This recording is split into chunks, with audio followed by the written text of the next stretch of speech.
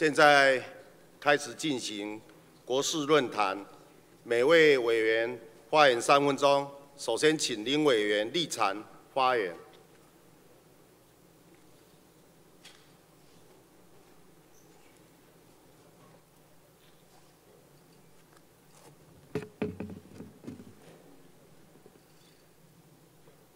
呃，各位媒体，呃，各位长官，大家早。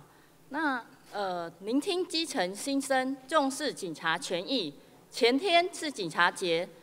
属于所有警察同仁及家属的一个呃那个眷属的纪念日，本来应该是一个庆祝的日子。前一阵子我们也看到我们林前院长去访视我们中正一分局，号称天下第一局，那强调新政府重视警察的权益。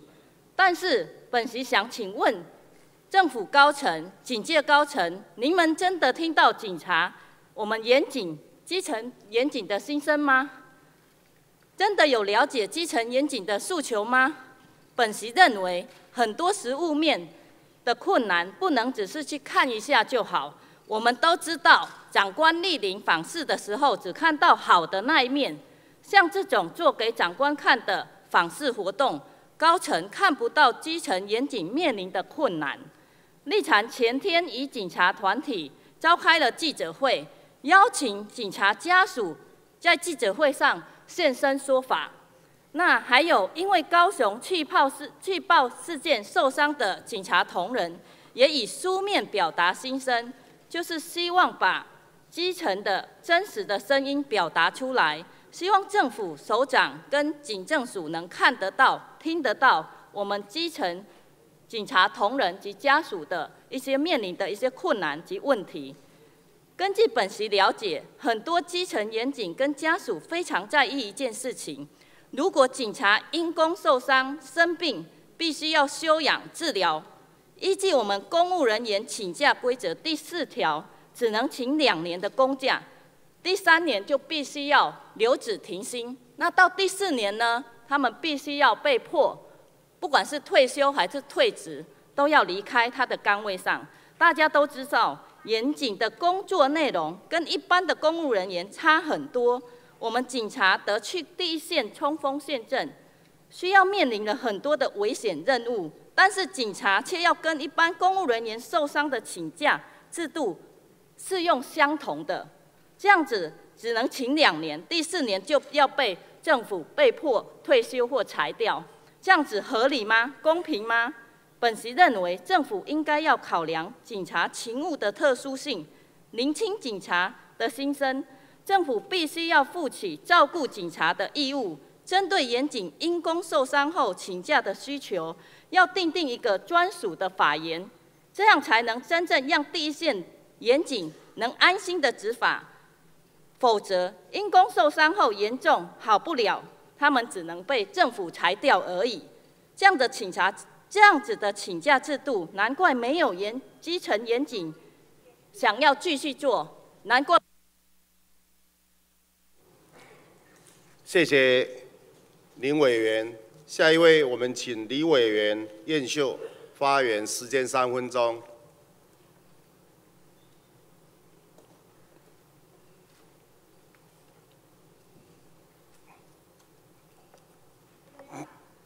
院长。各位行政院、各位同仁、各位的媒体朋友，大家早安哦！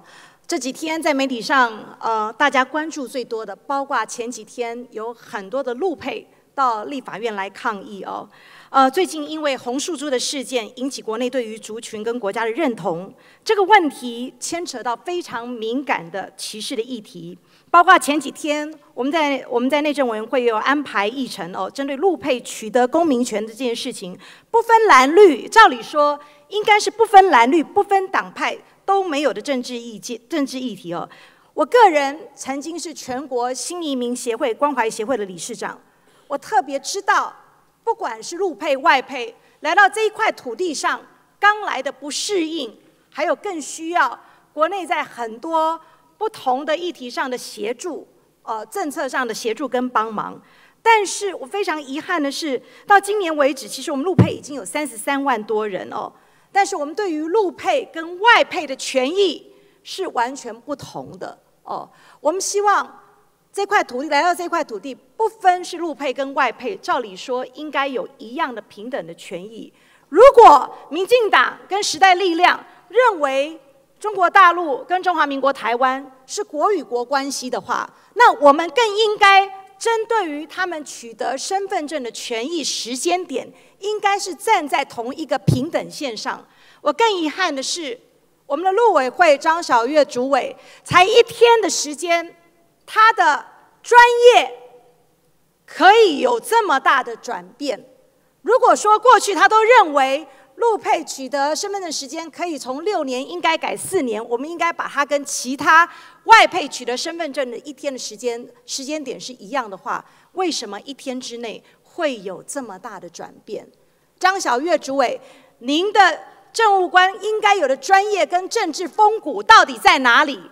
如果背后完全是行政院背后的指导，或者是民进党背后的指导，那我觉得。你就是一个橡皮图章而已，哦！我要再一次强调，如果政府无法善待这一块土地上的人民，不管是入配外配来到这一块土地，成为台湾之子的妈妈，她就是台湾人哦。如果我们都用有色的眼镜，去处理的话，那我还能期待这样的政府？我们关起来欺负自己人，我们还能期待说，我们走出台湾这块土地的时候，我们很多议题，我们都会变成哑巴吃黄连，闷不吭声哦。所以我还是希望。张小月主委，我还是希望行政院如果认同中华民国台湾，你们如果过去自己是主张中华民国跟中国大陆是国与国关系的话，那我们对于陆配取得身份证的时间点，当然必须要跟外配的时间点是站在一致的标准上。我们也希望这个议题尽速在下个星期有机会不。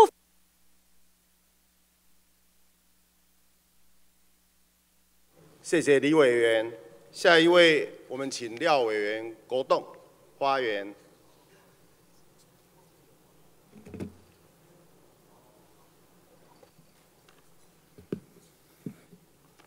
主席，呃，各位委员，各位媒体朋友，啊，林院长及所有的内阁的官员哈，今天我要讲的是法家湾该弯就弯啊，法家湾该弯就弯。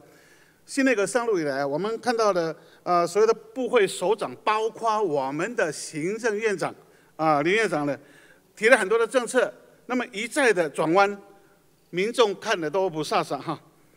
那么包括选前说绝对不加税，啊，绝对不涨电价，这个飞和家园沸沸扬扬的一些口号啊，现在都面临着准备要修正的一个处境。那么，李院长在日前呢接受了媒体的访问，啊，谈到了我国财政分配不均，造成了贫富两极这样的一个状况的时候，说到社会重分配呀是要靠要靠租会租税改革是骗人的，不可能做到的。那么要靠社会福利政策去改变，这个话呢，我虽然是医生，我不是财税的专家，但是听了这根本就不合逻辑。租税不公是恶化所得分配最重要的一个制度性的一个因素，要改变这个贫富不均呢，租税制度就是最主要的一个政策。那么所有的学者也都认为，租税制度是对分配的关键性的啊一个决定影响。我们来看看我们台湾这几年的贫富差距，也就是所谓的分配不均的状况，来自于。租税的扭曲，林院长，你作为一个财税的专专家，你非常的清楚这个过程。我举一例，在两千年的时候啊，陈水扁总统执政时期，通过了土地增值税减半的一个政策。那么当时呢，这个政策一出炉啊，引领了台湾非常多的资金去炒作土地啊，炒作土地。使得拿到钱拿钱去炒作土地的人呢，累积了非常多的一个财富，导致我们今天年轻人买不到房子，成不了家。李院长，前面所说的例子啊，你都参与其中，你非常清楚，你知之甚详。今天这样的谈话，本席非常的不以为然。你对财富重分配的说法，或可能只是口快失言了哈，但是为了国家，为了社会的发展，不可不慎。最后我要再说的是，只要是对的事，对人民有利，对国家发展有助益，法家弯，该弯就弯。谢谢廖委员，下一位我们请郑委员天才花园。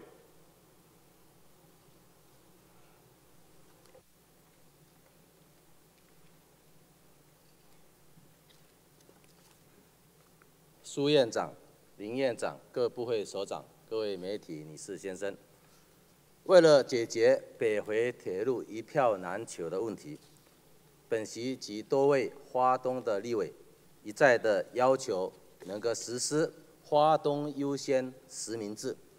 终于，铁路局交通部在今年的端午节实施了这个花东优先实名制。我们交通部长在结束之后啊，端午节之后也特别宣布，中秋节要扩大办理，这个是非常非常好的一个呃政策。我们希望能够继续的，真的是扩大，而不是现在只是七百四十四张。当然，台湾的原住民族，尤其是花莲、台东的原住民族，七月到九月。是我们原住民族最重要的丰年祭等岁时祭仪的日子，我们也一再的要求铁路局要为我们原住民族在七月到九月返乡参加丰年祭，但是铁路局一再的推脱，不仅仅是不像端午节跟中秋节那样的自己办理。是推给延明会来办理。大家都知道，端午节、中秋节是汉人的节日，是汉族的节日。铁路局它可以自己办，自己办定位，自己办售票。但是对于原住民族要返回花东参加部落的丰年祭，却是推给延明会。延明会不得不。来承接，冷落冷落，啊的一个来承接。我们来看这样的一个不公平。汉族的铁路局自己定位，自己售票；原住民族的返乡的一个这样的非常重要的，却是推给延明会，竟然是由延明会来办理定位，还要去售票，还要去卖票，难道？原民会的人力这么多吗？我们原住民族的立委在上一届好不容易为原住民委员会争取了增加了很多的人力，不是拿来去卖票。铁路局你要承担这样的一个工作。根据教育部重编国语词典的定义，什么是歧视？以不公平的态度相待就是歧视。当然，我不认为。铁路局有要歧视，但是就原住民族而言，就是被歧视。因为是不是被歧视，是要从。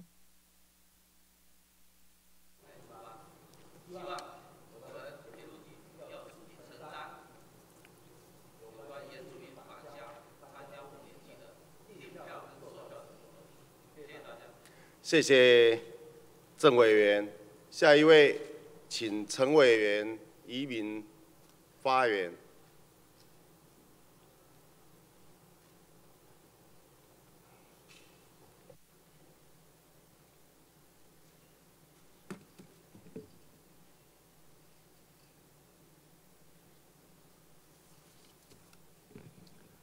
主席，各位在场的官员，啊，大家早。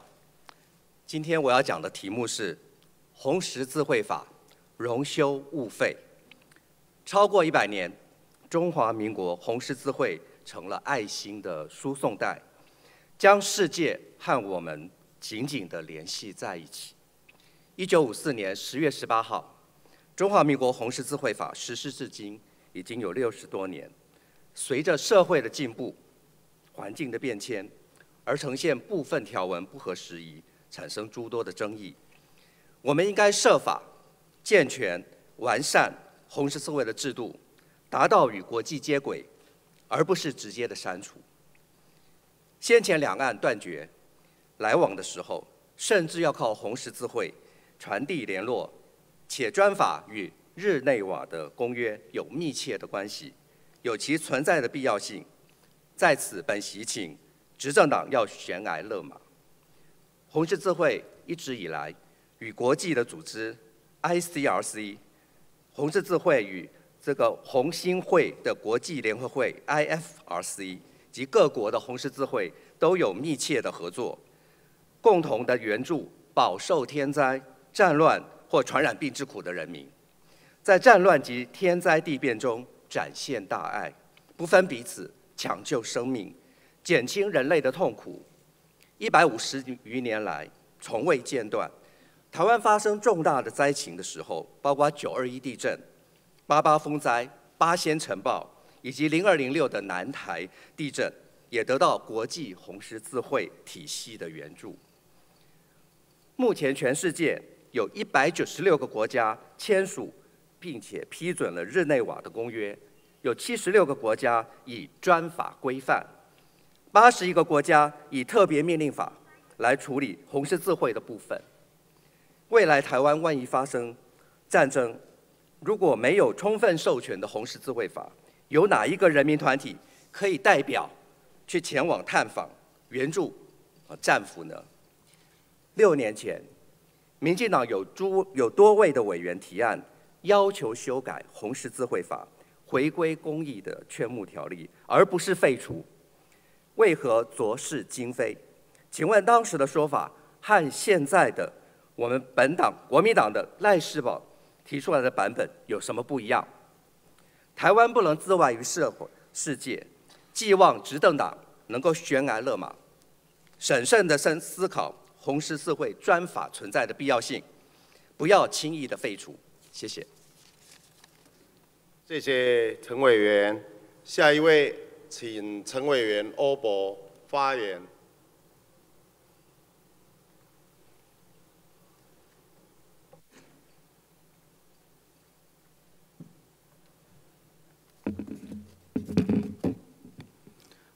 大家好，今天我要谈论的是民为邦本，人民最大，有容乃大。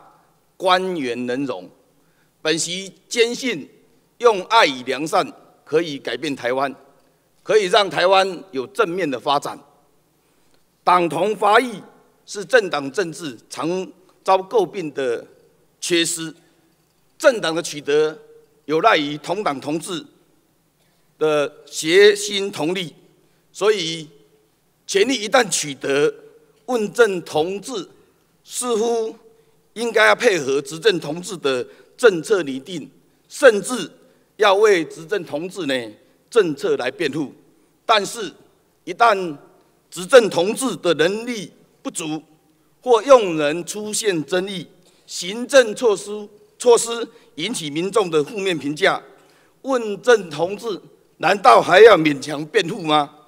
就像桃园国际机场的淹水跟施工挖断水管，导致。厕所臭气熏天，党籍同志、立委若不能苦民所苦，提正批评，要求改进，这就有亏职守，有负选民的期待。本席以为，无论行政问政的官员、委员，都应该本住于爱与良善。立委问政不能有私心，无论。立委官员都应该有疼惜台湾这块土地跟人民的爱心跟良心。本席也认为，行政官员除了爱与良善之外，还要能容。所谓有容乃大，行政官员有名位，有国家赋予的权利，地位大于一般老百姓。要坐上这个比老百姓更大的位置，有一个基本的条件，就是要能容。有容人之量，有容立委为百姓请命，反映老百姓心声的关怀能量，不能也不该一味要求党籍立委避重就轻，草草带过。人民的眼睛是雪亮的，人民选择这个政党、这个政府，就是希望这个政府、这个新的政党能够用爱与良善来疼惜台湾。民为邦本，官员跟委员的权利来源源自于人民。官员没有官官相护的本钱，立委也不能党意凌驾民意。本席希望本党从政同志和同党委员要有爱心跟良心，立委能够接受民众的批评，官员也要有容有量，自我替力，获得民众的肯定跟支持，减少借助。谢谢陈委员、简委员东明、王委员玉敏对国事论坛之书面意见。列入公报记录。登记国事论坛发言的委员均已发言完毕，现在休息。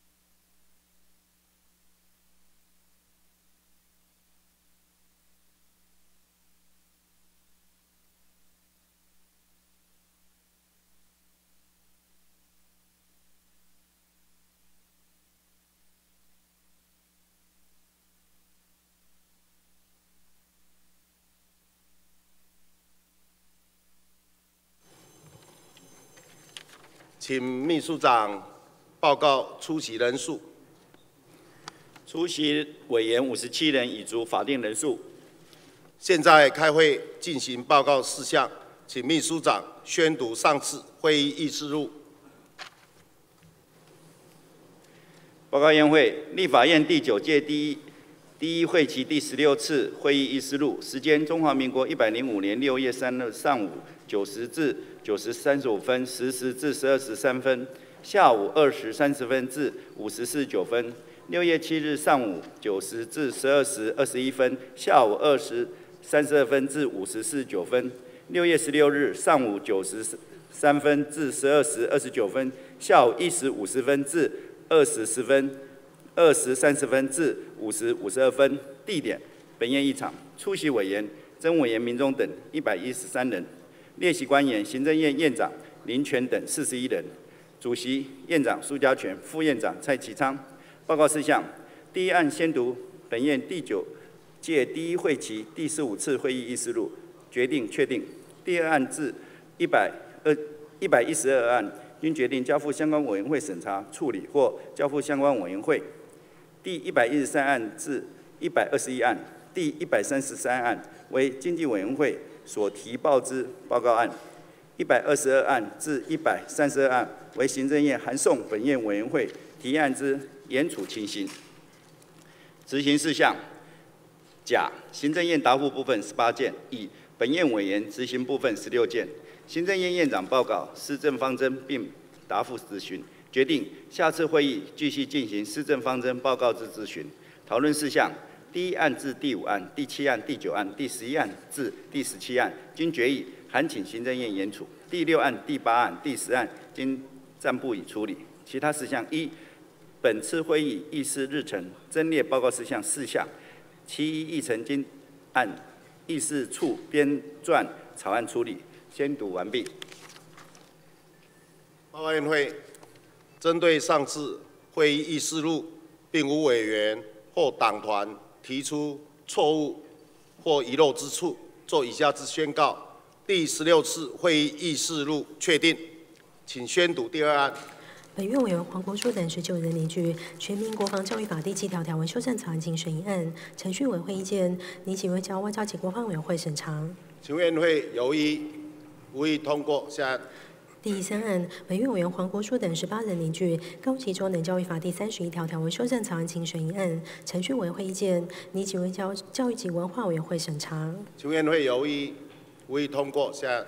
第四案，本院委员黄国书等十九人拟具《专科学校法》第二十条及第二十条之一条文修正草案请审议案，程序委员会意见，拟请为教教育及文化委员会审查。请院会有意。无意通过。下案。第五案，本院委员黄国书等十九人拟具《偏乡教育条例》草案请审议案，程序委员会意见，拟请院院会交教育及文化委员会审查。请院会有意无意通过。下案。第六案，本院委员黄国书等十七人拟具《国家语言发展法》草案请审议案，程序委员会意见，拟请院会交教育及文化委员会审查。请院会有意。无意通过。下案。第七案，本院委员郑宝清等十七人拟具《铁路法》第五十六条之一条文修正草案行审议案，程序委员会意见，拟请院会交交通委员会审查。请院会有意无意通过。下案。第一八案，本院委员王定宇等十九人拟具《在台公司大陆地区股东股权行使条例》第三条及第五条条文修正草案请审议案，程序委员会意见，拟请院交经济委员会审查。请院会有意。未通过。下案。第九案，本院委员徐国勇等二十人拟具《矿业法》部分条文修正草案请审议案，程序委员会意见，拟请院交经济委员会审查。请院会有意无意通过。下案。第十案，本院委员徐国勇等十九人拟具《洗钱防治法》第三条条文修正草案请审议案，程序委员会意见，拟请院交司法及法制委员会审查。请院会有意。无意通过。下案。第十一案，本院委员徐国勇等十六人拟具《刑事诉讼法》第一百零一条之一条文修正草案请审议案，程序委员会意见，拟请愿交司法及法制委员会审查。请院会有意通过。第十二案，本院委员黄秀芳等十八人凝聚《公益劝募条例》部分条文修正草案，请审议案。程序委员会意见，拟请院交社会福利及卫生环境委员会审查。请问会有异，无意通过。下案。第十三案，本院委员廖国栋等二十四人凝聚《毒品危害防治条例》增订第二十九条之一条文草案，请审议案。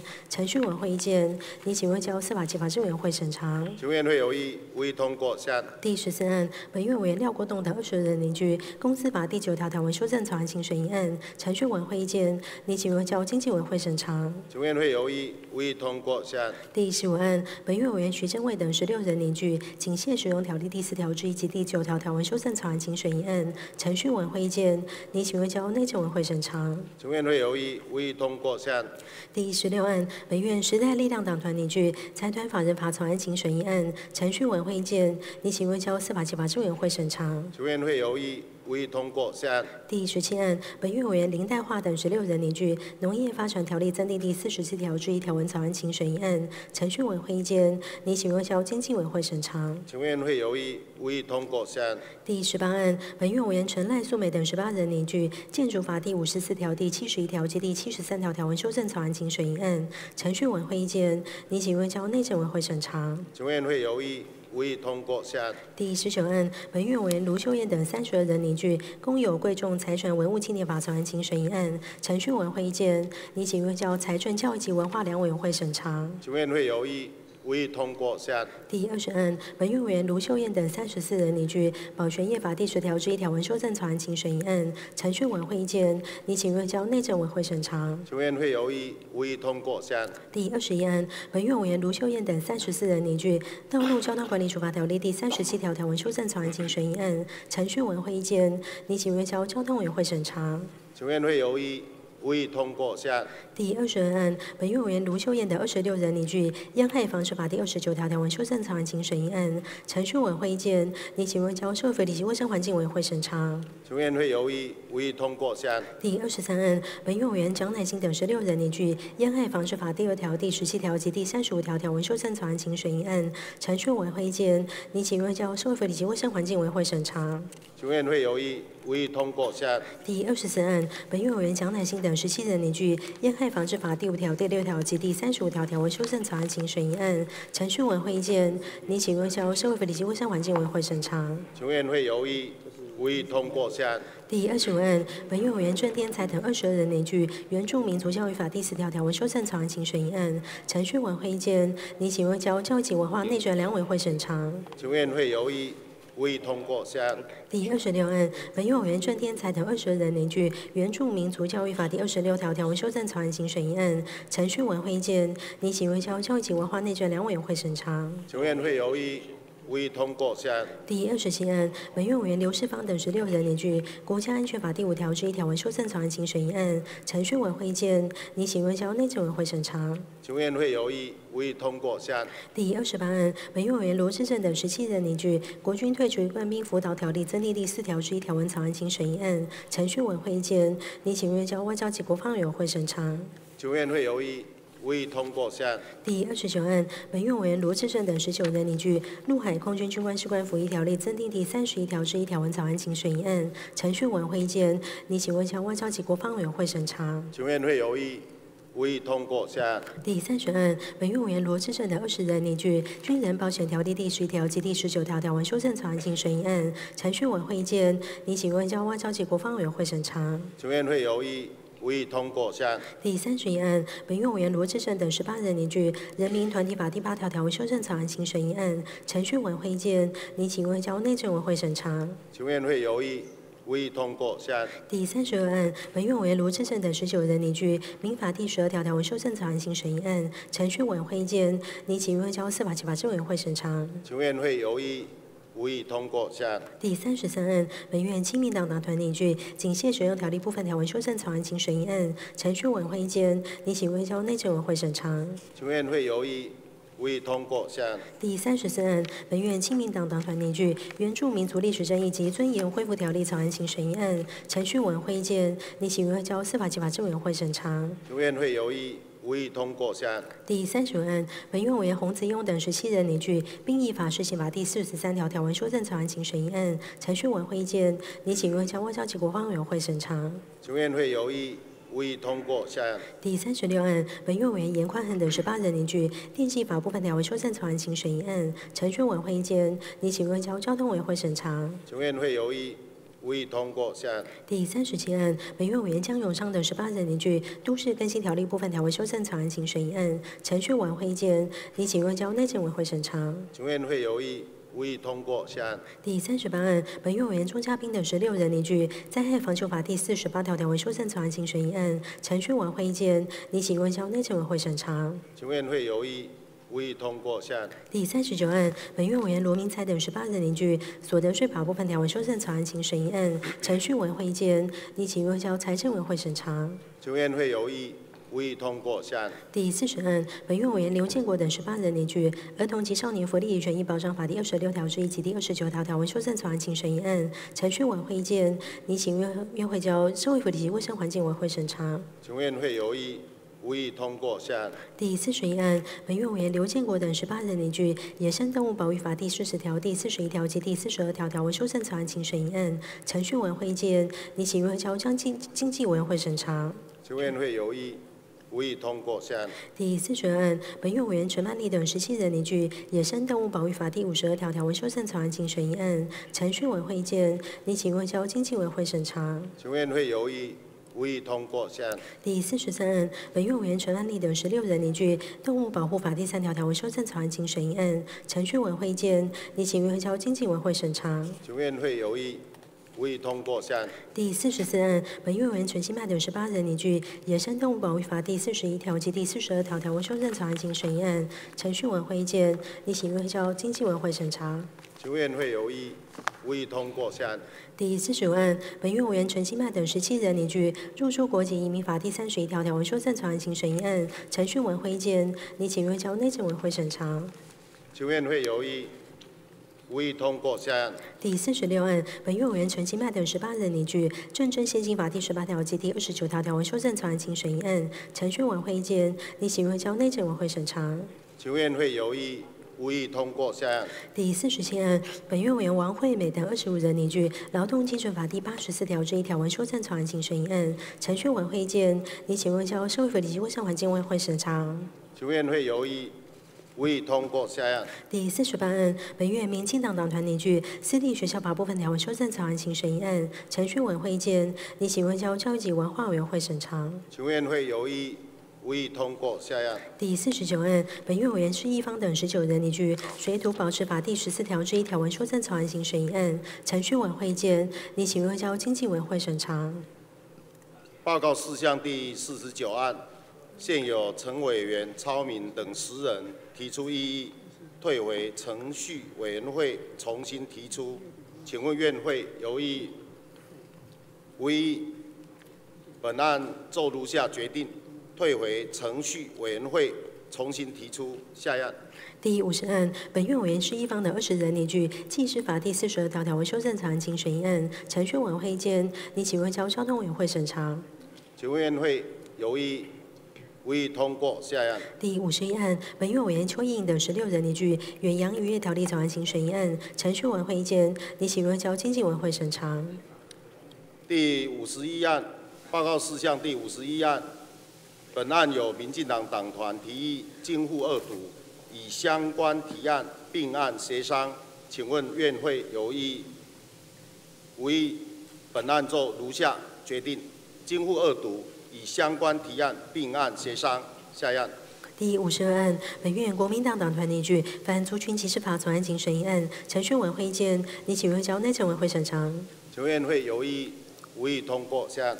第五十三案，本院委员王玉敏等十六人拟具《食品安全卫生管理法》第二条之一条文修正草案，请审议案。程序委员会意见，拟请院交社会福利及卫生环境委员会审查。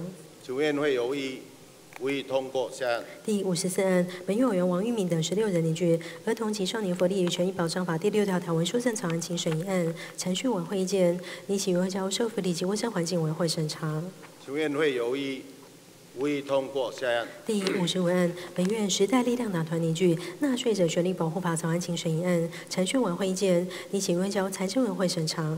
请院会有意无意通过。下案。第五十六案，本院委员黄国昌等三十一人凝聚《中华民国宪法》第一百三十条条文修正草案请审议案，程序委会意见，拟请问交修宪委会审查。请院会有意无异通过。下案。第五十七案，本院委员国纳石油打卡等十七人拟废止蒙藏委员会组织法庭审议案，程序委会意见，拟请问交司法及法制内政两委员会审查。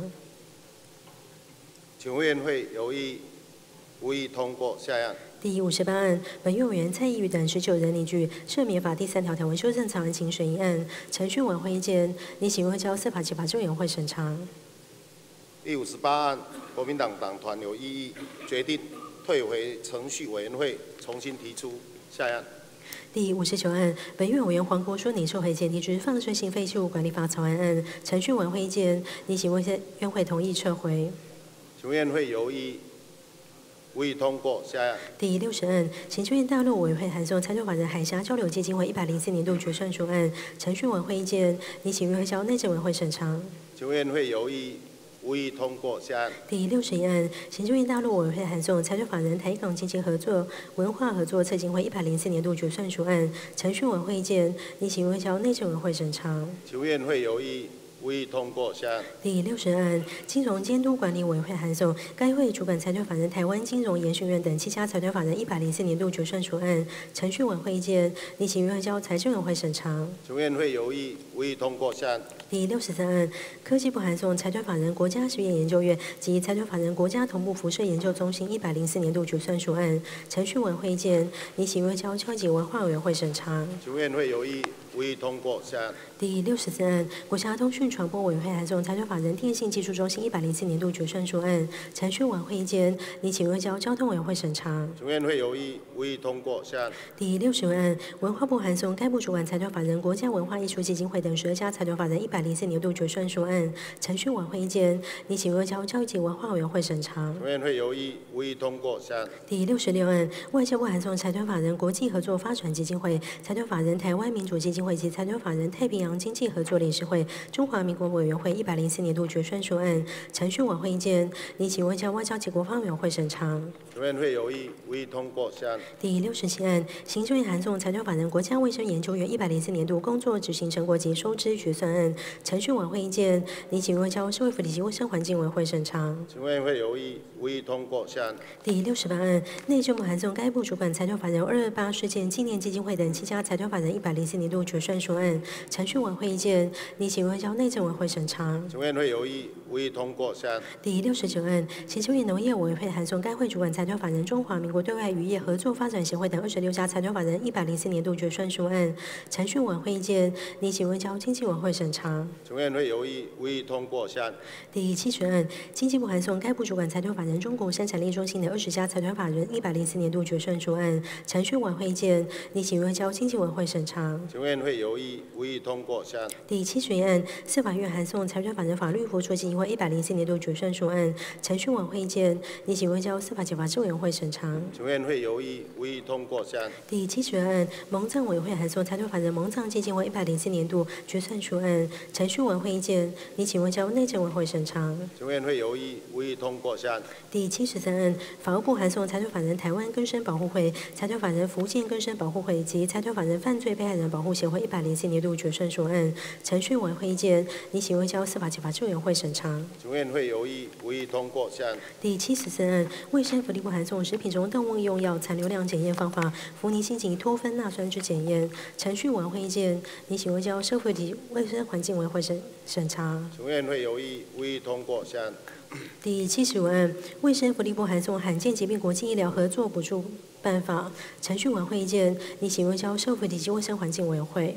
请院会有意无意通过。下案。第七十六案，卫生福利部函文修正全民健康保险药物给付项目及支付标准部分条文，程序委员会意见，你请问交社会及卫生环境委员会。请院会有意无意通过。下案。第七十七案，卫生福利部函文修正中华民国输入规定 F 零一、F 零二货品分类表，程序委员会意见，你请问交社会及卫生环境委员会。请院会有意无意通过。下案。第七十八案，卫生福利部函文修正卫生福利部疾病管制署处规程部分条文。程序委会意见，拟请问交司法及法制社会福利及卫生环境两委员会。请问会有意无意通过下案？第七十九案，卫生福利部函为废止药师职业登记及继续教育办法。程序委会意见，拟请问交社福及卫生环境委员会。请问会有意无意通过下案？第八十案，卫生福利部函为公告修正复合输入规定函 F 零货品分类号列表。程序委会意见，你请问交社福及卫生环境委员会。请问会有意无意通过下案？第八十一案，卫生福利部函为禽畜产品中残留农药限量标准名称修正为动物产品中农药残留容许量标准，并修正条文。程序委会意见，你请问交社福及卫生环境委员会。第八十一案，国民党党团提议改交审查，交社会福利及卫生环境委员会审查。请问院会有意无意照修正通过下案？第八十二案，卫生福利部函为修正农药残留容许量标准第三条条文第三条附表一及第六条附表五。程序委员会意见，拟请问交社会福利及卫生环境委员会。请问会有意无意通过下案？第八十三案，卫生福利部函为修正食品添加物规格检验方法硫酸钙。程序委员会意见，拟请外交社会及卫生环境委员会。请问会有意无意通过下案？第八十四案，卫生福利部函为百零四年度中央政府总预算附属单位算决议，有关将四十岁以上一期等曾有大肠癌家族史者纳入粪便检血酸检范围，解送办理情形。程序委员会意见，拟请外交社会及卫生环境委员会。请问会有意无意通过下案？第八十五案，卫生福利部函为修正自日本输入之特定食品需减负辐射证明时的申请输入食品查验支付建议，并说及至中华民国一百零五年二月十五日生效。程序委员会意见，拟请问交社会福利及卫生环境委员会。请问会有意无意通过下案？第八十六案，交通部函为修正使用国营航空站驻航设备及相关设施收费标准部分条文及第十五条附表。程序委员会意见，拟请问交交通委员会。请问会有意无意通过下案？第八十七案，交通部函为修正水域油气活动管理办法及发展观光条例采罚标准第十二条附表八。程序委员会意见，拟请问交交通委员会。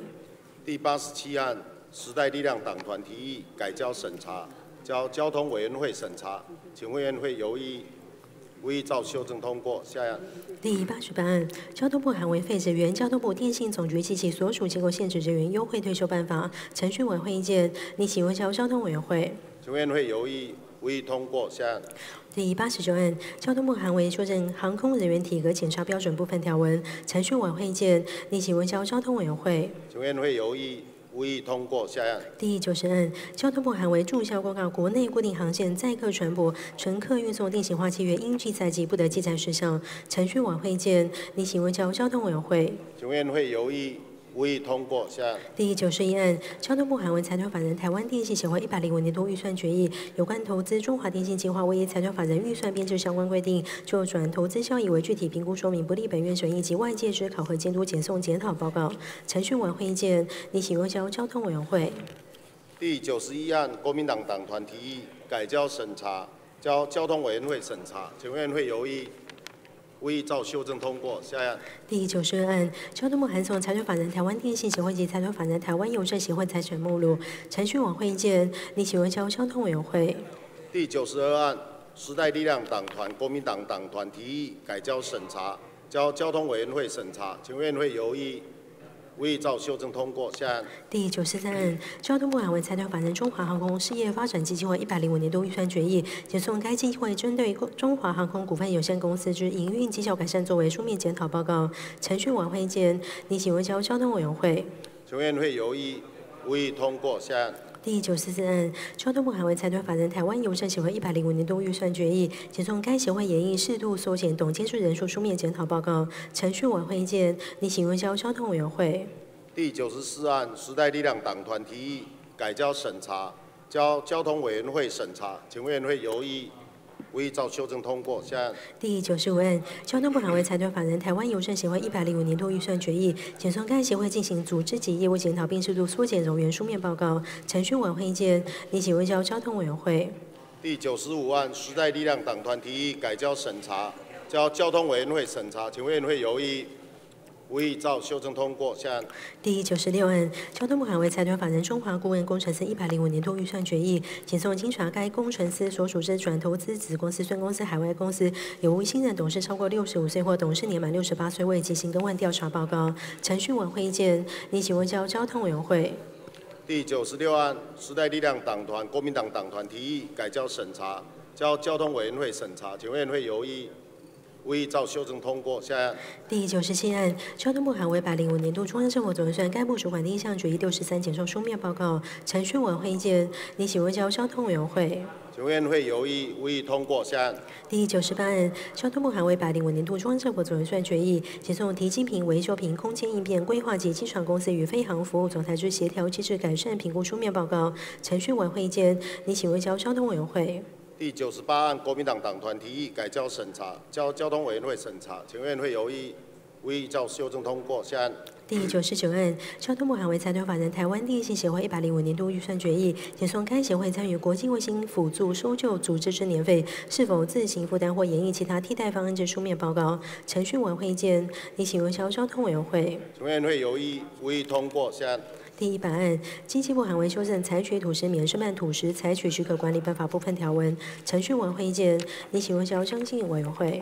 第一百案，国民党党团提议改交审查，交经济委员会审查，请委员会有意无异议照修正通过。下案。第一百零一案，经济部函文修正液化石油气经销业、分装业及零售业供销管理规则第五条、第六条及第八条条文。程序委员会意见，你请问交经济委员会。第一百零一案，国民党党团提议改交审查，交经济委员会审查，请委员会有意无异照修正通过。下案。第一百零二案，经济部函文修正创业投资事业辅导办法第九条之一条文。程序委员会意见，你请问交经济委员会。第一百零二案，国民党党团提议改交审查，交经济委员会审查，请委员会有意无异照修正通过。下案。第一百零三案，经济部函文修正专利法施行细则第八十六条条文。程序委员会见，你请问交经济委员会。请委员会有意无意通过。下案。第一百零四案，经济部函为修正能源跟能源供应事业及能源用户达应办理能源管理法规定事项之能源供应数量、使用数量基准及应储存之安全存量。程序委会意见，你请问交经济委员会。第一百零四案，国民党党团提议改交审查，交经济委员会审查，请委员会有意无异修正通过。下案。第一百零五案，经济部函送台电中油、台糖及台水公司一百零五年四月份公益支出委托调查会费捐助及睦邻支出明细表。程序委员会意见，拟请问交经济委员会。第一百零五案，国民党党团提议改交审查，交经济委员会审查，请委员会有意无异修正通过。下案。第一百零六案，原住民族委员会函送该会及所属财团法的原住民族文化事业基金会一百零四年度十至十二月份广告费执行情形表。程序委员会意见，你请问交内政委员会。第一百零六案，时代力量党团提议改交审查，交内政委员会审查，请委员会有意无异议照修正通过。下案。第一百零七案，内政部函为修正台湾地区无户籍国民强制出国处理办法。程序委员会意见，你请问交内政委员会。第一百零七案，国民党党团提议改交审查，交内政委员会审查，请委员会有意无异议照修正通过。下案。第一百零八案，内政部函为修正外国人强制驱逐出国处理办法。程序委员会意见，拟请问交内政委员会。第一百零八案，国民党党团提议改交审查，交内政委员会审查，请委员会有意无异议照修正通过。下案。第一百零九案，教育部函为修正身心障碍学生及身心障碍人士子女就学费用减免办法。程序委员会意见，拟请问交教育及文化委员会。请问会有意无异议通过。下案。第一百一十案，教育部函送高级中等学校实习课程绩效评量办法。程序委员会意见，拟请问交教育及文化委员会。第一百一十案，国民党党团提议改交审查，交教育及文化委员会审查，请问会有意无异照修正通过。下案。第一百一十一案，教育部函为修正低收入户学生及中低收入户学生就读高等高级中等以上学校学杂费减免办法部分条文。程序委员会意见，拟请问交教育及文化委员会。第一百一十一案，时代力量党团提议改交审查，交教育及文化委员会审查，请委员会有意无异议照修正通过。下案。第一百一十案，行政院农业委员会函为修正中华民国输入植物或植物产品检疫规定部分规定。程序委员会意见，你请问交经济委员会。第一百一十二案，国民党党团提议改交审查，交经济委员会审查，请委员会有意无异议照修正通过。下案。第一百一十三案，行政院农业委员会函文修正办理政策性农业专案贷款办法程序委员会意见，你请问交经济委员会。第一百一十三案，国民党党团提议改交审查，交经济委员会审查，请院会有异议，无异议照修正通过。下。第一百一十四案，行政院农业委员会卫生福利部函文修正屠宰卫生检查规则第十六条条文，程序委员会意见，拟请问交经济社会福利及卫生环境两委员会。第一百一十四案，国民党党团提议改交审查，交经济社会福利及卫生环境委员两委员会审查，请院会有异议。无异照修正通过。下案。第一百一十五案，财政部函送该部及所属一百零四年第四季及国库署及国有财产署更正第二季于各媒体办理政策宣导相关广告明细表程序委员会意见，拟请问交财政委员会。委员会有异，无异通过。下案。第一百一十六案，国家通讯传播委员会函送有关财团法人台湾网络资讯中心之网域名称、注册管理等业务收入是否应归国库时书面报告程序委员会意见，拟请问交交通委员会。委员会有意，无意通过。下案。第一百一十七案，劳动部函文修正《职工福利性条例施行细则》第十四条条文，程序委员会意见，拟请问交社会部及卫生环境委员会。委员会有意，无意通过。下案。第一百一十八案，劳动部函文修正《劳工保险被保险人退保后罹患职业病者，请领职业灾害保险失能给付办法》第二条及第五条条文，程序委员会意见，你请问交社会福利及卫生环境委员会。委员会有意，无意通过。下案。第一百一十九案，劳动部函文修正《职业灾害劳工医疗期间退保继续参加劳工保险办法》第二条条文，程序委员会意见，你请问交社会福利及卫生环境委员会。委员会有意，无意通过。下案。第一百二十案，劳动部函文修正《劳工保险被保险人因执行职务而致伤病审查准则》第二十条条文，程序委员会意见，你请问交社会福利及卫生环境委员会。委员会有意，无意通过。下案。第一百二十一案，劳动部函文修正《庇护工厂身心障碍者职业灾害补偿费用补助办法》第二条及第四条条文，程序委员会意见，你请问交社会及卫生环境委员会。请问会有意，无意通过。下案。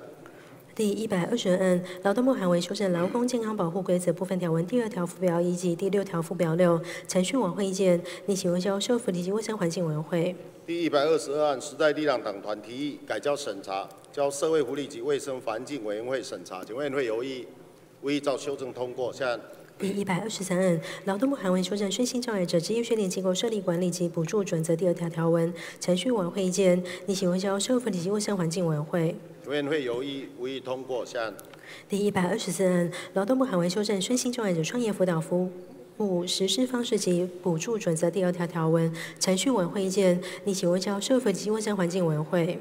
委员会有意，无意通过。下案。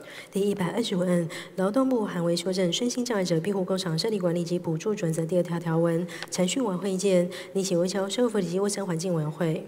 委员会有意，无意通过。下案。第一百二十六案，文化部还从一百零五年一至四月份接受外捐捐赠款明细表，程序委员会见，拟请问交教育及文化委员会。委员会有意，无意通过。下案。第一百二十七案，中央研究院函文修正《中央研究院研究所组织规程》部分条文，程序委员会见，拟请问交司法及法制教育及文化两委员会。第一百二十七案，国民党党团有异议，决定。退回程序委员会重新提出下案。第一百二十八案，中央研究院函文修正《中央研究院研究中心组织规程》第七条及第十条条文，程序委员会意见，你请问交司法、法制教育及文化两委员会。第一百二十八案，国民党党团有异议，决定退回程序委员会重新提出下案。第一百二十九案，国防部函送海军向美求购派里级巡防舰书面报告，程序委员会意见，你请问交外交及国防委员会。委员会有异。无意通过。下案。第一百三十案，科技部函送该部及所属一百零五年第一季补捐助民间团体及个人经费资料，程序委员会意见，你请问交教育及文化委员会。委员会有意无意通过。下案。第一百三十一案，行政院环境保护署函为一百零四年度中央政府总预算附属单位预算决议，有关应协助或补助高雄市政府执行石化业对环境影响总体检，并提出中央报告及检送办理情形，程序委员会意见，拟请问交社会福利及卫生环境委员会处理。委员会有意无意通过。下案。第一百三十二案，卫生福利部海外财团法人国家卫生研究院一百零五年度工作计划及收支预算通过决议一，针对义务支出政府补助经费预算多减十分之一，减送书面报告，请安排报告。程序委会意见，你请问交社会及卫生环境委员会处理。请委员会有意无意通过。下案。第一百三十三案，卫生福利部海外财团法人国家卫生研究院一百零五年度工作计划及收支预算通过决议三，针对台湾环境毒物及健康风险评估研究预算冻结十分之一，请送书面报告，请安排报告。程序委会意见，你请问交社会福利及卫生环境委员会处理。请委员会由于无意通过。下案。第一百三十四案，卫生福利部海外财团法人国家卫生研究院一百零五年度工作计划及收支预算通过决议四，针对台湾环境毒物及健康风险评估研究预算冻结十分之一，请送书面报告，请安排报告。程序委会意见，你请问交社会福利及卫生环境委员会处理。永远会有意无意通过。下。第一百三十五案，卫生福利部海外财团法人国家卫生研究院一百零五年度工作计划及收支预算通过决议五，针对台湾环境毒物及健康风险评估研究预算冻结十分之一，请送书面报告，请安排报告。程序委会意见，另请问交社福利及卫生环境委员会处理。请委员会有意无意通过。下案。第一百三十六案，卫生福利部海外财团法人国家卫生研究院一百零五年度工作计划及收支预算通过决议六，针对台湾环境毒物及健康风险评估研究预算冻结十分之一，请送书面报告，请安排报告。程序委会意见，拟请问交社会福利及卫生环境委员会处理。请委员会有意无意通过。下案。第一百三十七案，卫生福利部海外财团法人国家卫生研究院一百零五年度工作计划及收支预算通过决议七，针对台湾环境毒物及健康风险评估研究预算冻结十分之一，请送书面报告，请安排报告。程序委会意见，你请问交社会及卫生环境委员会处理。请委员会有意无意通过。下案。第一百三十八案，卫生福利部海外财团法人国家卫生研究院一百零五年度工作计划及收支预算通过决议八，针对劳务成本、其他费用、合作研究费预算冻结一百万元，减送书面报告，请安排报告。程序委会意见，你请问交社会福利及卫生环境委员会处理。请委员会有意无意通过。下案。第一百三十九案，卫生福利部海外财团法人国家卫生研究院一百零五年度工作计划及收支预算通过决议九，针对细学佛为例 PM 二点五特征对民众健康影响之研究预算冻结十分之，减送书面报告，请安排报告。程序委会意见，拟请问交社会福利及卫生环境委员会处理。请委员会有意无意通过。下案。第一百四十案，卫生福利部海文财团法人国家卫生研究院一百零五年度工作计划及收支预算通过决议时，针对细血活为例 PM 二点五特征对民众健康影响之研究预算冻结十分之一，减送书面报告，及安排报告。程序委会意见，拟请问交社会福利及卫生环境委员会处理。请委员会有意无意通过。下案。第一百四十一案，卫生福利部海文财团法人国家卫生研究院一百零五年度工作计划及收支预算通过决议十一，针对整合性食品健康风险评估机制建立预算冻结十分之一，减送书面报告，请安排报告。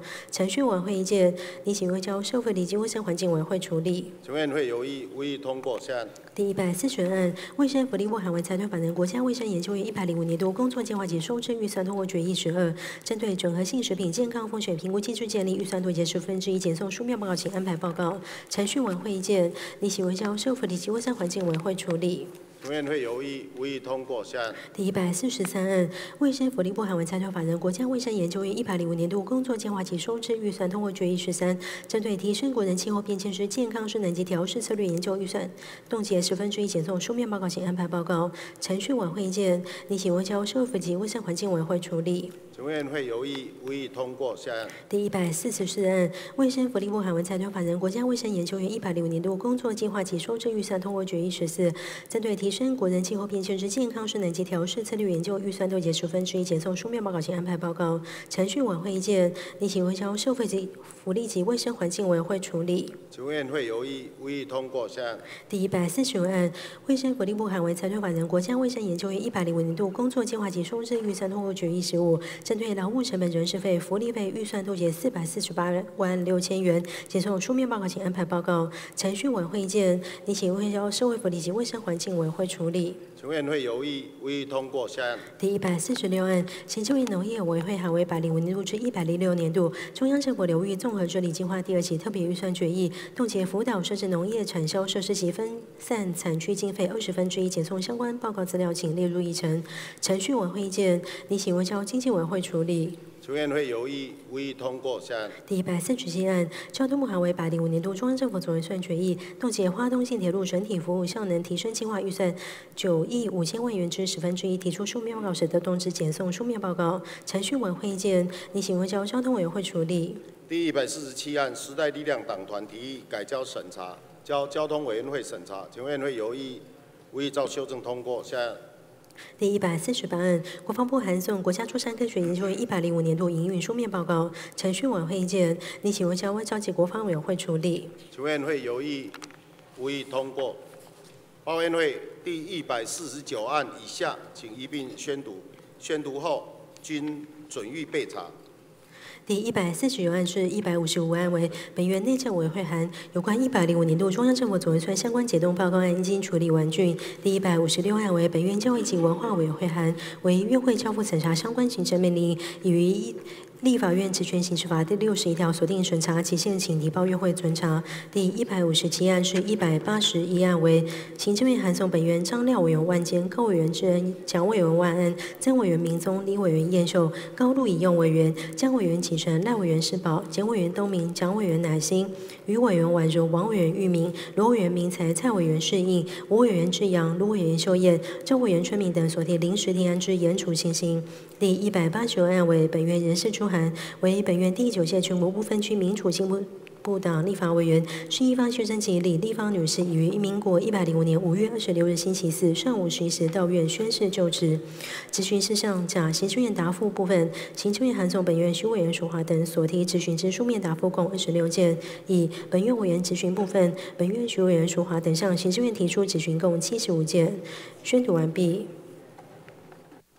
报告院会现在对行政院院长提出施政方针报告，继续咨询。在进行咨询之前，先请副秘书长报告各部会首长请假情形。报告院会，行政院来函，司政务委员俊吉本日上午十时至十二时因公请假，小委员会吴委员长辛兴本日因公请假，由田副委员长邱瑾代表列席。原住民委员会一一将拔鲁尔主任委员本日上午十一时三十分起因公请假，由汪副主任委员明辉代表列席。报告完毕。好，现在开始继续咨询，请科委员智恩咨询，询答时间三十分钟。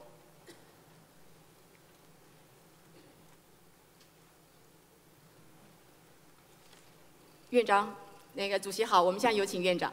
林院长。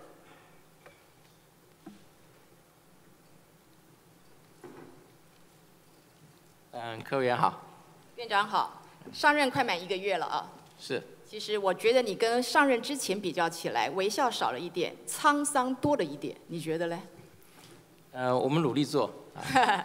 目前的新的民调已经出来了，虽然我们的蔡你是我们蔡总统的第一人选，但是民调可以显示啊，我们对于内阁上任之后的喜爱度是降了百分之六点四，然后对于不满意的程度呢，提高到百分之十六点五。你对这样的结果意外吗？嗯，我想我们知道，就是做事情难免啊，就要去听很多不同的意见嘛啊。那处理的不好，就会有抱怨，所以我我想这个是呃必然的现象。所以你这完全在你意料之中就对了。外界的批评或者说是指教，我们都会虚心的检讨和接受。是，这是别人对你们的一个指教。那你自己自评如何呢？你对你的行政团队，你给他打几分？嗯，我想自己评分不太好了，我觉得我们我们立委都要自评啊。而且我们不会，我们永远都不会对自己的表现会感到满意的。我们所以到底有没有及格嘛？啊，我觉得我们呃，至少我想他们都蛮尽力了哈。那做的好不好，这个部分大家都有不同的评断。好，其实呢，我们从院长你上任到现在啊，除了有几个阁员失言之外啊，其实整个您内阁并没有出太大的错误。但是呢，你们却陷入了所谓法夹弯的魔咒，连自家的立委都骂得不得了。我们来检视一下啊，其实呢，从过去我们虽然说政党轮替，但是呢，一些的议题，包括有关于两岸维持现状，包括美猪进口，包括 WHA 的这个国号的问题，还有一些能源的问题，其实某种程度在延续过去政府的一些的部分。所以呢，院长，你可不可以大胆的去说，其实呢，很多时候我们做的决定是不得已在一个困难当中需要做的部分。你是不是认为马政府的某一些的策略方向也算是正确的呢？我想我们并没有去否认过去的政府啊所做的这个事情。那么政府本来就是接续的嘛，啊，但是我想会有政党轮替，会有会有选举，都是期待我们新的呃政府能够在这个很多政策上能够有更多的突破。那么当然并不是代表说我们要把过去的全部都否定，没有错嘛。所以说院长，其实你只要大方的承认某些的部分是延续过去，那它的方向是正确的。其实呢，很多人会乐见这个法家湾的转弯，因为让很多的口水之战会少的非常的多。哦，那接下来我们还是要特别提到，不管你怎么做呢，包括蔡总统都特别说的，民进党立委干嘛把那个骂那么惨？他们其实没有那么惨，就表示总统还是非常支持那个的。只是院长真的当家才知道持家的辛苦，对吧？好了，那我们上任之前呢，你们这个同共事营也开过了，然后从礼拜一到礼拜五开了不少的会议，现在礼拜四又要召开所谓的便当会议，更不要说还有 Line 的群组，放假的时候还有我们总统的客厅会，还有呢，为了要凝聚共识呢，我们还有年金，我们还有能源，我们还有长照二点零。还有非常多的国事会议，还有我们工商要举办的大会议。所以呢，虽然说你们是一个最会沟通的政府，但是我真的认为你们是会最会开会的政府。开会开会，到底会不会？像昨天第一天的便当会议，你提到了往长照来找裁员的时候，就触礁了。当院长提出来要增加营业税百分之零点五的时候，其实的不管朝野，其实对这样的一个政策其实相当的否定的，因为他们认为会带动所有的物价提升，这个可以说是让我们的小市民还有我们的穷人其实更苦。院长怎么办？嗯，我想特别是跟您这个说明一下，就是其实，呃，有关长照的政策，这是新政府的重要的政策啊。那我们这也认为这个长照要能够推动的话，一定要有既定的裁员。那么指定税收是我们认为最好的做法。至于是什么租税，其实我们是开放讨论的啊。那但是也不能说不负责任，说我们税都什么都不讲嘛啊。所以我们会有提几个参考的部分，但是这个部分并不是说就是定案的啊。如果各界对于这个指定税收里面有其他的建议，说不要用这个税用其他税，这个都是可以来呃讨论的。所以呢，你们会继续在开会，继续在沟通。所以嘛，还是继续开会嘛。就是说，我们讲说是这个总是有个程序啊，就是说，也不要认为说是行政院提出来都没有跟人家沟通嘛。外界不是说我们缺乏沟通的话不好嘛？所以当我们开，我们就认为你开这么多会的时候，你认为在什么时候可以对这样的一个裁员给我们一个比较稳定的一个答案？嗯，谢谢您。我想我们呃，因为这是目前行政院还在讨论中，还没有到院会来嘛，所以我们现在这个部分就是呃，希望能够多跟外界去说明，而且有一些政策的铺陈，然后根据他们的意见，我们会来做最后的考量。是我基本上还还是要提醒院长啊，因为大家其实不太能够等，开了这么多的会议当中呢，大家还是很希望赶快有个明确的一个决定啊。不要忘记在历届的政党轮替当中呢，第一次的轮替，我们唐飞院长他做的四个半月，第二次的刘兆玄院长做的一个一年三个月。那时候刘兆玄特别提到的，如果民意不满意，总统对他不满意，他对自己不满意，他就会是笑台的三个条件。那院长，你的条件是什么？我想。做这个是任期长短并不重要了，我们希望能够把这个在这个值的时间把尽量工作做好，能够让整个的这个社会能够往前推动，这个最重要。我还是要提醒院长，因为你是无党籍，而且你相当的理性，你的团队都是非常是专业能力，而不是政治。能力的这个部分，而且你讲话起来跟立委实在爆不出太大的一个火花，所以呢，我还是要提醒啊，像目前有很多的明代非常具有政治的能力的人虎视眈眈看着你的位置，我希望我下次咨询的时候，还是你站在我的对面，这是我对你的期许。好，接下来我们来看看我们的新南向政策。我想南向政策本身来说呢，其实从过去到现在，我们虽然没有很多时候过去的马政府他并没有提出所谓的南向，可是呢，他在两千零八年到二零一四年，他其实投资的近三百亿在我们东协的七国当中，而且对于很多的这个经济本身呢，也有很大的注意。所以我个人认为呢，其实你只要让台湾的经济能够走得出去，不管东南西北，我们都是应该来支援的。只是呢，现在多了一个新字。所以呢，开始有所谓的新的智库要成立了，有所谓的办公室要成立了。那这么多的当部分，当组织在做一个删减的时候，我们特别要提到这个所谓的新南向的一个办公室。我不晓得院长，行政院会涉入南向的一个这样的一个办公室的事务吗？所以它隶属于总统府，而且很多人我知道你上一次也特别否定的，因为很很多人对于黄志芳主任他种种的这样子的一个权责，他们认为这这是叠床架屋，而且是一个黑箱单位。我想很多人都有这样的一个质疑，你是不是还要再再表表明一次呢？嗯，第一个，因为他说昨天是一个新创事业，而且呢，真的不要忘记的，每一个人提到这个南向啊，除了蒙藏委员会以外，每一个人都跟南向有摄入，而且呢，每天一天一个说法，一个人吹一把号，说到真的是包山包海，多到。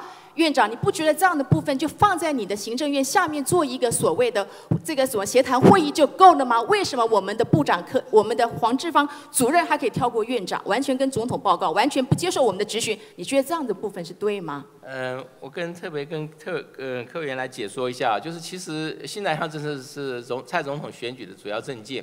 那么黄志芳呃呃先生他这个在总统府呢，只是负责有关新南向政策的一些策略和幕僚的一些规划。那么真正的执行和这些呃呃一些细节的部分呢，所以它不是一个决策性的会议。呃，它不，它它只是一个等于是总统府的一个幕僚。幕僚部分，那他如果要开会的话，你们的行政院是派哪个层级去参加那个会议？对不起。如果他南向办公室要开会的话，行政院是派哪一个层级去跟他开会？嗯，那就是看他们需要的这个咨询的意见啊。所以可能是次长，可以是部长。嗯，可能是次长，也可能是部长，任何部分你会参加吗？目前因为他目前目前因为他还没有开始运作，所以我还不能够就。对，因为为什么？因为新南向政策到处都在讲，可是我到处去问，到底要花多少钱在南向的部分？我们可以请李部长回去，我请我们的。这个潘部长上来比较对，我从我们这个教育的这个部分还是跟南向有关，因为我们的潘部长他在五月二十一号上任的第一次的记者会当中，他就是提到了高教的迁移一定要跟着南向走，我就不能够理解为什么我们高教迁移的这样的一个经费要来跟南向绑标，这会不会有点本末倒置？部长。啊，各位好，我想跟委员报告哈，呃，新南向政策如果在教育的部分，那只是我们在。呃，跟呃国际交流互动当中的一个方向，倒不是说呃整个。呃，高教的发展政策唯一就是跟这个玩一点。当然是啊，可是我们还是非常担心，我们现在高教已经非常没有钱了，连最分到最多钱的台大都叫苦连天啊。我们只要涨了差不多一千块的学费，我们的学生也是叫苦连天，所以我们当然对教育的部分要严格的把关呢。那特别是我们要提到，其实过去到现在，我们对于南向，我们对于学生的支援，我们其实一直都有在做。我随便举个例子好了，前教育部长吴清基，他曾经拜访过印度，而印度曾经告诉他，他可以提供一万个。所谓的中文的师师资，可是呢，在问下去之后，你知道现在有多少人过去吗？十四个，因为只要问到他们的宿舍，问到他们的薪水就没有了。可是现在我们绿营的某个财经大佬特别也提出来了，目前印度政府跟他表示，可以请他们到那边去教中文，而且可以提供一万个名额。院长，你相信吗？你要不要相信？这个部分我没有，这整个的细节我我他这个是是什么情形，我不是了解，因为他并没有在并入我们行政院的政策在讨论。是我只是要特别的强调啊，其实我们的钱有限，南向基本上我们没有意见，可是当我们有了钱。真的是非常拮据的时候，我们去势必要有所筛选。特别是还有另外一个例子，其实，在二零一三年的时候呢，其实我们在越南也曾经提立成立了所谓台湾教育中心，而且在北中南，但是呢，它也是关门了。那时候教育部就特别提到了，其实经费的限制上面呢，其实让他还是没有办法来来做这样的一个成型。所以我们只需要提醒两位，真的过去经验，注意经费。这是我觉得北京非常重要。其实南向政策不见得一定是跟多少预算有关了，因为很多的人员的交流来往来往，不见得是要透过预算。我们只要把这个呃双方的关系一些障碍能够放宽、鼓励啊，就能够造成很多的效果。其实我知道，可是问题是我们面临这个所谓的少子化的这个海啸元年，我想包括院长、包括部长都到处帮我们在找生源嘛，对不对？那我想能够吸引很多外籍学生能够到台湾来念书的很两大理由，第一个就是有关于奖学金。院长或是部长，你知道目前我们台湾奖学金有多少吗？提供给这些外籍的学生？这个我不清楚，可能要请教育部。教育部大概好了，我跟部长稍微报告一下，教育部大概才一点九亿，而外交部大概三点七八亿，所以加起来大概是总共是五点七亿。院长，你觉得这个钱多不多？嗯，也不算少了。也不算少，对不对？以我们目前这么拮据的环境当中，但是呢，所以我才特别强调嘛，就说这在美国来说一点不算多，在台湾来说算是非常的多。我只要本席只要特别的提醒，真的，我们提供奖学金，特别是我们要大胆的希望能够吸引这么多外面的学生过来的时候，其实呢，我们真的还是要。考虑到这些所谓的这个勒紧裤带，而且呢，说实在的，我们要放这么多跟东南亚的学生来做联流，其实我们有很多的我们的新著名的第二代，其实他们也是一个我们最好的一个培养的一个方式。然后呢，我在这边抱怨的都是一些芝麻小事的这些钱，可是院长你看看呢，目前我们随便讲到钱的这个部分，不要忘记的，目前这个所谓的这个美国的参政院的里面的军事。这个委员会的 John Sidney McCain，他特别过来提醒了我们蔡总统，我们的国防的经费可以到 GPN 可以到百分之三以上，所以难怪我们的国防部长他特别提到的，可能要把我们的国防经费从三千两百亿提升到四千亿。我们的教育的部分只有一千两百亿的部长，对不对？然后我们的文化部也只有两百亿耶，真的是。如果我们的国防经费在这一年当中可以提高八百亿的话，那真的把我们的教育跟文化，因为我们的竞争不是在武器，我们的竞争是在我们的教育跟文化。那我接下来是不是也要特别问一下？据说下周要在华府召开台美的国防检讨会议，就简称为 T R D R T 嘛？媒体报道，院长你已经同意的国防预算增加到百分之二十五，这是真的吗？我没听说过，所以你正式否认就对了。我应该这样来讲了，就是以目前的国家财政状况来看啊，那么国防支出要到达 GDP 百分之三是不可能的啊。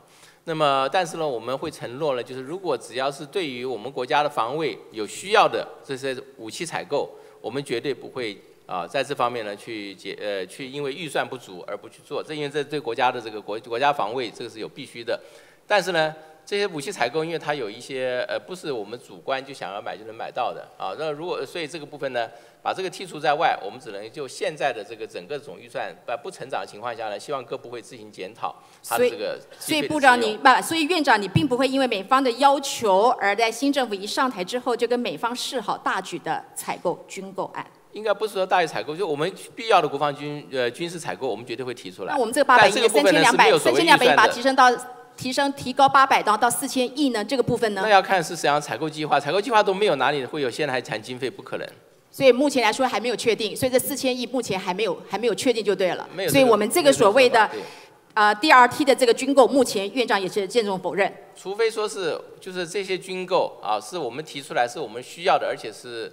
呃，美国已经同意啊，愿意提供的，按照我们的需要。这就是一个最大的盲点嘛，军方都会告诉这很需要，那我们教育部、我们文化部也都很需要。那问题我们的钱要的很少，可是军方要的很多。那台湾目前已经九年无战事了，这就是我们经费在分配的时候你的 priority 的问题嘛。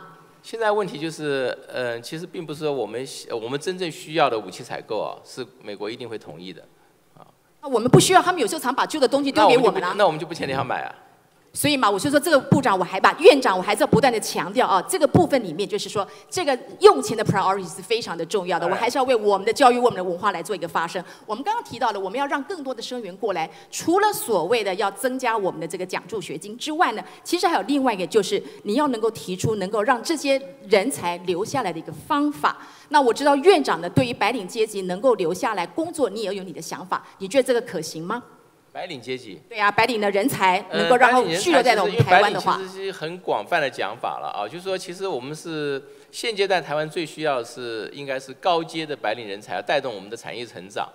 那么至于一般的白领人才的话呢，因为他看看到国内的就业的机会的均等的问题啊，所以我们是希望就是他能够在一定的制度之下啊来过来，不要排挤到国内的其他。我了解，可是这个界限其实非常的困难啊。我们你看看，我们在二零一五年的时候，我们这个日瑞士的洛桑管理学院，他特别提到，我们台湾人才外流的比例在全世界六十一个当中，我们排名第五十。更不要说呢，我们他们甚至预估我们在二零二一年的时候，会是所有全国人才流失是最严重的一个国家。所以我想，院长你也非常希望能够留住这些的人才。其实过去在我们过去的非常多的，包括陈冲院长，包括毛志国院长，包括张善政院长，他们其实对于白领的这个部分，其实提出不同的弹性的方案。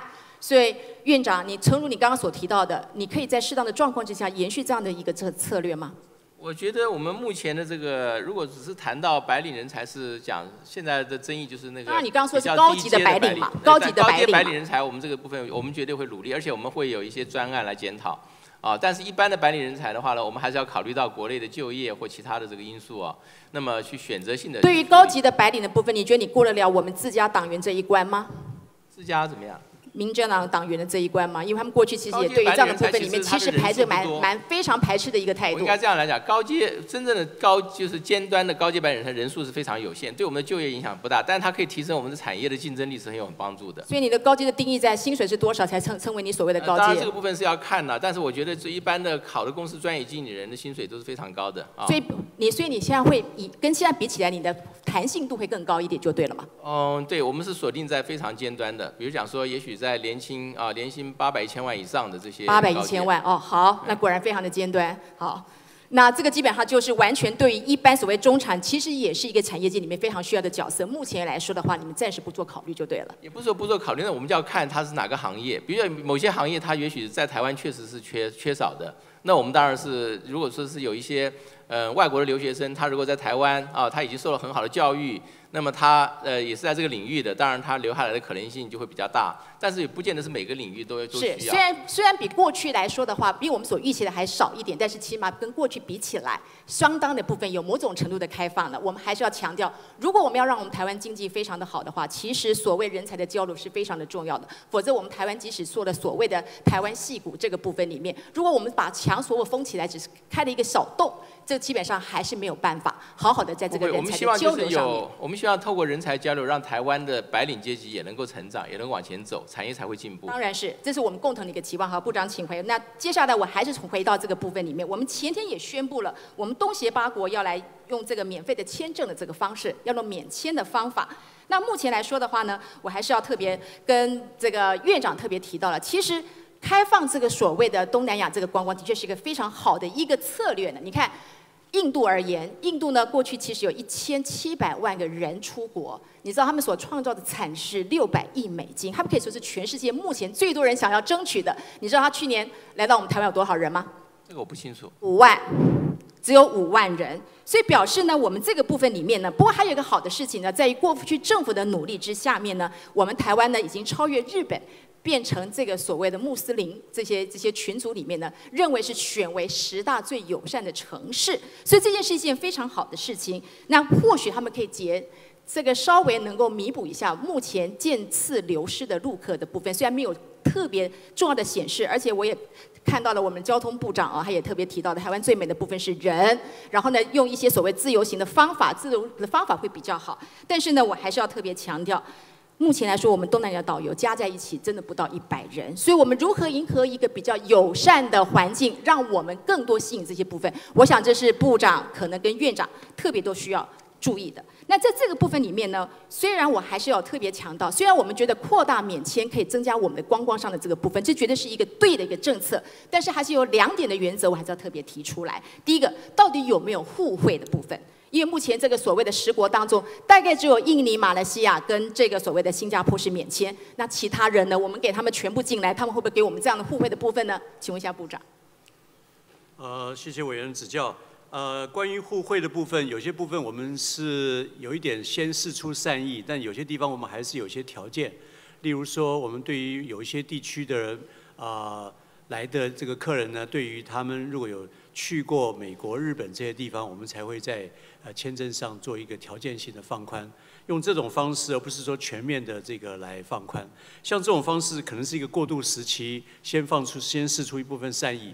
那其次就是您刚刚所提到的。我们其实有些做法不完全是在签证上来做互惠，而是在我们可能共同行销上面来做一些互惠。所以你的互惠的原则上，其实包含的面向是非常的广的。对的。除了这个互惠原则，我想这是一个平等对等的嘛。我想这个东西我们是一定要坚守的。另外一个呢，我还是比较担心有关于我们社会安全跟国安的配套的方式，因为东南亚的这个部分进来之后呢，其实呢，如果说我们没有把关，我们如果我们当然非常欢迎他们过来，可是这个安全上面如果我们没有做好配套的话，其实这也是一个非常大的一个漏洞。我不我不晓得。院长，你知不知道我们到目前为止行踪不明的外劳大概有多少人？啊，我知道是有相当数目，但实际数字我……其实根据移民署的统计，到今年一月大概是五万人。那这五万人当中呢，其实完全散布在台湾的各地嘛。而且呢，据说光是月老一年就会增加四千人左右啊，这是非常大的一个比例啊。那个贺成部长，请回。那这个部分来说呢，其实我们说，我刚刚诚如我刚刚所提到的，前进东南亚是非常好的。但是呢，我们如果在这个过程当中，如果没有一个开放管理的一个态度的话，它其实营造的社会问题也是非常的多的。而且前不久，好像印尼的官员还特别提醒我们，很多的印尼的移工可以说是 ISIS 里面最希望能够狩猎的一个对象。而且呢，我刚刚特别提到的，包括一年大概有四千个月老会。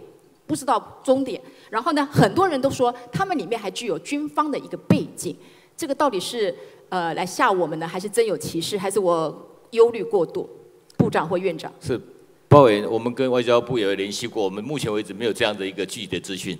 奇怪了，这个记者的讯息怎么都是记者的讯息？好的，那这个有些时候还还是要跟记者多多喝咖啡聊一下是非，好不好？这个很多的部分里面都是来自这个地方。好了，那我们这个部分里面呢，我还是特别强调，因为过去也曾经有些八位印尼的这个移工，他们曾经在 ISIS 的网站上面留言还是浏览嘛，这些都是行动前之间非常重要的。好，好了，部长请回。然后接下来呢，我们来问一下，就是其实呢。院长，我们这个还是用引用这个洛桑管理学院所提到的。其实我们台湾竞争力来说，我们台湾竞争力其实的经商的环境在亚洲是名列第三，是相当不错的。但是我们在吸引外资的时候，真的是吊车尾，真的是吊车尾，大概全球倒数第五啦，真的。那院长，我们大家每个人都在为经济在做解套，你觉得这个理由到底是什么？真正的原因是什么？我想台湾的这个投资环境啊不足，主要的。还是关键还是有好几个因素啦。第一个就是目前我们看它的这个整个评比来看啊，那么政府的效能还是有呃在进提升的空间嘛。那另外就是要看我们整个的这个大的这个呃经济环境啊，就是希望能够让我们的整个的产业竞争力要能够提升。这绝对是一个正确的一个一个你的说法，不过也是个非常安全的一个说法。我们刚刚从到现在讨论非常多，加上花了二十分钟提到提到我们的南向，不要忘记南向是一个非常重要的一个政策。我想我也支持政府这样去做，但是呢，基本上呢要用南向来避开我们跟对岸的一个角力，这基本上应该不会是院长的这个初衷。是，但是也不要忘记，就是说其实对岸他们其实夹带非常强大的，不管是军事或是经济能力，还有一路“一带一路”的这样的一个经济政策啊。其实我们想跟他们东南。养好好的做生意，他们其实比我们强力更大。我只是提醒，就是说，这未来我们不希望它变成是一个新的角力场，这会是一个我们想南向政策的目的，只是让台湾的这个经济更走向国际啊，并不是说是要这个对某些人跟某些人对抗。我们是希望跟全球不是为了逃避目前转弯到那个地方去，绝对不是这样的全球经济体都要能够有密切的往来，这个对台湾最有利。我们每个人都要做经济策略，刚好经济部长来，刚好一起上来，我们一起来讨论一下我们这个部分。你刚刚特别提到了，如果让我们的经济稳定的话，要吸引外商，不要说吸引外商，吸引我们国内的这个厂商能够让安心的话，我想能源政策是非常的重要的。现在经济还是非常的，到目前为止有很多人就会提到了嘛，对不对？这个能源的这个部分，我想部长也做了非常多的一个一个解释。但是呢，还是要问一个非常全民最关切的，到底今年夏天到底会不会缺电呢？因为缺电的话，缺水、缺电的话，基本上对我们的整个经济的稳定度就会造成非常大的一个影响。是的，各位报告哈，那个我们在这个部分，除了从供给面考量以外，也从需求面在考量。事实上，现在上台电的网站，每十五分钟就会 update 一次我们全部。我觉得那只是讯息的沟通而已啊，告知而已。那到底有没有这个可能嘛？我们现在全力以赴在让这个，所以还不见得就对了嘛，因为以前到这打都打包票说绝对不会缺电呐，那现在要开始说可能尽可能，对不对？那过去呢，我只是比较担心，过去我们常说要用爱。来来来生电，现在呢，我们的署长又会告诉我们说，我们要我们的意志力来省电。哇塞，真的是用爱用意志力，我真的是不知道。那个不过你看，你看，如果说我还我们还是强调了，如果缺电的话，其实会造成非常大的影响。你看，连 Google、连台积电都要自盖电厂了，到最后可能到时候因为没有电的电的不稳定，让很多产业外流，到时候真的没有经济，可能也真的不缺电了。我想提供稳定的电力是政府的责任了，啊，我们一定会做。那么您刚刚关心的事情，其实我们都会非常小心的。但是院长今天特别。提到了我们很多大学来跟我们反映了，你竟然认为这个所谓希望能够节电的方法，第一个是从大学里面开始。你今天已经看到非常多的新闻了，这一点你要做怎么样的解释？我早上也有跟外外界澄清过啊，其实这个是一个误会啊。其实我们主要是因为昨呃院会的时候呢，曾经有人提到如何节电嘛啊。那么他们关心的问题主要是因为就是现在工业界其实他们已经有智慧电表，可以立把建峰的用电啊把它降降低了。那么，但是呢，就是还有一些地方没有推广。那么这边有一些老师也提到大学的这个目前状况，所以我也特别问。实验室啊等等一些部分啊，都是需要缺电的嘛。大学其实也应该要去装智慧电表，那么对能源使用效率会提升啊。这个并不是说是要把它的冷气关掉或怎么样。所以我想外界的这些报道可能是有相当多的误解在里面。所以我刚刚虽然称赞的这个林内阁的这个专业能力很好，你看政治能力，你看每次你讲出一句话里面，你看第二天、第三天又要不断的去澄清了。这是很多人的这真的是哎，我觉得有些解读可能是呃是错误的。啊，并不是他们的解读还是你们解释不清楚嘛，院长。那当然，如果是我们解释不清楚，我们会会要来特别来解解释。但是那个事情根本就没有解释的机会，就被爆出来了，所以我不知道怎么办哈。所以我们今天让你们，那我们是不是可以请那个署长来讲讲一下，为什么用我们全民的意志力就可以让我们省电嘞？这个真的也是我们过去呢，我们说我们我们要点亮台湾，我们现在真的要用蜡烛点亮台湾吗？我真的不想看到这个结果吧。这个意志力，好了，这个署长坐在旁边呢，我想我这段时间真的是非常的有限了。我想呢，还是一句话，哎，对两位，这个有关于大学的用电的部分，部长都已经上来了，是不是？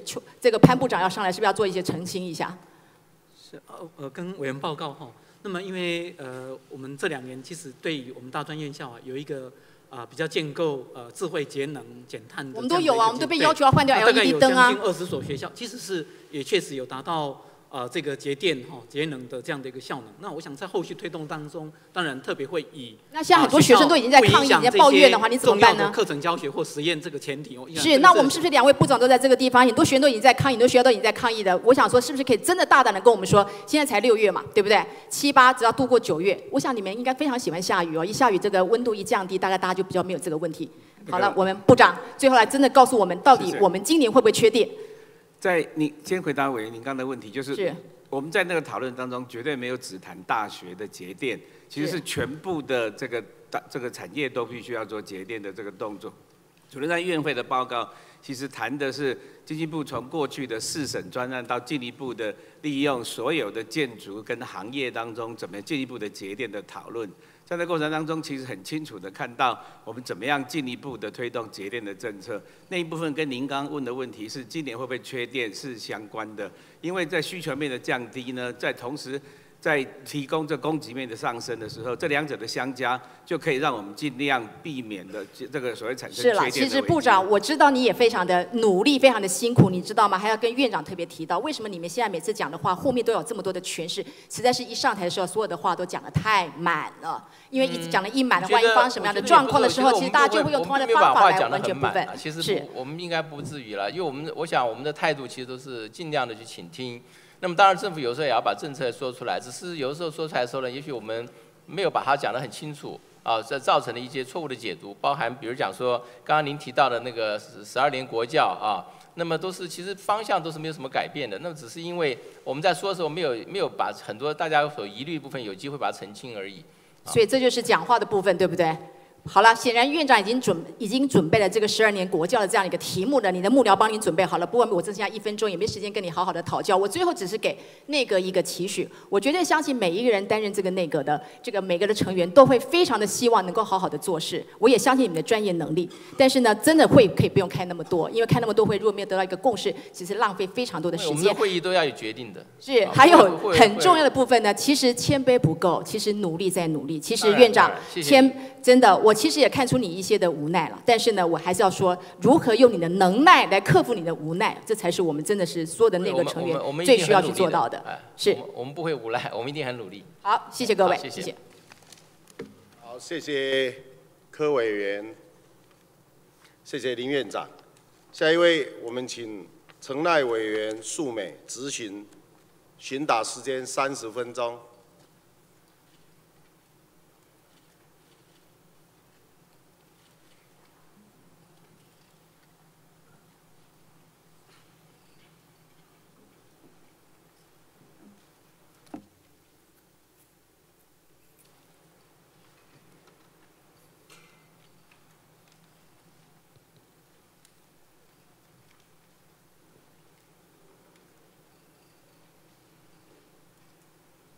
院长，还有我们呃内阁的所有的团队，还有我们的呃记者女士先生，大家早安，大家好。首先呢哈，我想请我们的行政院长啊林权院长。林院长。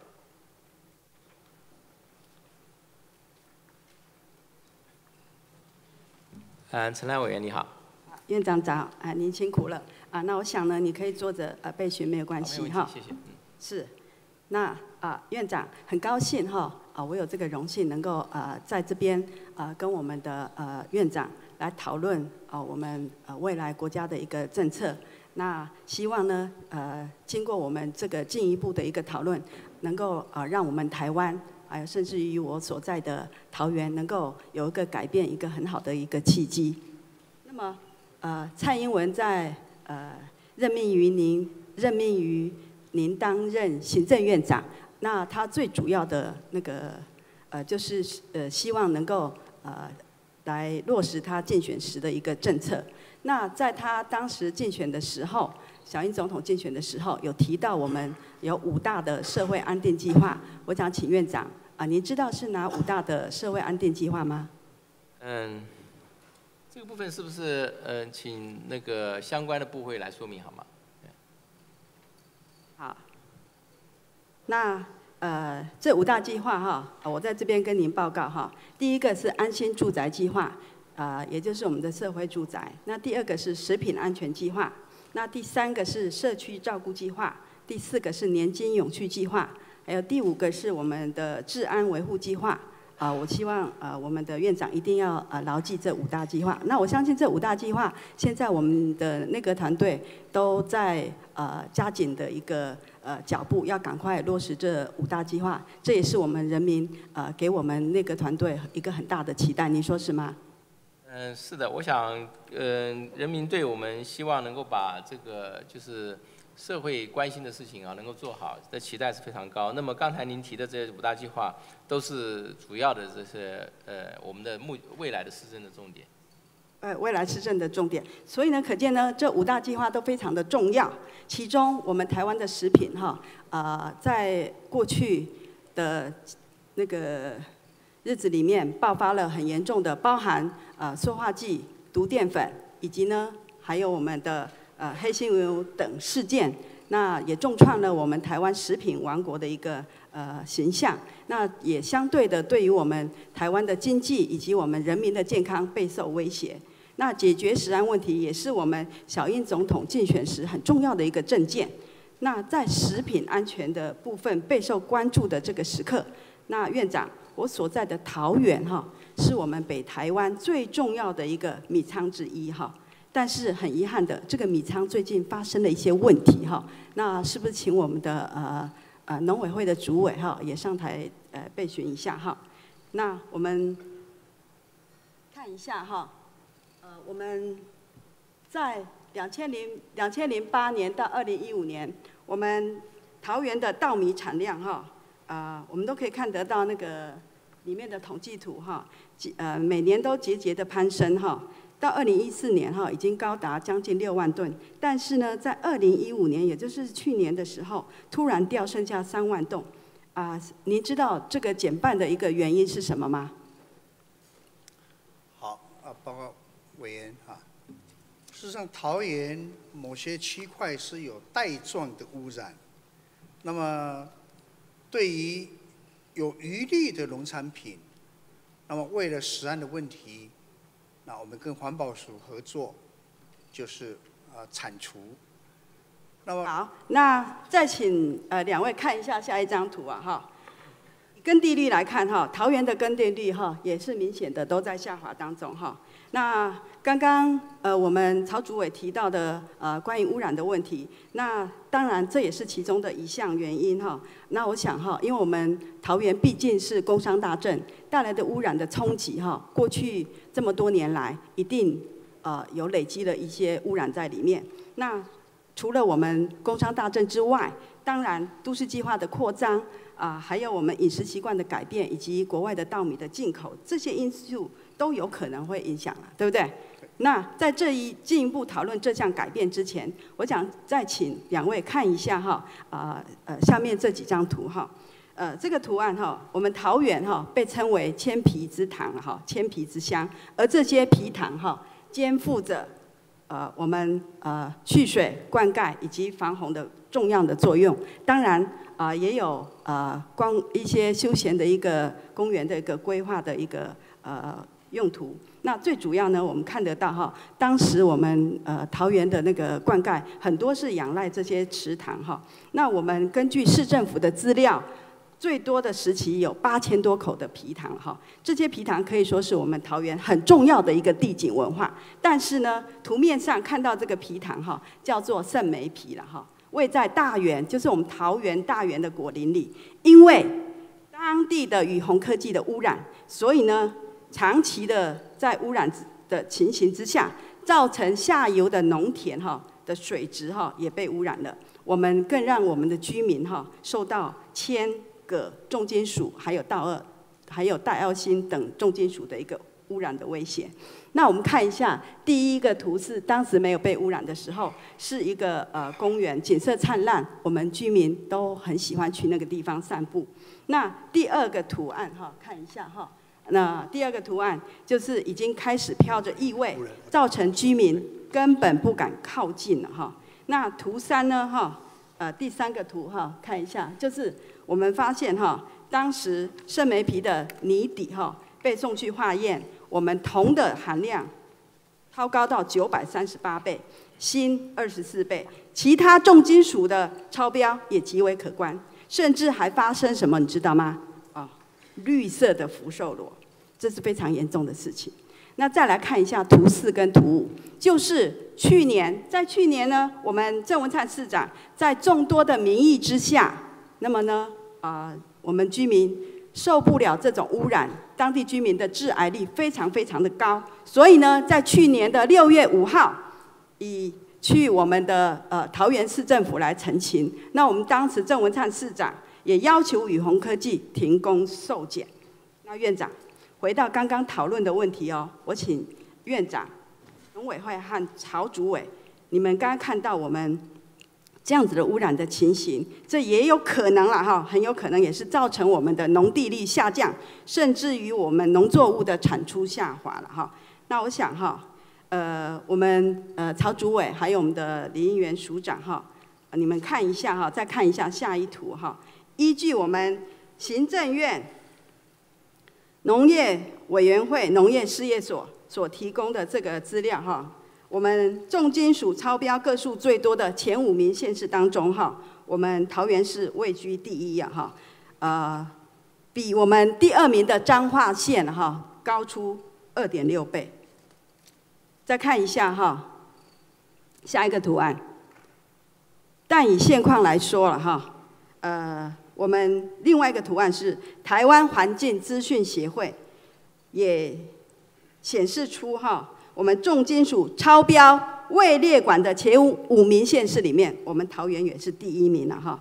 那真的是让我对桃园的居民的健康真的是捏一捏一把冷汗哈。我想请教我们李议员的署长，为什么台湾环境资讯协会所公布的资料，直指环保署对于全国重金属超标的六百多处里面，超过八十五趴的区域并未被列管，这是什么样的？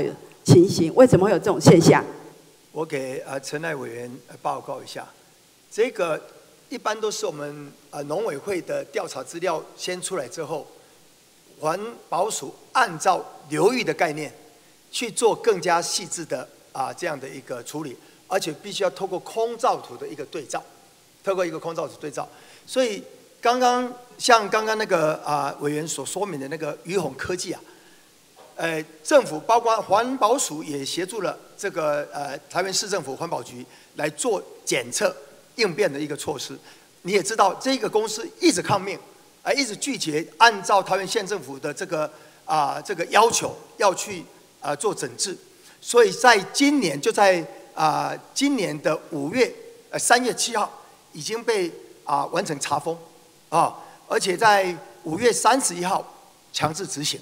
而这个公司到目前都没有配合政府的要求，这个整个地方政府，刚刚你讲的桃园市政非常负责任，然后中央我们环保署也全力支持，包括在去年的七月拨相关的检验的费用来做。那就这个全国的这个污染的面积，因为这个呃农委会是用六点多公顷的一个单位，就全国的农地来处理。那环保署要按照农委会的发现，之后以那个资料为基础，用零点二公顷。更加细致的去检测啊不同的呃土壤污染的这个采样，所以它当然那个程度会不同，程度会不同。那我们继续桃园的部分是编在今年的第五期，第五期在今年年底农险就会开始处理。那个署长，我在这边有跟你报告哈，环保署区从两千零二年到二零一二年之间哈，投入了五亿多元，补助各地方政府办理农地污染整治的改善计划，但是。听一下哈，虽然你那时候不是当署长，二零一三年底，审计部对此提出报告，认为环保署并没有善尽职责，且效能过低，这就是我担心的地方。因为怎样，各地的农地甚至于列管多年没有积极提报污染改那个控制计划，甚至于有些已经改善了，被解除列管了，但是没有有效的杜绝源头，结果又被再次的污染。那我想，过去政府的一个缺失，让台湾我们这个农地备受污染的威胁，所以呢，这个部分也是我们的新政府要赶快来了解。那院长刚刚针对我所提到的圣梅皮的污染，我们的环保署的署长他也知道这这个情形，但是我告诉你一个严重的事情，我们桃园市市政府的环保局的估算，如果要让圣梅皮让它整治的话，预估预估需要大概九亿左右的经费。这些经费，我认为地方政府一定负担不起，那么这个整治就会遥遥无期。所以呢，我在这边希望我们中央跟地方能够成立一个专案的小组，共同来协助处理，并编列一个专案的计划，针对我们这个污染源要来给予掌控。那针对于宇宏科技的，如果确实查属是污染源是它的话，一个追偿的一个计划，也要来做一个全全部的一个厘清，好不好？嗯，赖陈委员，您的那个刚刚所提到的两点，我们都认为非常正确。第一个就是啊，我叫陈赖委员啦，啊，你叫我赖陈委员，我老公听到到时候会忧郁症的。对不起，对不起，对不起，对不起，陈陈赖委员，那个。那个呃，就是呃，我们你刚刚讲两点，我们都认为非常正确啊。那我们会第一个就我们会请中央和地方啊一起来就这个问题来做检讨啊，来看要如何尽量来补救来处理。第二个呢，我们对于肇事的这些厂商，这个厂商如果是缺查产品处持的话，我们绝对追究他的责任，而且呢，绝对是。呃，不会放过任何啊可以处罚他的这个可能性，好不好？好，谢谢院长。尽速来处理这事情。是。那另外，请那个环保署哈也要提醒一点，就是因为宇鸿科技停工之后，对于我们造成桃园焚化垃圾无处去的的的情形，也希望环保署署长予以协助。好，那个谢谢委员提供这个案子，所以我们幕僚作业都做得差不多。这个今年年底农险会开始处理，在中间我会找时间过去看。好，谢谢。呃，另外哈，呃，我在我选区里哈有一个杨梅的扩大的工业区哈，又是扩大工业区哈。那因为当时哈没有设立污水处理厂，所以呢也严重的污染下游的农地，甚至于搭排搭排进去水利沟，这个水利沟也是造成我们下游农田灌溉的一个污染哈。那长期来讲，我们一直要求哈要设置一个污水处理厂哈。那我想呢，因为时间的关系，我想会后也请我们的相关单位就这个部分哈给予我们协助地方。那我想呢，关于我们食品安全的。呃，议题大家都非常的重视。那我们的农田也是我们呃粮食来源最重要的一个呃元素啊。本席希望我们行政院能依照我们小英总统哈当时竞选时的承诺，尽速的进行，并请行政院研议成立国家型的研究计划，结合产官学三方面的一个资源，让不断发生的食安问题能够杜绝。呃，我想请问院长，你有没有这样子的呃信心？是的，我们想我们会就这个问题，我们会来努力。好，谢谢。好，那请我们的呃主委跟我们的呃环保署署长可以回再回去。那主委要回去之前，我叮咛你一件事情哈啊，任何事情哈呃还政策还没成熟之前，呃发言一定要呃谨言慎行，好不好？谢谢。谢谢。呃，那这这委员。我可能趁这个机会澄清农地的问题，我恐怕这个环境资讯对于我们的调查，他把它误解了，那这样子对桃委会很不公平。是。啊，我们农事所的调查是以两百五十公尺四方，所以大概六点二五公顷，很密集的调查。好，那没关系，你会后再给我一份资料，因为我怕我总共后面还有一题怕来不及。嗯。被过度解读了之后，好像农地都到处污染，也不能种东西，那对我们桃园是一个一大损失。是是是，那我希望就是说政府能够重视这个区块。那如果是有呃资料错误的部分，也请尽快来呃澄清跟纠正哈，谢谢。那呃，我想请我们的那个鹤城交通部长备询。那他在上台备询之前，我想请问院长哈，对于我们这个部长上任之后到现在呃。您觉得他的表现如何？你说我们内阁的各部会首长吗？对，我们的交通部长，你给他打几分？我相信他是非常尽力在处理每个问题啊。非常在尽力处理每个问题。就是很容易引起很多的这个争议嘛，啊，那么所以我想这个是一个非常艰难的挑战。对，我我我我本人看他是觉得他是非常的积极啦。那我是怕说哈，这么的积极，但是效能不彰的话，那就是呃事倍功半了哈，呃事半功倍才对了哈。呃，我希望能够事半功倍的呃政策来做会比较好一点哈。谢谢谢谢陈代委员。是。那本期查了我们监察院的资料哈，从两千零一年迄今弹劾案及纠正案啊哈，我们看到哈，总数弹劾案有两百四十九件，其中有三十四件是跟采购有案，那纠正案里面有一千两百九十四件，跟采购有关的有一百一十八件了哈。那所以呢，呃，综合来看，我们采购是不是有很大的改善空间？院长。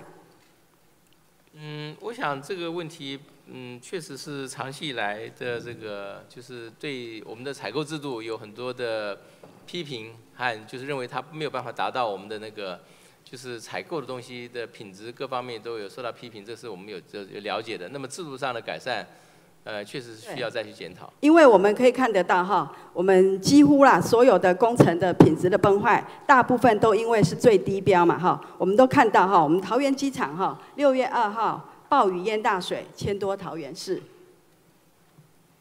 那再来呢？六月十三号，水管被挖破，黄金满厕所。再来呢？六月十四号，国门淹大水，机场满水桶。啊，我我跟院长报告，我真的很郁很郁足呢，因为我的选区就是在当地大园那个地方哈。那更当然了哈，呃，你们五二零才就任哈，所有的责任也不敢全部。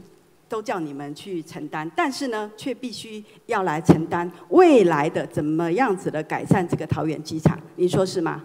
是的。那在端午节的假期当中，啊，我想呃院长跟我们的交通部长也有有有到我们桃园机场啊来勘察。那我希望呢哈，经过这样的勘察之后，我希望能够啊拿出一道呃根本解决的办法，让我们台湾的工程哈能够啊让人民可以信任，好吗？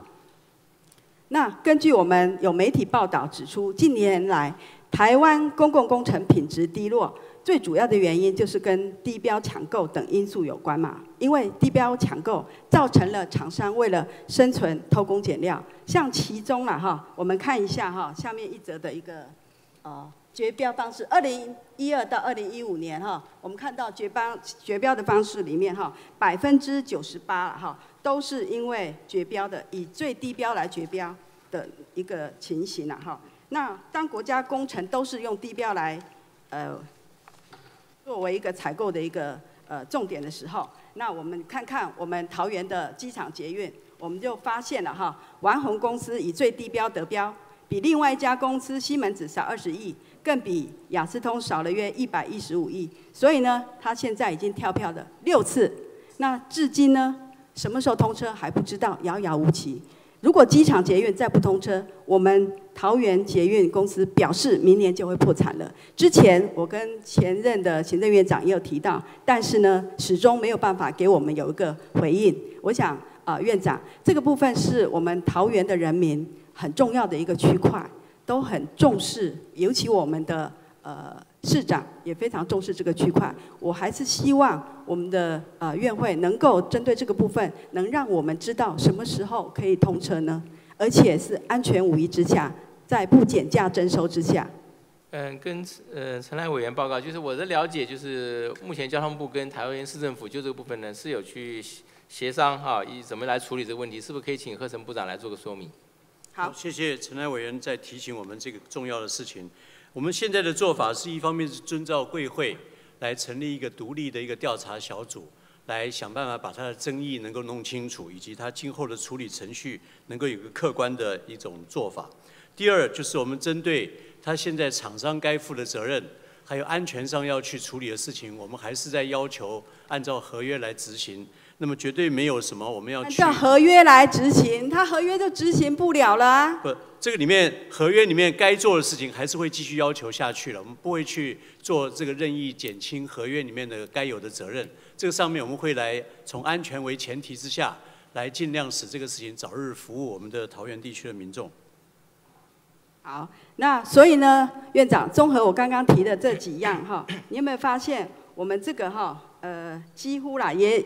跟我们还有一个台呃那个台铁的部分，他们的那个工程也都是用呃最低标哈，高达九十一趴。所以你发现很多台铁的电扶、电梯、梯手扶梯都是在长期都是在故障当中啊，这也是我们呃交通需要马上来改进的地方，因为我们呃我我的选区有普兴、杨梅跟富冈。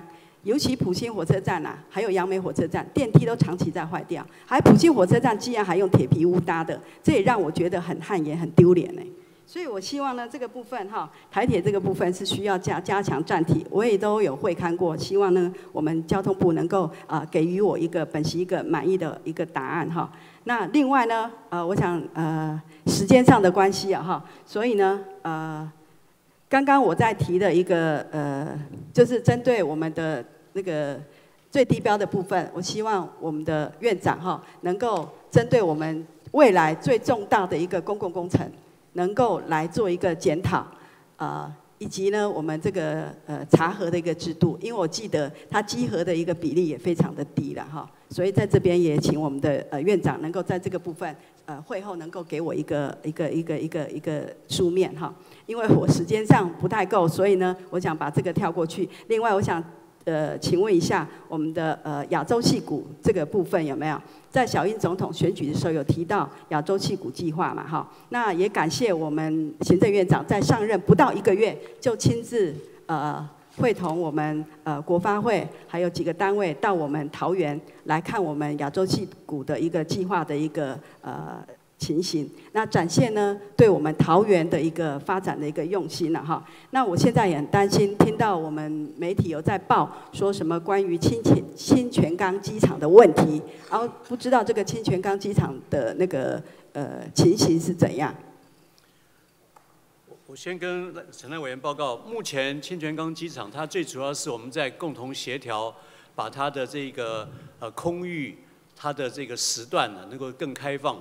为将来如果说是运量提升的时候先做准备，那其他事情现在还在其他包包括我们的这个协调航空公司啊等等这些部分，我们平行也在进行。这件事情是为了民航的这个更大的机会来做努力。那会对我们的航空城这个开发，就是亚洲西谷开发的那个计划会受影响吗？没有，刚才跟您报告，它完全只就清泉岗机场现在所受到的限制予以开放，但是对于我们的桃园机场它本身的发展，还有它相关产业的这些活动，以及跟航空城中间的关系，并没有改变。不会受影响哈，因为我很担忧了哈，因为我的选区就是在我们航空城，就是桃园机场的所在地嘛哈，当地的居民长期哈备受一个呃限建的那些问题，他们很期待赶快能够开发哈。那当然这要经过很多的听证会，那听证会也已经完毕了，那我也希望这个按照这个期程可以继续来开发。那我们桃园是国门之都，的确具备有很好的条件，但是呢，我们的交通是需要赶快。呃，来加速进行，这是重点哈。呃，我想呃，请问一下哈，我们刚刚提到的呃航空城建设里面，就是我们的亚洲七股计划，当时提到的机场捷运的部分，我也希望能够加快脚步。还有一件事情，就是我们国道二号车流分流的国二甲工程到台十五线，这个天空断桥高挂了将近四年了哈。现在我想呢，呃，经费是已经。到位了，可是时时没有办法啊施工跟完工。我想请交通部长给我回答一下吗？好，首先这个工程它的属于杨梅交流道这个部分呢，它的工程已经呃确定开工，那么在这个五月十二号开工的，那我们预定大概差不多两年多能够完成。属于它的这个本线的部分呢，因为确实后来有在呃用地上面有一些环保团体的看法呢，所以必须做一些局部的这个变更设计。在这个变更设计之下呢，我们现在预定的时间就有这个要处理土地，所以整个工程会有点严格。不过我们还是希望能够在呃看看能不能够在一百零八年的时候能够来开工。一百零八年太慢了啦。对，不过它确实按照按照现在用地的我们所了解的地方政府的，因为国门之都一个断桥悬荡在那边，真的很很难看。人家以为是那是要卖咖啡，还还是要干嘛的哎。它可是它确实现在就是有我们跟地方政府协调，目前规划时程大概是这样子。那有没有加速的空间？我们恐怕也请陈赖委员跟我们一起来帮助，我们再去协调相关单位加速办理。好，那最后呢，按照我们亚洲戏骨计划的内容来看，将在我们杨梅幼师呃地区呃设置一个幼师国际青年创业村啊、这个部分呃院长您应该知道吧？嗯、我不了解细节，呃，如果有细节的话，可能要请国发会陈主委来说明。好，这个部分有没有？但是呢，最近的优势交流道天天塞车了哈。我想呢，呃，我们当时有一个呃优势交流道的一个呃改善计划。对对对，这那个我想请问一下哈，原本之前就要动工的，却因为流标，那到底什么时候才能够动工呢？我们请问交通部长。对，刚才跟您已经报告过了，这个幼师交流道的改善工程，这个在上个月五月十二号已经开工了。几号开工了？五月十二。五月十二号已经开工了哈。是。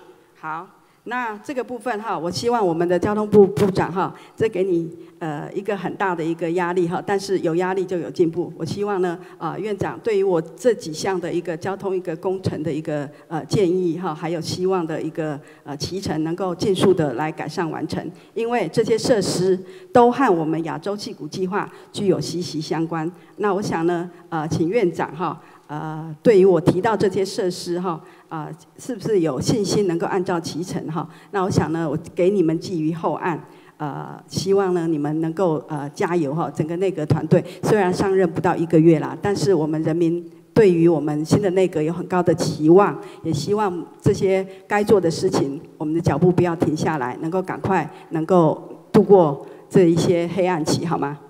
好，谢谢赖委员，我们会努力。还有，刚刚上个委员有呃上一位委员有提到所谓的呃发电的问题哈，大家都很关心了哈。如果说我们这个夏天就马上跳电的话，对于我们的新的内阁也是影响非常的严重哈。那我据我所知道，因为因应核市场的一个停建了哈，所以呢呃我们未来哈呃针对其他的绿能的一个发电，也要赶快做一个呃衔接，能够弥补上。据我所知道，我们大潭发电厂哈就要增新增加好几个机组是吗？嗯，大田发电厂它是过去的一个计划一直在执行，那么确实还有几个机组还没有，应该是还在进行中啊。这个这个大潭发电厂的那个呃原来六个机组要增加再加四个机组，这个工程的费用大概多少钱？什么时候可以施工？可以告诉我详细的内？容我并不是很清楚，那可能要请呃经济部来做个说明。哎好，那个委员跟委员报告一下，我也不记得我详细的数字，我们事后再给您报告。好，那你会后再提供一份资料给我，可以吗？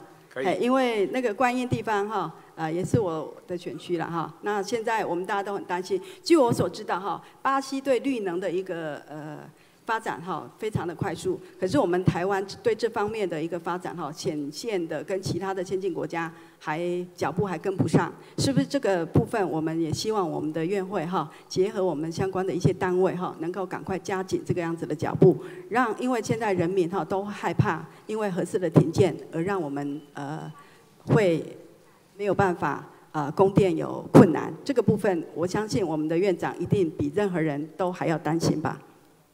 嗯，是是的，我想我们需要让确保啊国内的这个用电的这个供给啊，要能够满足需求。但是我们也也知道这里面有很多长短期的挑战，我们必须要去面对和克服。那么您刚刚提到的绿能的部分，其实应该是一个中长期的策略啊，在短期之内，它对我们的整个的供电的帮助呢，其实还不会很明显啊。但是还当然，我们还是要靠其他方面。所以，所以这也是要我们自己本身设计设设计一个中长期的、短中其实我长期的一个们已经在目标，都绿能部分，我要去设计们已经在在啊。推动，只是说它要显现效果，因为它还包含到一些这个呃电影法的修改，以及那个要去就是要选好地址去投资，这个部分是要时间的啊。所以我们要解决这一两年问题，我们还是要靠现在我们讲的去调节我们的这个尖峰的需求啊，从这方面来着手。好，谢谢。谢谢陈赖委员，谢谢林院长。下一位，我们请孔委员文集发言，发言时间啊三十分钟。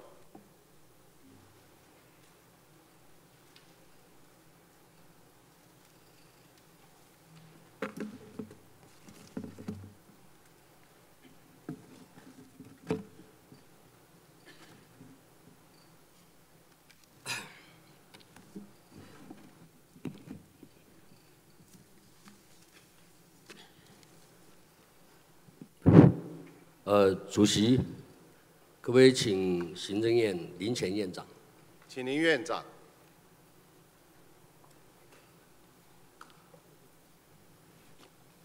嗯，柯委员你好。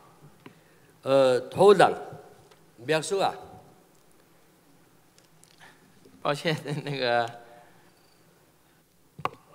这边有一个，您您您是用应该请那个好，那我们请我们赛德克族的原民会的副主委好，好请原民会汪副主委啊、来做一个翻译啊。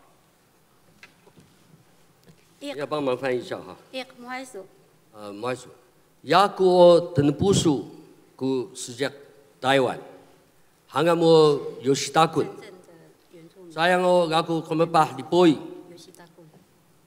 呃，姆克拉苏姆巴汉咖喱托库。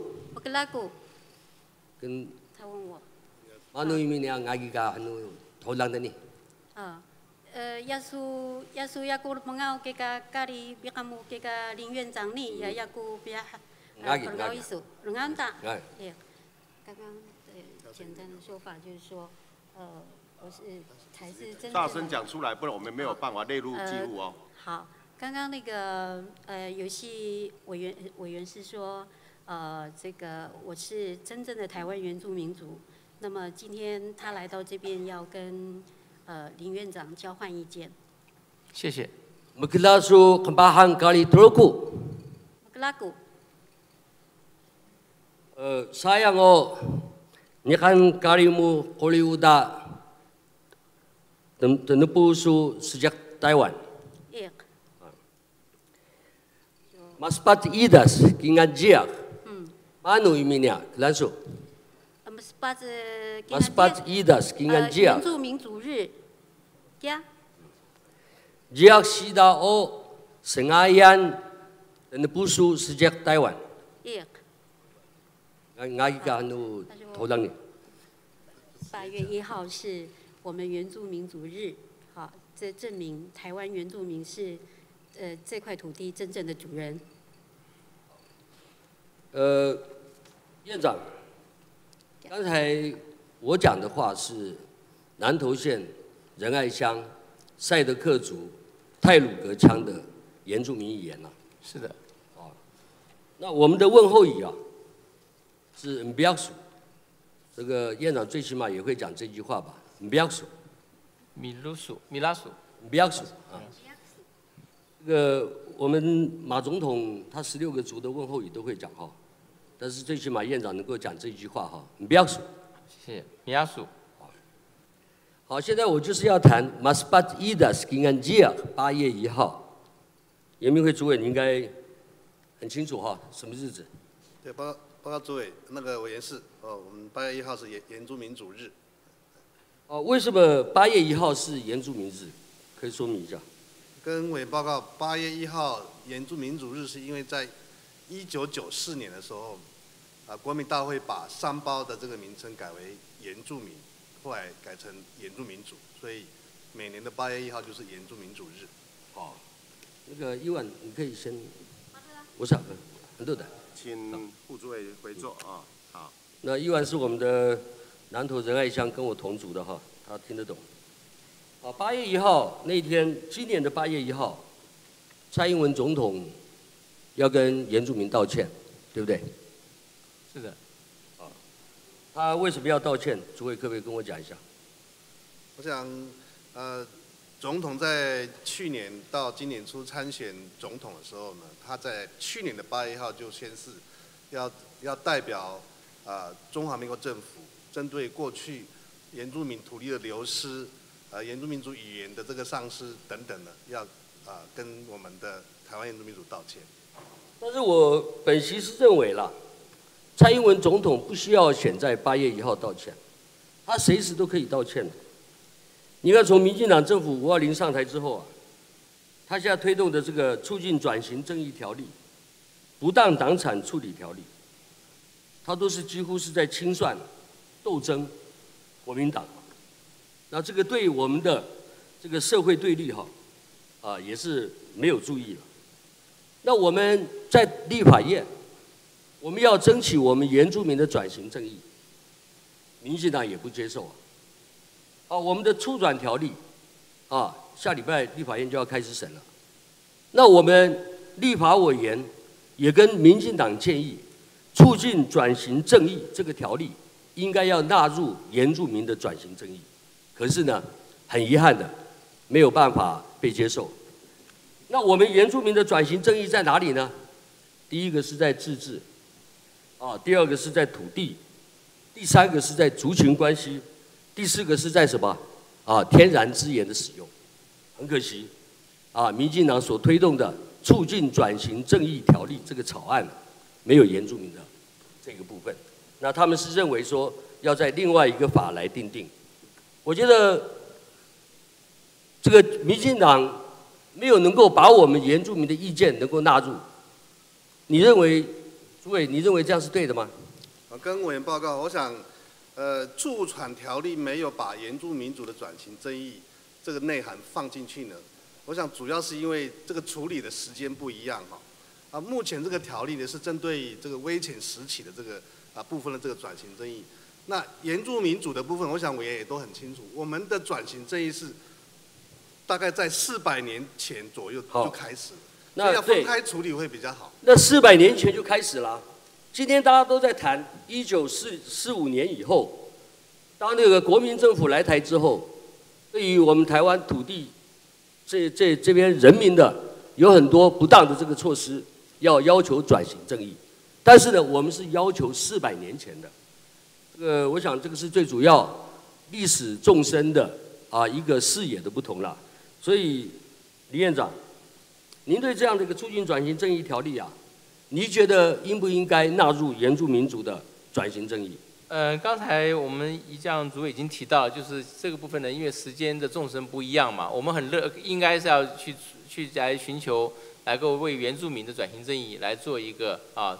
彻底的这个这个这个这个检讨和这个行动，但这个部分呢，即使不在这个现在转型正义条例里面去包含，那我的了解，总统府也也已经开始着手规划。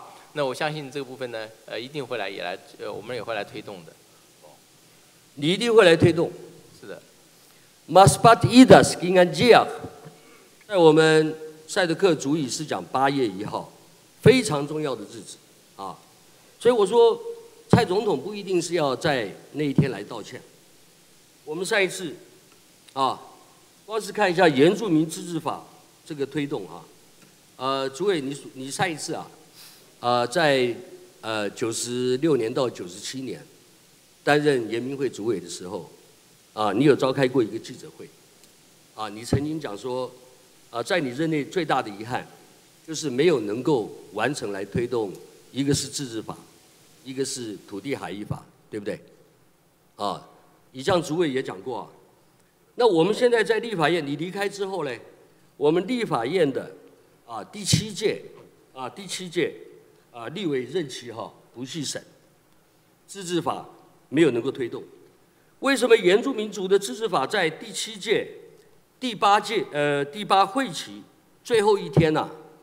原住民族自治法啊，民进党啊他。没有签字哈，所以没有过。然后第八届呢，原住民族自治推动条例，啊，第八届的第七会期，啊，最后一天六月十六号，民进党依旧对有关原住民的签啊法案呢，没有能够签字。那时候国民党都已经签字了，啊，那时候行政院版都已经提出来。所以呢，呃，我想请问一下哈，呃，以上诸位，我们自治法。是不是应该要请民进党来提出来你们自己的版本？因为你们过去在批评原住民族自治法啊，因为没有土地、没有空间划分、没有财源。那好，今天换你们执政了，那是不是这个原住民族的自治法，是不是你们民进党执政了之后，可以重新提出来这样的版本？是有土地的、有财政的、有空间划分的？版本可不可以做到？啊，跟委员报告，我想，呃，总统在参选的时候已经有一个非常清楚的宣示，未来的我们要准备送到立法院大院的这个这个原住民族自治法呢，是包含有空间的、有足够的财源的这个自治权，这个部分是应该在呃总统的这个政见主张里面讲的都非常清楚，所以未来也顺便跟我们委员做一个补充，就是为什么总统会选择在我们未来的八月一号要跟原住民族道歉，是因为当天是我们作为一个原来是三包的这样的一个称呼，变成原住民族，我们变回来原来是台湾这块土地的主人，选择在在那个时间由总统再次跟原住民族道歉，我想它的意义是非常重大的。好，那个林院长，你支不支持把我们过去国民党版的自治法啊，把它退，把它这个提出来，重新再由行政院啊，就是你任内的行政院，再重新提出一个啊，符合原住民真正自治的这样的一个版本提出来，再重新送到立法院。啊，林院长，你支不支持？跟孔孔委员报告，就是因为对过去的版本啊，我个人并不是十分了解啊，所以我们没有办法就这个部分呢，能够就跟跟您现在来回复。但是我可以在这边跟您特别的确认，就是我们啊一定会就刚才那个一将主委所说的那个政策方向里面啊，我们来思考怎么样去把真正能够落实原住民的啊原来的自治的这些精神，能够放在我们的未来的行政院的版本里面。包括现在在立法院，啊，在今年的二月十七号，已经在立法院列入议案关系文书的原住民族的土地及海域法，这个法案也是上一届啊是国民党提出来的，送到立法院，只是还没有审查。这个是不是也可以要求立法院重新退回去，行政院再来重新提出一个原住民族土地及海域法的版本？可不可以这样做？这个部分我是不是能够请一将主委来做个说明，好不好？因为这个都是我们过去在国民党所提出的版本，后来在立法院有的是没通过，有的是刚送过来。那我觉得作为一个行政院新的一个阁魁啊，啊，应该是要负起责任，把你们自己的版本提出来送到立法院嘛，这是一个负责任的一个态度哎。我想在这个会期里面，如果说是行政院已经过去已经有的版本，我们会来检视。如果真的有必要的话呢，我们当然会重新再来讨论。如果说是还能够这个就是能够符合我们一致性的话呢，那我们当然也可以把它留下来。这个部分我们来检讨看一看，好吧？因为我只了解在呃这个会其实开始的时候，其实行政院已经送了。刚开始刚开始就送到今年的二月哈，所以我想，主呃院长啊。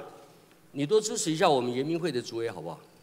啊，我们研明会主委一将保若主委是一个过去啊从事研全会原住民运动啊这个非常是的呃优秀而且是非常认真推动原住民权益的啊一个主主任委员。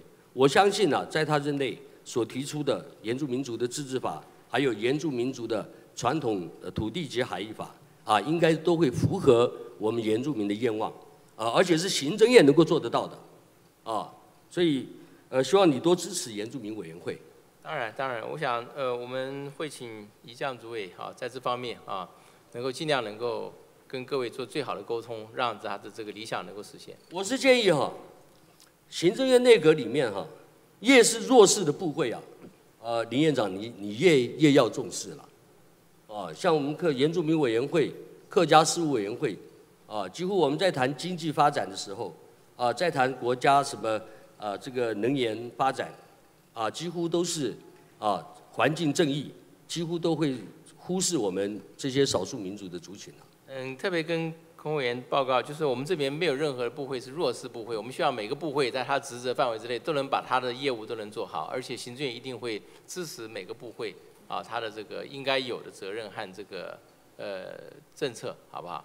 但是我发现哈，行政院现在刚成立哈，我对我对这个政策有点不了解哈。这个政策是为了因应原住民参加华东地区的祭典，加挂车厢、车票的一个登记哈，车票的登记。这个卖卖这个火车铁路局的车票应该是哪一个单位的？是不是铁路局的责任？这个应该是是不是交通部？呃，交通部铁路局吧。你卖火车票应该是铁路局嘛？怎么会卖车票会交给原住民委员会来卖车票嘞？江主委，这个你可不可以说明一下这是怎么回事？我听不懂。这个这个就是我们政府之间哈，你这个你这个是优惠政策是不错啊，为了我们华东地区民众的方便啊，加挂车厢。可是呢，严明会有一个业务啊，是来办理登记的。严明会是来卖车票吗？这个部分是不是我先跟委员做一个补充报告一下啊？有关于我们从昨天开始，针对原住民文化的祭典来啊发这个卖这个花东的这个火车票呢，是在前政府的这个部分已经定案了，所以我们接续来的时候呢，这个部分我们是接着要要要做一个执行的工作。刚好还好这个时候是一个试办期间，我们还有很多一个。但是我不认为原住民委员会是来在什么丰年祭加挂车厢来登记，在延明会登记啊来卖车票。赵都部长，你认为这样合理吗？呃，跟委员报告，呃，这个专车的方式呢，过去有两种办理方式的，一种是属于就是地方政府，另外一个就是相关部会。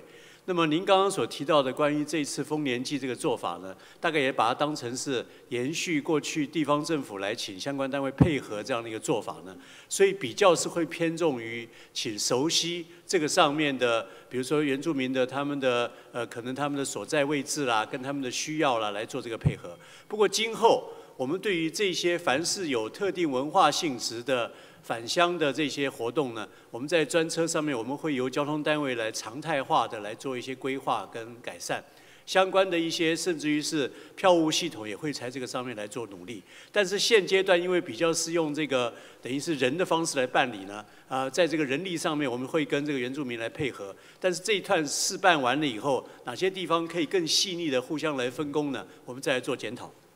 这个我我再怎么看，这个应该是交通部的责任。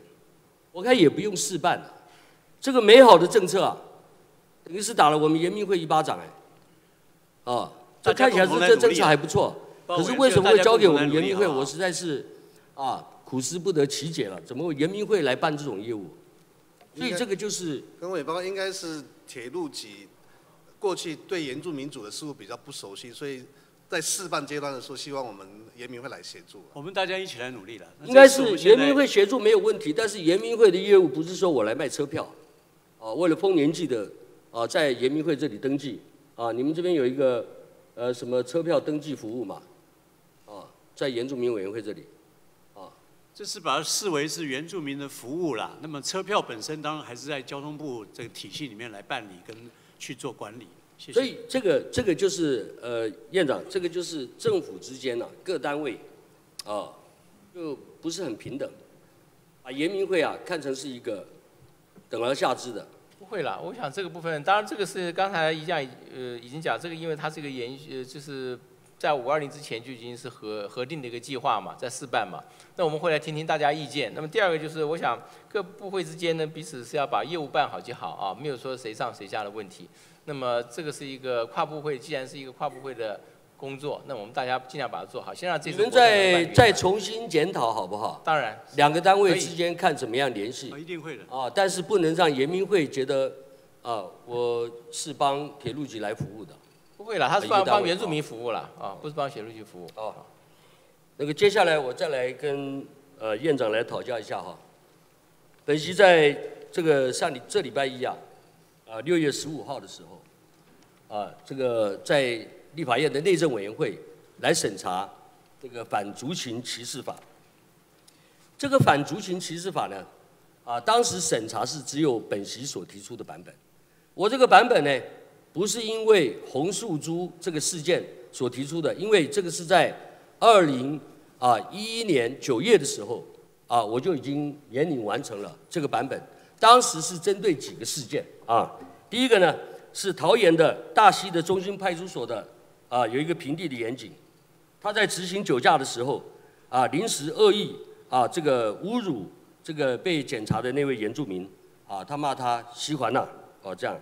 那最近呢又有红树珠的事件，那然后然后还有呢新住民的被歧歧视的啊，三十多万人的新住民被歧视的事件，还有对年龄、性别或性向的歧视，所以我提提出了。反族群歧视法，啊，我认为在台湾，啊，台湾是一个民主、自由、啊平等的国家嘛，啊，也是文化多元的国家，所以我提出来反族群歧视法。那天我们在内政委员会讨论了，啊，我们我把几个案例啊特别提出来，啊，媒体呢最近都有报道，啊，所以刚好是配合这样一个最好的时机啊，啊，我这个反族群歧视法呢，啊，受到我们啊两党的重视，但是我们内政部的部长哈叶部长对这个版本啊，呃，好像不是蛮支持的哈，啊，所以部长这个您您您来来说明一下您您的看法好不好？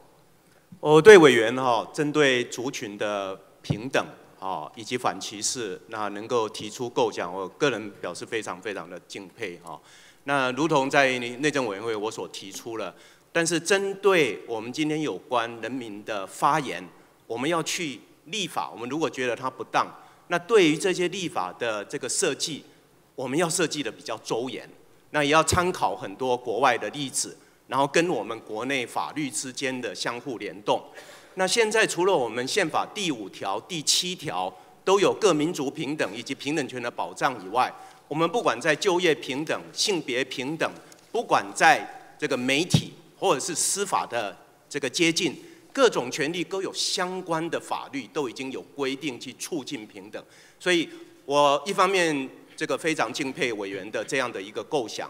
但是愿意一起合作，看是不是如果以后要立法，那恐怕要非常周延，而且能够取得法律之间相互的啊相互的协调，那才不会呃比较冲突因验个案，那可能会造成以后非常复杂的问题哈。我再我再多聊一下哈，为什么我提出这个反族群歧视法这个版本呢？呃，去年呢，呃有一部电影叫《大伟卢曼》，还有《铁狮一玲珑》，这个电影的广告片。你看到这个呃彭恰恰跟那个许孝顺，他们两个穿跟我这样的一个一样的服装，啊，几乎是在丑化我们赛德克族的啊这部影片啊，所以当时是电影的对白啊，啊，我今天没有准备，但是有丑化。后来呢，在去年的二月六号啊，我们赛德克的民主议会由前任的主委瓦利斯贝林啊，他就召集了我们的族人到立法院。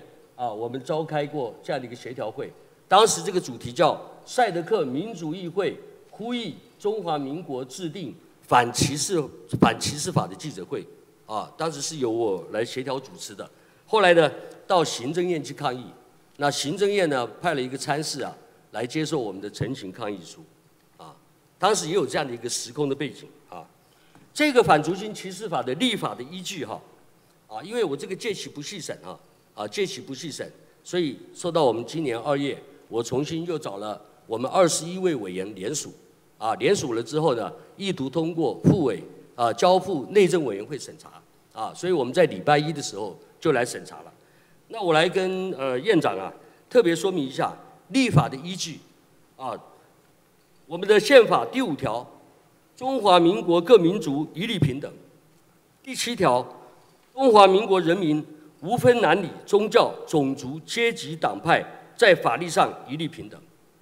宪法增修条文第十条第十一项，国家肯定多元文化，并积极维护发展原住民的文化。立法的依据还有呢，参酌联合国大会在民国九十六年九月十三号通过的《原住民族权利宣言》，它的宣言的第二条，原住民和个人享有自由，跟所有其他民族呢。啊，行使他在权利的时候不受任何形式的歧视，特别是不受基于其原住民族出身或身份的歧视。所以当时我们在讨论什么叫种族歧视的定义。我跟各位报告，我们中华民国在一九六六年三月三十一号的时候就已经签署了联合国的消除一切形式种族歧视国际公约。啊，我们是签署国。种族歧视呢，在我们这个公约里面呢就已经有定义了。另外呢，在《公民与政治权利国际公约》第二十条第二项也载明了，任何鼓吹民族、种族或宗教仇恨的主张，构成煽动歧视、敌视或强暴者，应以法律禁止之。院长，我们有我们有没有签署过《公民与政治权利国际公约》？这个我要我要请教一下李院长。这个部分，嗯，应该是有签这个《公民和政治权利国际公约》，有签过吧？我们是在九十八年的时候，马总统批准了这两项公约，还有另外一项是《经济社会文化权利国际公约》。而且我这个版本是参考了性别平等教育法、儿童福利法跟两性工作平等法。全立法院只有孔文吉啊提出这个反族群歧视法，因为反族群歧视法啊，你说他们说土法不足以执行，问题是宪法、联合国的这国际公约定了之后，我们台湾没有种族歧视嘛？啊，所以还是要立法啊，要限制啊，要禁止啊，我们人民有这样的一个啊言论或行为出现。所以呢，那在参考别的国家啊，反族在世界各国。有制定反族群歧视法的，当时内政部你们那个书面报告很不认真啊！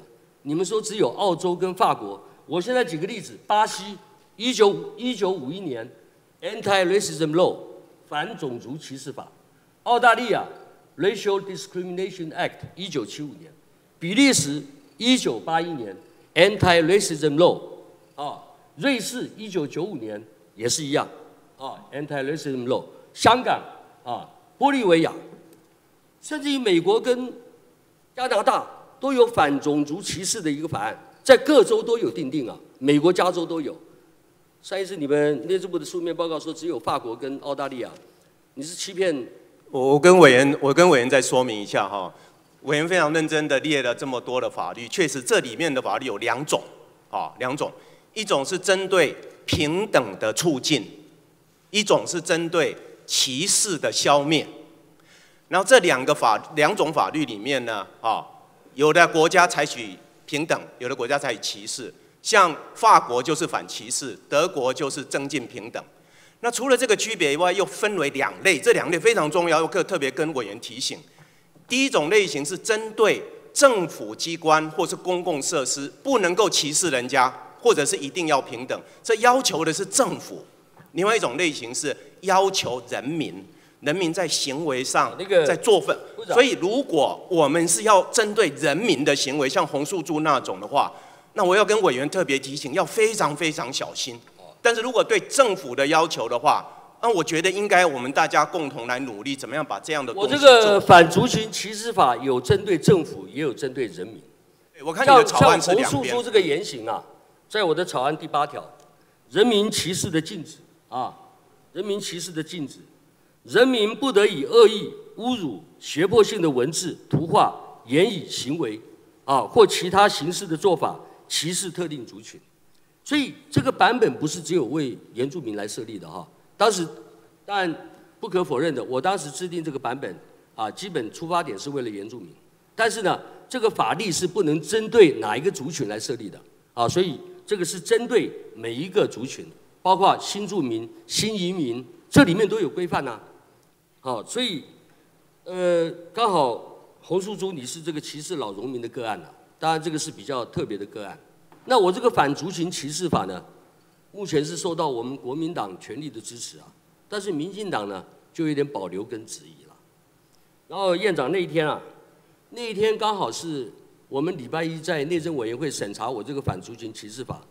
外面有差不多五六百人的陆配啊，啊陆配为了六年改四年哈，六年改四年，他们也要争取啊这个啊他们的一个公平的一个权益，所以我在这里哈是要要讨教院长哈，以你作为一个行政院院长的高度啊，作为作为一个你从那个制定政策一个宏观的视野，还有从你的道德良心这样来看，您认为？陆配啊，啊，是不是可以啊？取得身份证的时间是不是可以从六年改为四年？您是不支持？我想我们过去陆配就是我们的新住民嘛，他的不管他的生活和权益，我们都应该要尽量照顾。那么这个时间的长短的问题，我们了解，就是立法院也在审议了啊。那么当然就是相关的政策立场，我们呃陆委会过去也做一些说明啊。刚才我讲过。在国内任何的族群，大家都应该平等的。现在新移民啊，东南亚来的都是四年，为什么对陆配还是要维持六年呢？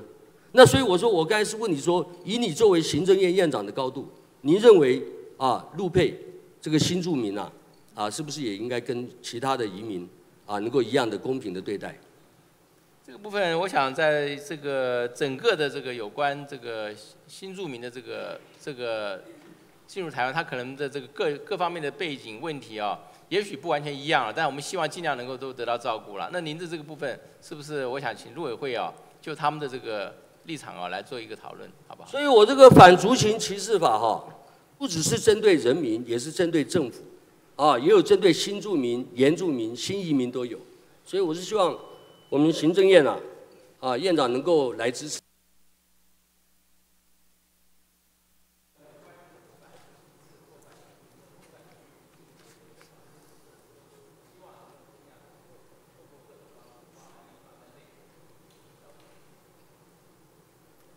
好，谢谢孔委员，谢谢林院长。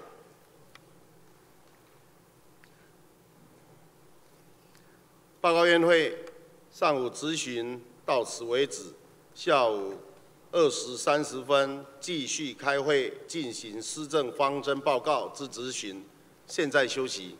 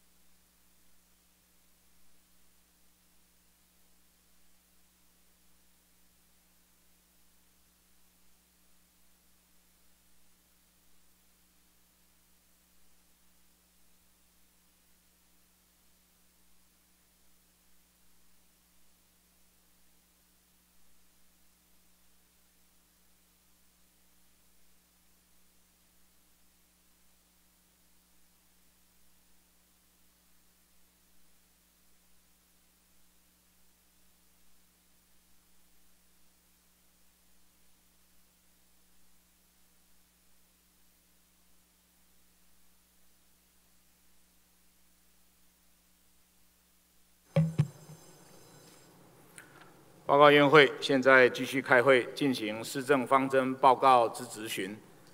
呃，我们先请苏委员自分质询，询答时间三十分钟。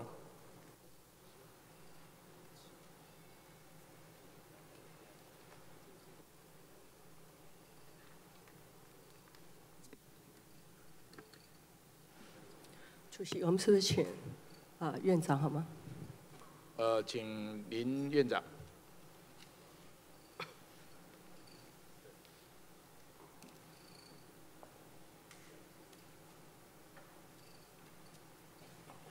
哎，苏委员好。哎，院长好。是。院长上任快一个月了。哎，是。快一个月，媒体都在注意说，呃，院长的话，这个满月，满月之路。啊院长，我大概讲一段话哈，应该也会，你也会蛮熟悉的。呃，就是我们小英主席的话，在他的就职演说里头提到说，未来的路并不好走。啊，台湾需要一个正面迎向一切挑战的新的政府。我的责任呢，就是领导这个新的政府。我们僵化的教育制度已经逐渐的与社会的脉动脱节，我们的能源与资源也十分的有限，我们的经济缺乏动能，旧的代工的模式已经面临瓶颈，整个国家急需要一个新的经济的发展的模式哈。我们这个地球，我们也只有一个台湾。呃，我身为一个云林人的话，我听到小英这一段的演说的话，我的心里有蛮多的感触。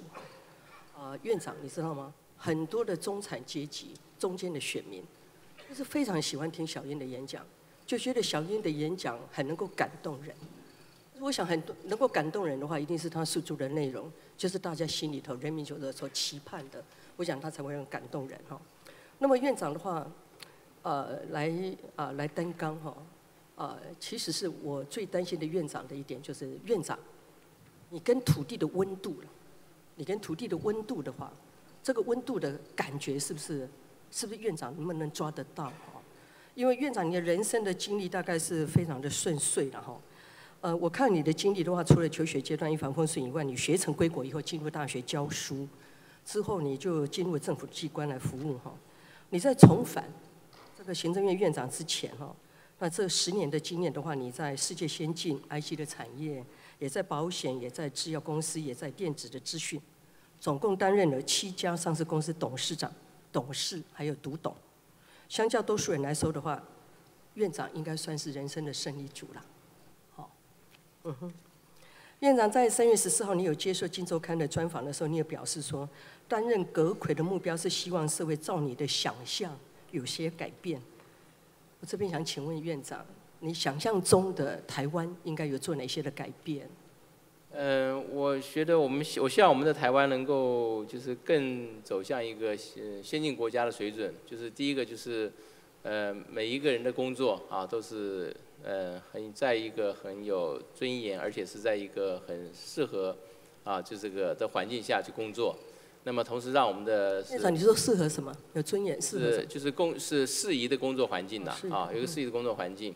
那么，呃，他的不管是工时或者是他的这个工工作的权利都能够得到充分保障。那么他的居住环品质是好的啊。那么当然，我们的这个整个的这个呃这个就是呃自然环境啊，也是就是品质，不管空气品质或水水的品质啊，都是要符合这个先进国家这样一个标准。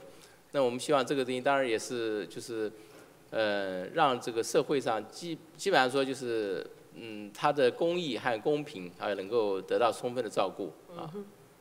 好，呃，院长今天提到公益还有公平嘛，我相信每一个有善念的人都想为台湾做一点事情。就像今天本席站在这边，我会思考说，我人生的这个阶段，我还能为台湾做一些什么样的事情？然后台湾的话，因为我做了哪些事情，而台湾的话有一点改变哈。我再引用一段话跟院长就是交换一下意见，谈一谈哈。这一段话的话，就是一个朋友的话传给我的。他说，人类发生巨大转变的钥匙，一是能源，另外一个的话是生产工具，另外一种的话是教育方式。这三者如果改变，就会发生所谓文化革命的巨大社会结构变迁。当然，这一段话的话所提的教育的方式，他在谈的是一个电脑网络的数位教育。但是我会引用这一段话的话，是想先跟院长谈一谈台湾的教育的制度了哈。好了，我们的教育部部长。真的还是很听得懂，就马上就站出来哈，好吧？台湾现在我们要推行的是十二年的免试升学，这是一个体制内的教育的变革。但是另外的话，我们台湾其实教育还有个很大的问题，就是偏乡教育，还有小校裁并的问题。院长的话呢，我看到报章杂志就话，看到报章，你到了高雄左营区，回到了你小时候的地方，你看到眷村不见了，然后你说了一句话说我没有根，这是院长很感慨的一句话吗？所以院长在左营区的时候就提到说，希望能够把眷村的话保存下来。其实这个就是什么？就是我也是很担心的。我很担心的话，就是当内阁都在谈。五大创业啦，哈，产业升级啦，还有包括国家竞争力，但是我的眼光却看到了，台湾其实还有一块，这一块的话，如果我们把它处理好的话，我们的产业会不会因为这样升级？我们国家会不会就这样有竞争力？哈，那么我今天要跟跟院长谈的说，我的眼光注视到这一块上，就是我们小孩子的教育。小孩子的教育是有些小孩子的有些家庭的小孩子的教育可能不先不必我们来担心。但是有些教育呢，是现在很需要靠政府的力量要进去。那么需要靠政府力量进去的教育的这一块，他能不能搭上院长所有的内阁一直在讲产业升级、国家的竞争力，能不能搭上这一班的火车？我担心小校裁并以后，农村会是个什么样子？会不会像院长，你到左营区一看的话，眷村不见了，就是让人感慨。但是小校裁并以后，它让我们的小孩子会不会更有受教权？小校裁撤以后，它本身的意义又是在哪里？那我们政府做的小校裁撤，是经济考量还是财政考量？所以，如果我们先把受教权的话放在第一优先来考量来讲，那么问题的本质到底又是在哪里？问题的本质是什么？裁撤掉了完了以后是要解决什么问题？那么裁撤完以后还会有面临到一个新的问题？还会有新的问题，所以我们把这种种林林总总那么多的问题，我们还没有一个确切的答案之前，那么我们把国中小这个教育权的话，就交给地方政府。那么地方政府的话，会用财政的理由、财政的问题，然后一间一间的裁撤掉。如果未来五年以后，台湾裁撤掉两百所的小学，偏乡，不是都市，都市如果裁撤掉一所小学。人口那么拥挤，大概大家不觉得怎么样。但是偏乡如果裁撤掉学校，整个村里头面临的，它会是什么样的情况？我们就用想象的就好。如果未来五年以后，如果有两百所偏乡的小学被裁撤掉，两百所，这两百所小学的话，我可请问部长好了，部长，你认为它是国家的负债还是国家的资产？呃，跟委员报告哈，我想委员长期。包含在云林县呐，其实对小校哈、对偏乡的这样的一个教育的重视哈，我想这个非常非常的呃佩服。那对于部长，我只请问你很简单，是，如果未来五年全台湾的话有两百所的小学被裁撤掉，那么这空空荡荡的这个两百所的校学校，它造成的现象是国家的资产还是国家的负债？呃，我跟委员报告哈，因为呃学生的受教权益啊，这个本来就是最前提哈。那国家的资产还是国家的负债？是部长。那么对于呃这样的一个呃在呃学校尤其存在偏乡，其实本来就是一个非常重要的教育跟文化的对社区而言，它是一个中心哈。那么对于这样的一个转变，绝对当然是一个重要的资产。他这样的转变变成空荡荡的学校，应该是国家的资产。不是我说小校，呃，在社区当中这种学校啊，是一个非常重要的资产。但是我下面，我现在是请问部长，是说他已经被裁撤掉，未来五年。这按照这样子的一个步骤下去的话，因为在部长是院长在国民党执政的时代哦，每一个人都看到这个问题。这个是一个国家的问题，大家都已经看到这个现象，我们不可能等到这个现象产出的时候，我们才什么才去寻求解决之道。所以国民党上，我这边是要提醒新的行政团队，在国民党执政的时代的话，他们已经通过了教育实验三法，已经通过了教育实验三法、学校形态实验教育实施条例、高级中学以下教育阶段非学校形态实验教育的条例。公立国民小学及国民中学委托私人的办理的条例，这三个条例已经通过了。当年修法的时候所提到这个教育实验三法的精神是什么？部长，是，当然希望让我们呃在整个台湾受教育啊的孩子有多元发展选择的机会。那实验教育其实也是在体制外，我们可以让呃这种不管家长或学生啊是有这样的一个多元呃就学的管道哈，然后去追求他呃自己在教育上的一些理想。我想教育实验的三法是鼓励民间心血，其实最主要就这样，就是要开放，要把民间的资源引进来。所以当年修法所提到的精神，保障人民的学习与受教教育的权利，增加家长的教育选择权，鼓励教育多元化的发展，加速课程及教学之改进，放宽家长自主教育空间，引入社会及政府之力量，还有保护家长自主教育之学生的权益。还有呢，鼓励私人兴学，给予公办民营学校较大之办学的弹性，然后促进教育之多元的发展。部长，对不对？是。部长，你现在的话就是我们的林权院长的话任命你当为部长。民进党执政以后，面对国民党执政时代通过这个教育实验三法，它是非常一个进步的，是一个非常一个进步的一个新的法。那么新的行政团队面对这个教育实验三法，我们的作为在哪里？我们作为是什么？呃，跟委员报告哈，从一零三年通过的这个实验教育三法，那后续啊，呃，其实非常重要的哈，我觉得呃，往前的是应该让未来在实现呃这个限制的部分呢，应该更清楚。以目前我所掌握到的，其实呃有部分的限制可能在呃这方面的手机啊有限。那第二个当然啊，法不足以呃自行哈。重要的是我们在后面的呃推动的这个资源的措施哈，那我想在呃后续的整个呃教育部的政策里面呢，呃实验教育的资源跟推动啊，呃确实是一个呃重要的啊这样的一个重点哈，包含资源也会来突加。为什么会有这个教育实验三法？我们现在今天在在这边，我们担心的是什么样？因为国中国小的教育权是交在地方政府的手里，是重要的问关键的问题是在这边。我以前当县长的时候，我也面临到小校要被裁并了。当时教育部规定我们，小孩子一百个人以下，这个学校就要考虑裁或者是并，对不对？当时云林县县政我们的做法是怎么样？当时我的做法只能怎么样？只能做一小步。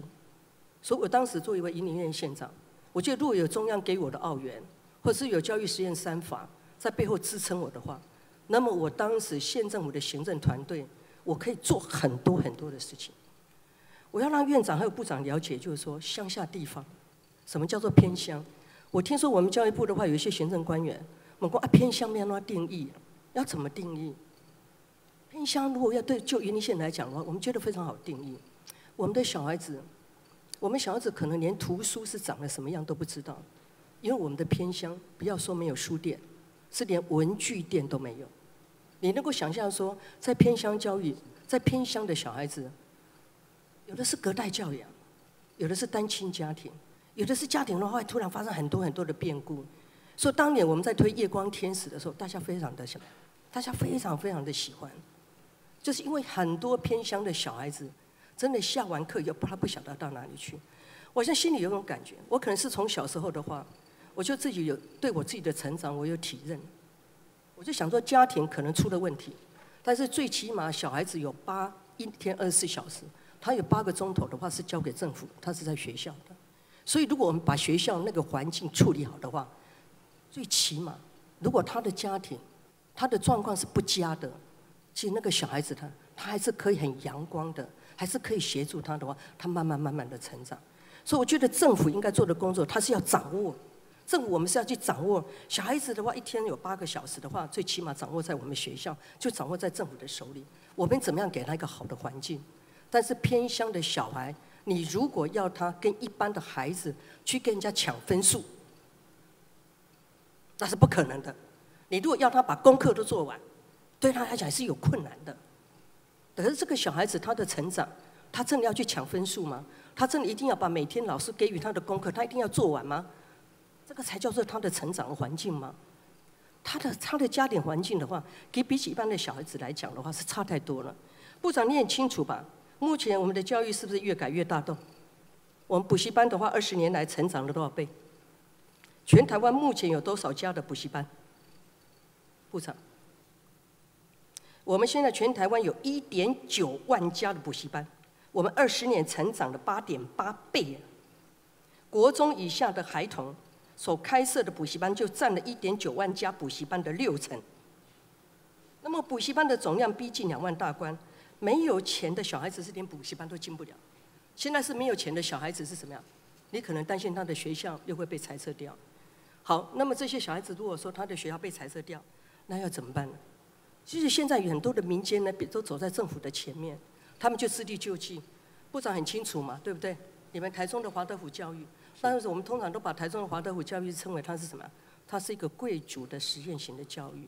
但是我现在要跟院长跟部长谈的，不是一个贵族型的实验教育。是能够普遍受惠，而让一些偏乡的小孩子，他可以可以享受到实验教育。所以今天想要跟院长谈的一点就是公办民营。我们想说，两百间的小学，你知道它累积了多少的人文在那边？有那么大的一一大片土地，每一所小学，如果我们估算它三公顷到四公顷，你看那么大，在一个农村里面，它林木呢就非常的茂盛。那边就是所有的乡村里头，农乡。的乡村里面的话，那一块是最漂亮的地方，但是它的漂亮是来自于什么？它是代表知识，学校就是代表它是个知识的地方。所以这个知识的地方，一旦我们把它裁撤掉，而没有把劣势转为优势，没有好好去运用它，把这个两百所的小学是国家的负债变成国家的资产，那么就是我们为政者怎么样？我们能力不够，就是我们无能了，就是我们能力不够。我们看到的有一所小学哈。你们可以看看照片，好不好？花莲有一所，叫做西宝国小。这个西宝国小的话，它历经了七年的规划设计建造，它是全台湾被被任命为它是一个最美丽的一所小学。最美丽的一所小学，我是建议的话，部长还有院长都可可可以去看一看，为什么它被一般公认为它是全台湾最美丽的一所小学？它历经了七年的规划设计建造，是有一位李律之，一位建筑师的话。他经过了七年，那么这所小学呢，七年规划设计，然后建造完成以后，在两二零零三年的话，它从分校就升格为一个独立的学校，但是也面临一个大环境少子化的缘故，那么这所那么脱俗、那么漂亮的学校，现在呢，要回到边陲，它有可能会被裁撤掉。那么漂亮的一所学校，这个就是国家的资产。你看美学的教育，这个空间的建筑的空间呢，对个小孩子的话，他的美学的教育，你看多好，这是一个多好的一件事情。部长，我刚就问你说，我要请问你的话，那么新的行政团队面对国民党时政时代，他们提了一个非常进步的教育实验三法，我们怎么接球？我们要怎么做法？是呃，在。我再讲一段了，好不好？因为我很希望能够听到部长具体讲，具体讲出的话，未来的话，你会建议院里头怎么样来支持你，来推动这个教育实验三法。我们来看一下英国，英国来讲的话，已经是他们的目标是朝向于百分之百要公办民营嘛，对不对？啊，这个大概部长也都非常非常的清楚。结果在执行的过程里头。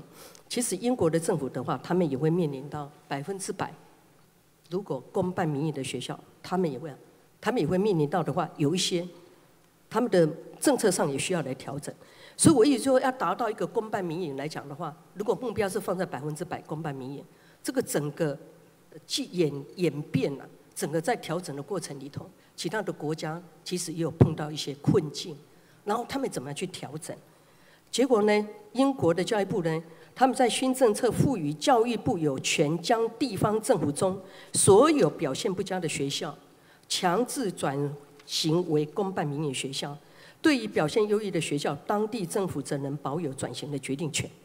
也就是说，如果表现优异的话，那么他要转型就留给当地政府；但是对于呢表现不佳的学校，抽回来就拉回来中央，我们中央自己来处理。但是呢？美英国政府的话，他绝对不提裁并，绝对不提裁并这两个字。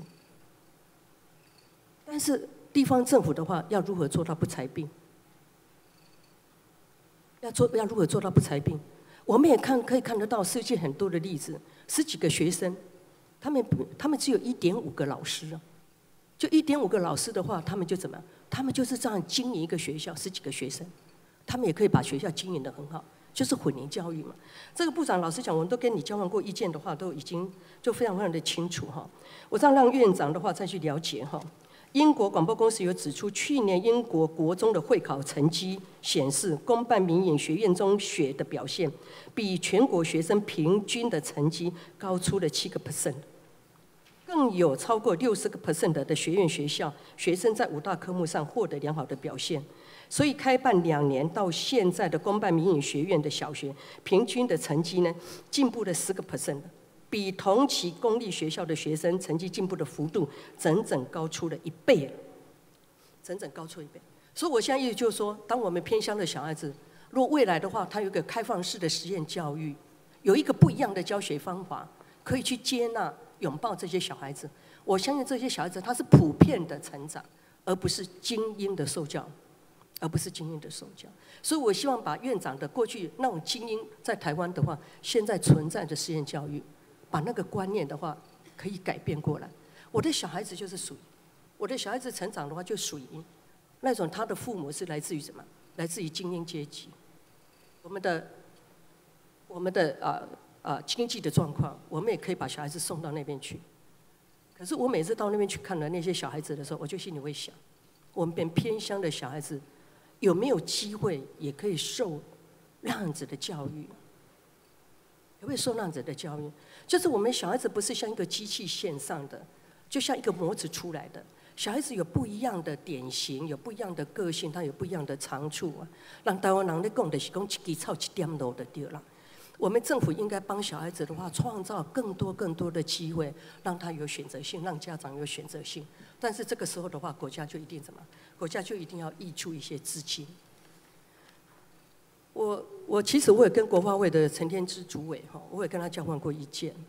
我们在讲说我们要揽才，我们要到国外的话揽一些哎白领的，好像说月薪的话，比如讲说一年五百万或者是八百万以上，我们希望可以揽到这种白领阶级的人来到台湾。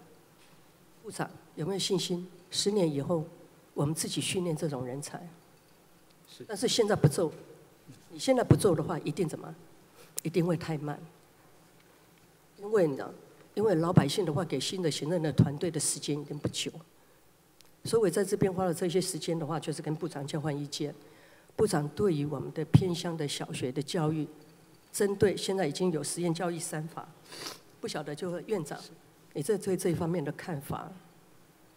嗯。谢谢苏委员的指教。我想您提到教育三法的理想啊，绝对绝对是我们绝对是认同的。而且我们觉得这个部分对于改善我们目前学同学学生的这个学习环境以及这个多元学习来看，那绝对是一个很好的这个这个基础。那么我我相信，呃，教育部也会在这个基础下去尽量推广，特别是让一些呃偏乡的这个学童也都有更好的这这样一个多元教受教育的机会。院长要怎么做呢？你就一定要编一笔预算。这个部分，我我想教育部呃，就一定要有专章。对，应该是由教育部来回来来决定，不是应该由我来告诉他怎么做啊？教育部提，当然如果我们觉得他是没有做到或做的不理想，我想我们再来看好不好？嗯哼，部长，那么院长已经支持了。是，所以在看来的话，就看你要拿出报告哈。我简要的，因为我们提到的几个面向哈，真的对于现在目前偏乡呃小校的。后续发展，哈，我我非常认同委员提到的，呃，一个学校对一个社区对一个学生的受教权是多么的重要。那现在因为跟地方，呃，这个中央跟地方的关系是合作的关系啦，啊，我想包含，呃，之前我自己在部里头服务，呃，跟呃委员在云林县，其实那种关系是，呃，我觉得是一个好的关系，哈。那当然，现在在法制面上确实也要能够有一个呃保护的，这个不管是现在即将。啊，来发展的偏向教育法或现在国民教育法第四条的这个修订啊，基本上都希望啊，地方政府虽然这是他的主管的权限，但不是啊收费即费哦，他本来就有一些相关的这样的做法来做规范。当然，呃，教育部这边呢，会更用政策跟资源啊来引导，包含实验教育的推动哦。我想这个对地方政府也有很好的啊其呃这个呃引导的这个效果，尤其是对于一些偏乡的小校，当这个呃校区这个资源呢，如果能够开放出来给更多啊民间来参与，我想教育部啊会跟地方政府以这样的方向啊来持续的发展。我想过去这两年应该是大家还在实验教育法后的一个基础上，但是呢，就如委员啊之前我们几天谈到啊，这些热心的伙伴呢，他其实是可以帮各县市啊来共同的呃把这样的理念啊或是一些想法跟做法哦，包含像混龄教学的形态，其实呃经过呃这一两年的实验呢，其实这一部分呢也都可以让他们有机会来啊让他们以为啊只有学生。可以在少数之下，其实它也是一个很好的互动的学习。我想，可能以多元的形态啊，来协助这些偏乡的孩子啊，可以去进行多元跟适性的一个学习。英国教育的政策的目标的话，它已经达到了百分之百，就是公办民营哈，发展自由的学校了哈。那么瑞典的教育呢，它也实施了单行的一个一个条例，将权限将权限呢就回归到中央了。所以我就是想。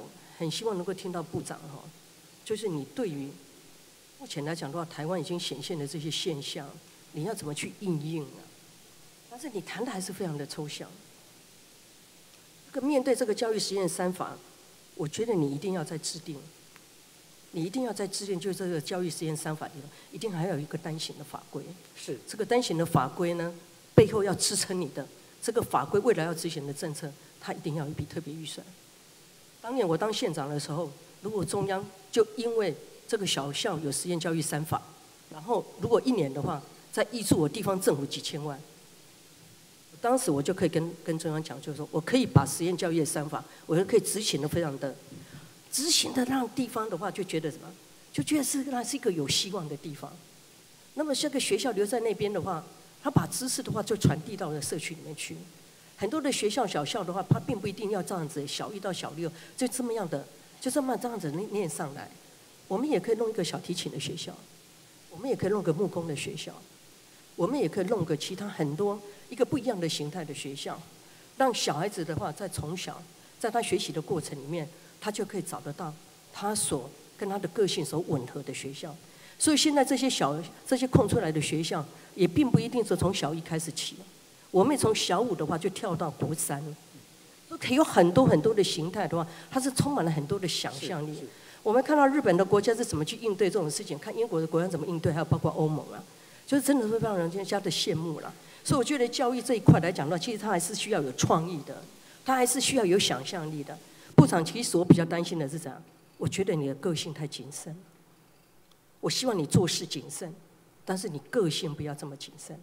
那一天的话，我们的教育的一些实验教育的伙伴们，大家跟你啊跟你座谈以后，我大概在这边的话，就要跟就老实的跟你说，有点失望。我们真的有点失望。我们看到了你谨慎的一面，但是我们没有看到你有想象力的一面，有创意的一面了，好吧？就这一点。院长的话，你应该优先把公办民营的教育的实验哦，归纳为产业投资。把归纳，它是一个产业投资其中的一项，你要启动跨部会的整合了。还有，真的在这边的话，真的跟院长，你也应该要启动一个国发基金来挹注，挹注这一方面，好，带动公部门以民间资源合流，引进外资还有外来的人才，让产业进来，然后也可以税制节税，鼓励私人心学。发展多元类型的实验的教育跟自由学校，我为什么会这样子跟院长提？因为民间已经有人的话关心，而且他们的资金，还有包括他们的爱心，都已经有进驻进来了。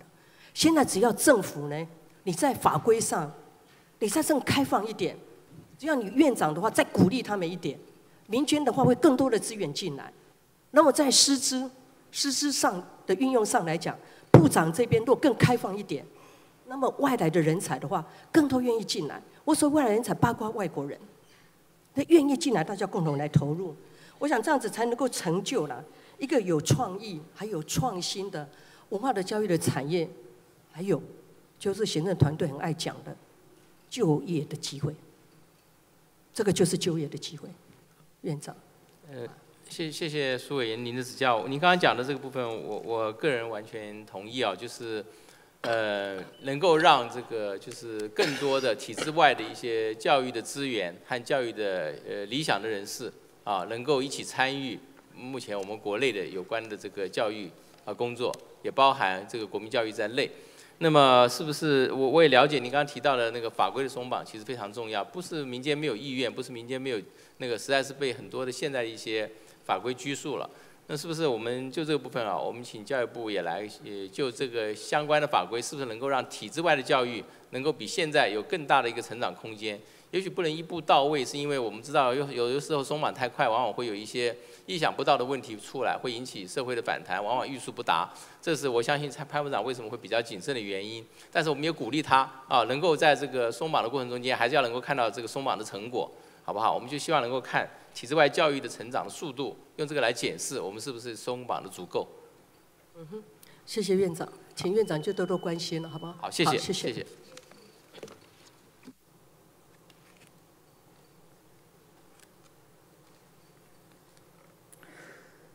呃，接着请孔文吉委员咨询，询答时间三十分钟。啊，不不好意思，呃，接着请廖国栋委员咨询，询答时间为三十分钟。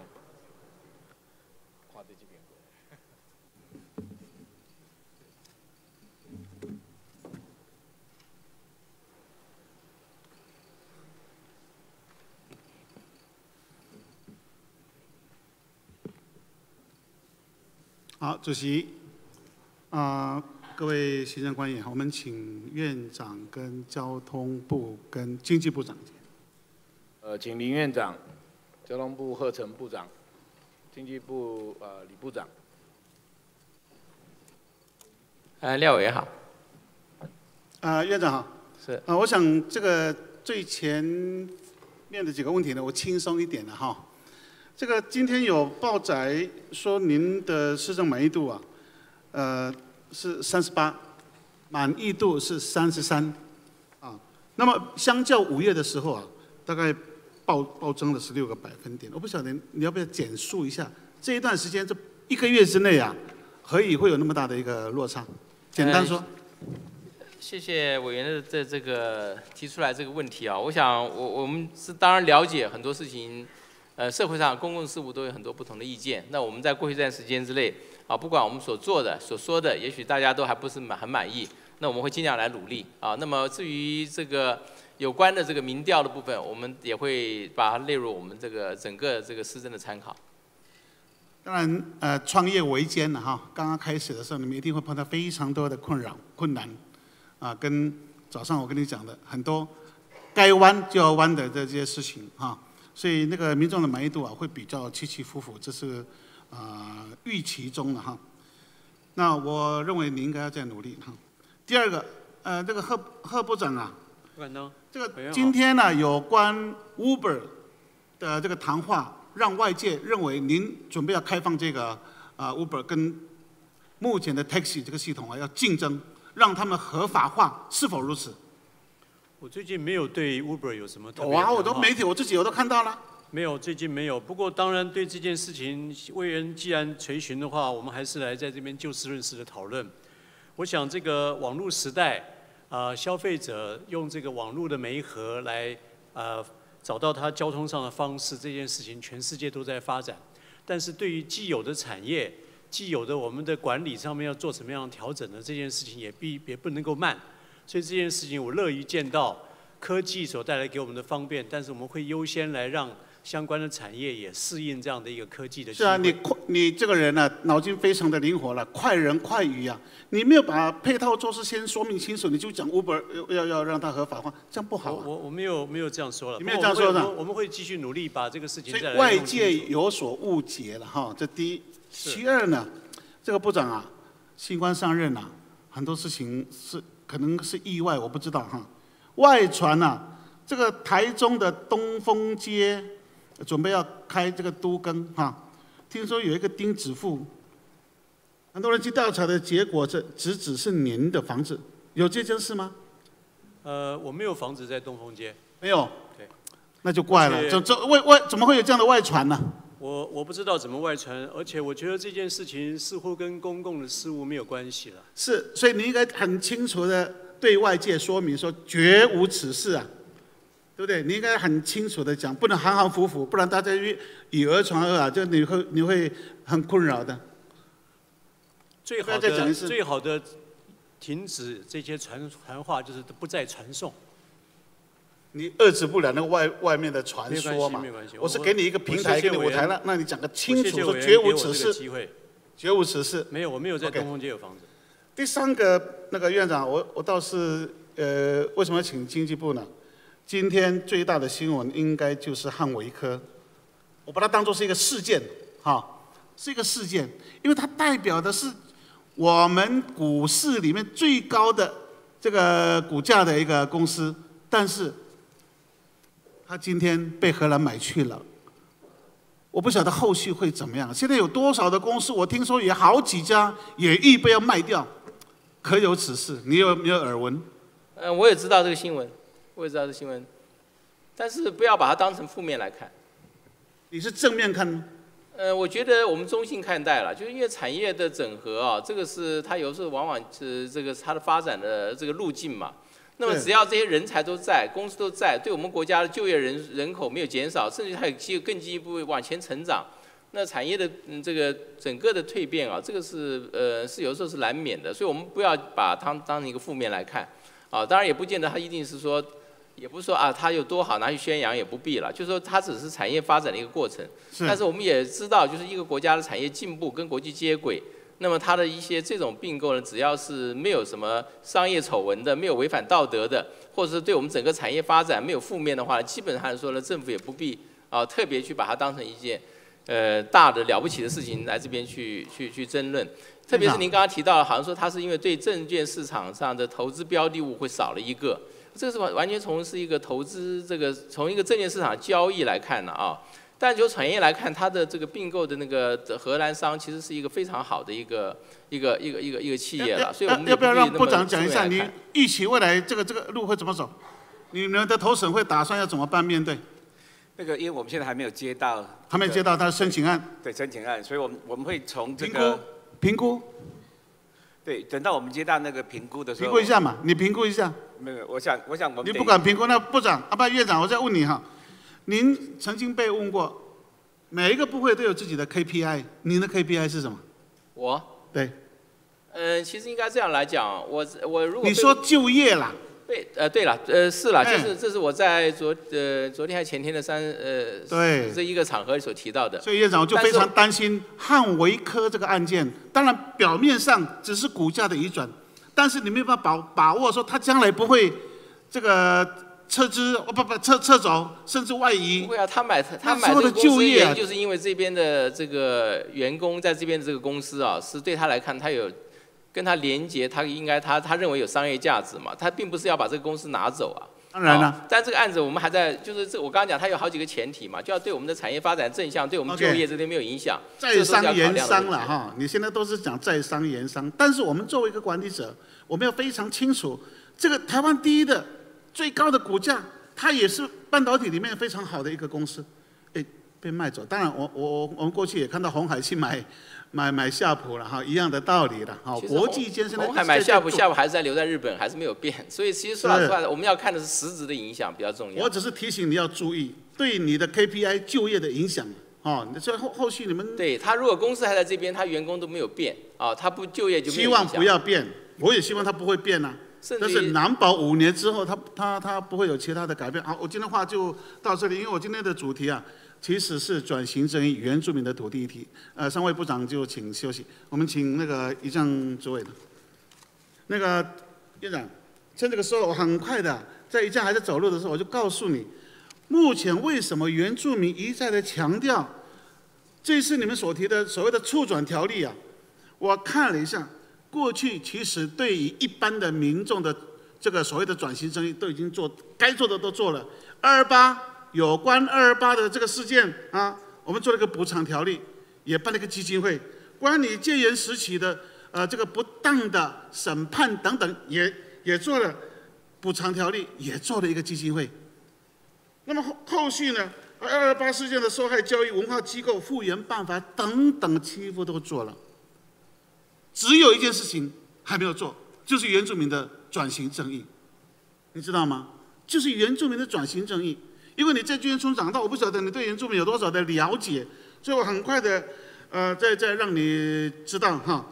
那现在我们看到的这个土土地转型正义啊，原住民的部分呢、当然有很多损害，但是独独就是原住民的土地这件事情，土地的流失，简单的讲两个过程。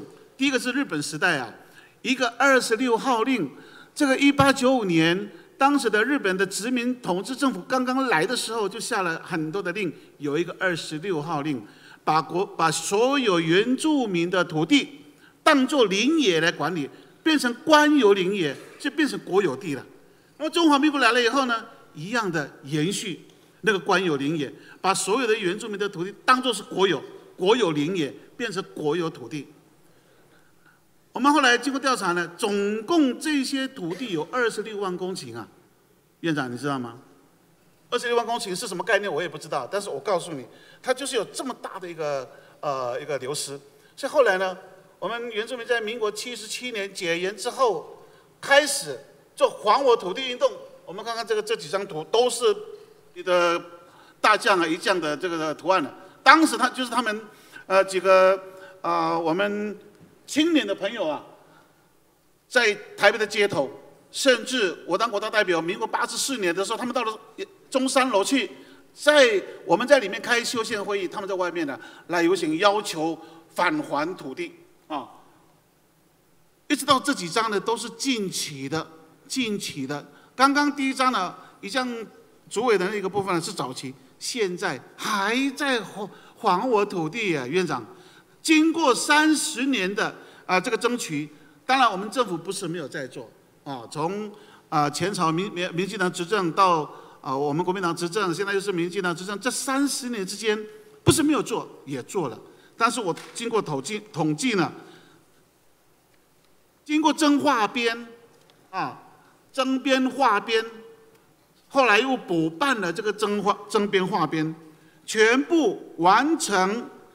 这个办理的土地啊，大概呃是十四万公顷，但是距我们距离啊，距离我们原住民所要求的统计的二十六万公顷还有一半还没取得，所以为什么一直一直会有这个事情在啊争议？那么我们的争议的土地，我们看一看，我那个院长，因为你新来，我一定要让你知道，你过去在。啊，财政部的时候可能看过一些国有财产所的相关啊这个资料。目前有争议的土地，在国防部、在退辅会、在交通部、在农委会，还有个最大宗的台糖的土地。如果你要看这个案例的话，我简单的告诉你，财政部这个国产所的是到处都有了，只要是原乡的土地啊。都是，呃，国有土地啊，都是原住民的土地，目前都在国有财产所的手中。那么林务局呢，也是一样，尤其是跟山地原住民的冲突啊，非常的广泛啊，那个面积非常的广。那么台糖啊，这是最让我们呃流泪的一个啊冲突。整个花东纵谷非常漂亮的良田啊，在日据时期啊，这个日本人把原来居住在那边的这个部落全部赶走。他们说要建机场，因为那时候正在这个二战的时候，说要建机场，结果后来根本就没有建，他们反而种糖，啊，种蔗糖，所以为为了要要要供应这个糖的需要，反而是种糖。就在我们开始还我土地的运动之后呢，原住民原来居住在那边的部落的民众都回来了，哭诉他们年轻的时候如何在那边成长的。那到现在台长一句话说我们是民营公司，我我我没有办法接受这个这个这个要要求土地返还的事情。阿美族都哭了，我看我我陪同他们呃一一的来面对这些土地的时候，真的是让让让人伤感呐，院长。所以我们今天要求要求转型正义，有几个呃特别要跟您要求的，呃院长请看哈。当然，这个部分呢，是我们呃蔡总统啊，他在政见里面已经答应要做的三件事情，包括原住民基本法、原住民的自治法、原住民的土地海域法。但是我今天要跟你要的是，我要求院长，我要求这个事情可能是原民会要做啊，立刻公告原住民族传统领域的范围。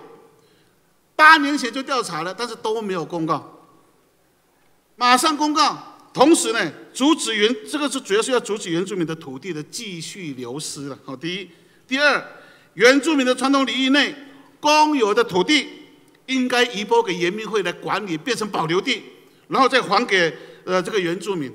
第三，原住民传统领域内台糖公司的土地啊，跟原住民土地或传统领域有冲突的，政府架构买回还给原住民。而且现在开始就不得再移拨给所有的相关机关。三个问题，院长，你要你要如果讲，还是你要直接回我？这个部分，嗯，我想既然延宕这么久没有办法解决啊，所以我现在还不能够完全了解这个背景，是不是？请那个袁明慧啊。简单讲，我们的时间不多，还。呃，跟呃 委员简单做一个呃报告，就是呃我我想首先先谈。呃，严敏的转型争议跟目前正在立法院的这个触传条例的版本哦，我觉得它有很大的不同的地方，就是说我们的出出发点不太一样。原住民主的转型正义呢，委员都很清楚，我们在一九九四年三包改为原住民主是一个很重要的转型正义，当时我们的立委也是国家代表，对，我们把名称证明为原住民主是我们第一阶段的这个转型正义，过来就是一九九六年。严明会的设置，我我认为也是我们很重要的这个转型正义的第二个第二个起点。我怕我们没有时间。对，好，我很快。我要你回答这三个问题，可不可以做了？对，我接下来就是有关系的。第三点就是原基法的通过，在二零零五年通过以后，现在这些问题，原基法都要授权我们要立执法嘛。所以刚刚委员提到这个传统领域的公告，其实严明会在网站已经有公布了。公布跟公告不一样啊。对。要要要公告的话，委员也都很清楚，要土海法的通过，那个才有效力啊。我们现在也愿意公告，但是它没有法律效力，我公我们公告也没有用，所以我们认为，我想过去民进党在八年前执政也土提过土海法啊，上次国民党执政土海法也也也在我们立法院，所以现在最好的方法是我们是不是我们一起努力达成共识，把土海法赶快通过，OK，传统领域就可以解决的。所以你也知道，院长你要知道。我们的自治法经过两个会、两个第七届跟第八届两个任期啊，几乎要完成，是因为民进党不签署协商结论才没有完成的。我希望你们现在现在再度执政的时候，能够把这个事情当做优先的啊一个法案。啊，我我我要求这个院长了，原基法民国九十四年就已经开始实施公告实施。但是呢，他一直是小老婆，庶子不是正子啊，啊，台湾的长子原住民，他的法规是庶子哎，被踩在脚底下，每一个部会没有把他看在眼里，才会导致今天。我希望你们这新政府有新的视野，有新的眼光，新的高度。所以我要求院长，您这个原机法还有很多的执法，刚刚诸位讲了该做的，拜托。一年之内能不能全部完成？所有部会跟原原机法有冲突的、该修的，一年之内给它完成，可不可以，院长？嗯，谢谢廖廖委员您的指教。我想那个您刚刚所提的部分，我们请原原民会啊跟各部会来协商看看，好不好？那你要回啊？各位，你要回，能不能在一年之内全部完成？跟委员报告，我们现在正在推动的原住民主的转型争议哈，我想委员也大概知道。准备要在总统设一个严敏的转型争议委员会，将来有关自治的争议，将来有关土海的争议，都由总统，啊，跟我们各部会啊做一个讨论以后，就把法案给把它推出来。我最怕那个会了，会而不议，议而不决，决而不行了。不会了，不会了，我们会继续来。包括那个院长刚刚讲了自治法，呃，原基法，拜托好好的把它当做一个非常呃专业的母法啊。包括自治法跟土海法，我们一样要求在最短期之内，最起码在呃总统府这样的一个会议的底下呢，尽速来推动完成相关的立法。我是这样要求，好不好？医生，我们全力来。大声一点，你很小声，好像不好意思讲。全力来推动。OK。好，这是院长，这是其一。其二，今天我们在讲这个转型正义的时候啊，我不得不帮蓝宇的核废料储存厂讲。简短的话，我们在委员会的时候，我曾经问过呃这个我们的委员会的主委，说这个核废料送到哪里到底安不安全？他非常清楚告诉我是安全的。好，那我说既然是安全，那我们是不是为什么一定要送到哪里？能不能再迁回来就放在核一厂、核二厂？主委说可以。您的立场，您的方案是？这个部分我想还是要尊重专业了啊，因为这个有关核废料的处理啊，这是一个呃非常严肃的问题，那么而且是一个很受社会争议的敏感性的问题啊，那么我们一定要有专业的意见啊，在最后给我们。不要让蓝里的达悟族一直承受三十四十年的这样的一个。注意到这个困难。激进是侮辱哎，该回来的吧？四十年了，这个这个核废料该回来的吧？院长，哎，我刚才已经说，就是说这个部分我们要有专业的评估啊，再来处理，好不好？评估要多久？你告诉我，你评估要多久？就请请那个原能会以及跟台电啊，他们来来看，好不好？我可以接受你这样的说法。我下个会期的总执行，我再问你一次。我希望那个时候有比较呃新的答案啊。好的，我们就。把您刚所提到问题，我们请人民会跟台电来来。我们来看看你们的新南向。我说这个很难达成的任务啊，院那个院长啊。但是你们既然罗列出来，我们来研究看看。你认为这个新南向它的范围会到哪里？是只有东南亚呢，还是到印度呢，还是到纽澳呢，还是到南太？院长，你的概念是什么？嗯，跟廖员特别说明啊，其实所谓新南向，并没有说一定要把哪一个国家或哪个当成一定的，就是我们要实行的目标。我们其实，在这些东南亚国家里面，只要是有经济发展潜力的，我们应该是寻求这些双方交流和合作投资的机会。所以您刚刚讲的，包含印度、包含这个东南亚这些国家啊，只要是我们认为它的市场可以跟台湾有互补关系的，我们都会试着去在那边去做一些接触。看看有没有一些比较好的由政府来规划的一些产业，能够在那边来共生。院长，我要补充你的话，我们不要只想经济，我们不要只想经济。你们也不完全是为了。你们有一个智库啊，智智库的这个卢世祥先生啊，在一周以内，我记得是三四天以前，曾经在《自由时报》写了一篇给新政府的谏言，特别提到了新南向政策。他提到什么呢？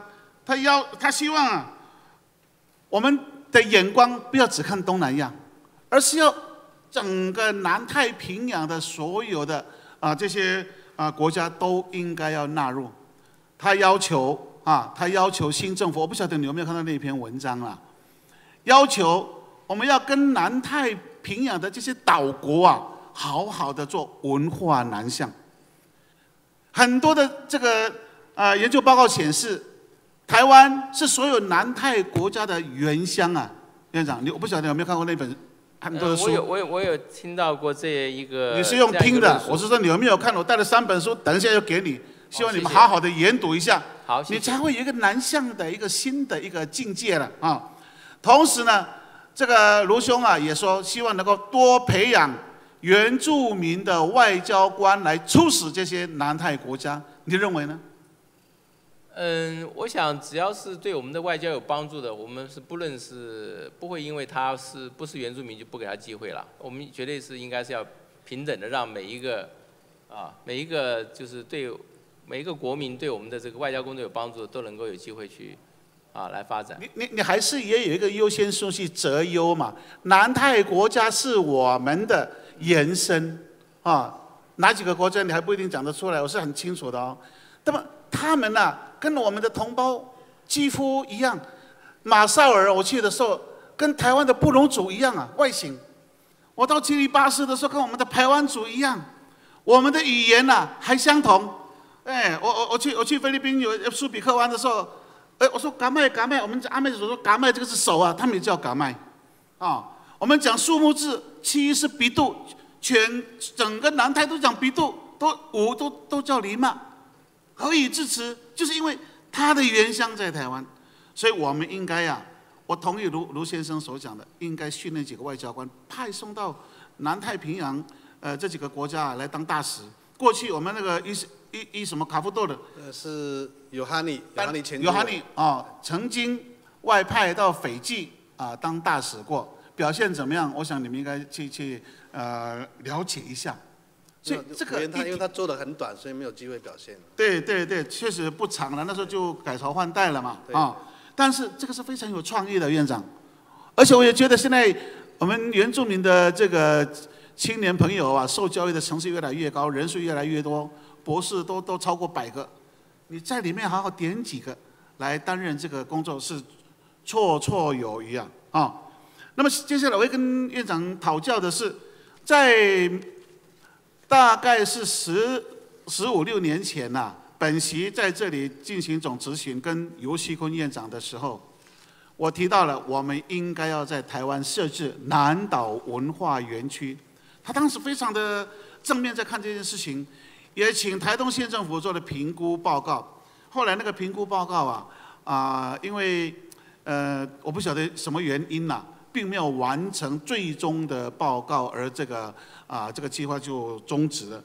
今天当我们再次谈南向的时候，当你知道南岛民主事实上是台湾的亲朋好友、远亲啊的时候，作为一个最大的国家，台湾啊优质的科技实力有、经济实力有的台湾，来设置一个南岛文化园区，这是我们的责任。院长，你同不同意这样的这个观点？嗯，谢谢您。我觉得这是一个非常有创意的想法，但是要来先来看看为什么过去呃行政尤院长答应了，最后结果没有办法实现，问题出在什么地方，好不好？哦，诸位，你的看法呢？你要不要表达一下对南岛文化园区作为一个研究单位也好，就是这个观光旅游的一个重镇也好，来设置在台东是非常适当的一个地方。因为报告，我想那个南岛文化园区在尤院长那个时代的时候，的确有进行一个规划的阶段，但是后面就没有做最终的这个这个这个报告的这个提出。我们重启嘛，好不好？院长，你交办一下，看哪一个部会，或者是就由人民会来重启这个呃可行性的评估。可以让人民会呃去评估一下，当了解一下过去为什么没有办的。因为他是研究重症，以前是请教育部做评估的。这样是不是？但是我看教育部面很认真的去面对这个事情呢。没关系，就如果您觉得人民会去评估嘛，好不好？来了解，然后如果真的有需要的话，是不是看看是要交通部观光局还是谁来一起跟他们来讨论一下，好不好？接下来我要跟院长报告的是，现在都会啊，都会的原住民呢比例越来越高，将近一半的原住民都住在都会。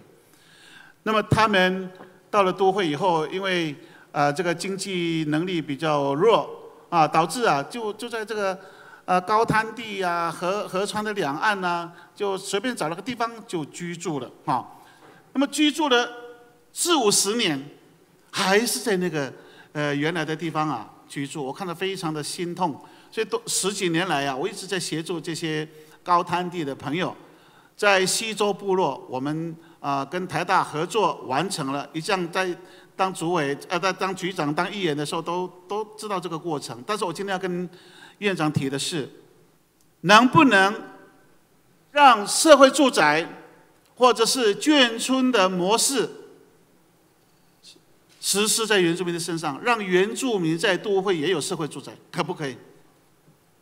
嗯，这个社会住宅啊是要跟地方政府一起来做啊。那么我们当然就是这个部分是不是能够有多少原住民可以住进来啊，或者有没有一个特别的做法？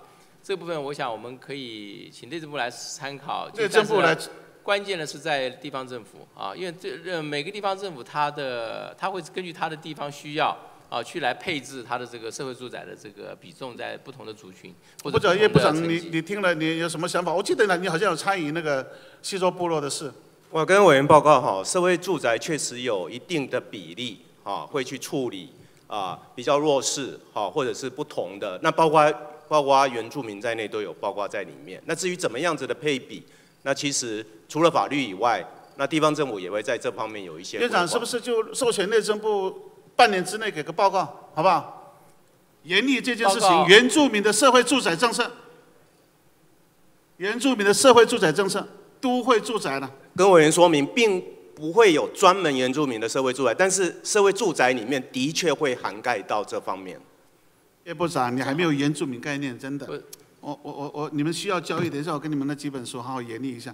最后一个问题啊，院长，很多原住民跟我这个 complain 啊，现在呀要考试，要去拿证明，要干什么的，全部到户政事务所去去去拿证明，甚至有的要跑一整天才拿到那个户籍成本呢，院长。所以他们要求比照荣民证，我们要原民证，可不可以？荣民证恐怕也不能解决刚刚您讲的问题。便民措施了。荣民证它只是我的我我不我这但我对荣民证了解，它只是对他的，嗯，他可能有一些就医的那个，就是比如想去健保那边，可能他他那个费用会比较低一点。其他的我不我他但他不能够解决您在讲。对原住民来讲，这个原民证有很多的功能。他要去看病，他要缴什么费啊？他要申请什么社会福利的，通通都要有原民证，要有原民原民的这个身份证明。所以他们有的时候他要跑很远的地方到户政事务所去申请啊，劳民伤财啊。所以我才说我们需要原民证。这个给给给原民会去研拟一下嘛，你交代一下嘛。当然可以研究，不过您的问题啊，我我怕是光是靠原民证可能不能解决。如果他只是为了他，比如讲申请，以他为主嘛，就说研议啊，可不可以？但是。呃，这个因为这个签到有很多地，可以了，让所有让原住民委员会去了解一下。不然你讲完了就就结束了，我们的谈话就结束，这个案子就没了嘛？你就交办原民会去研议。好，请请原民会来了解一下，呃，来来来看看是不是有没有可行。当然，主政本来是叶叶部长的事了，但是我们今天先让原民会研议，看看我们呃怎么样来完成，好不好？院长，真的，我我这本书要给你。好，谢谢。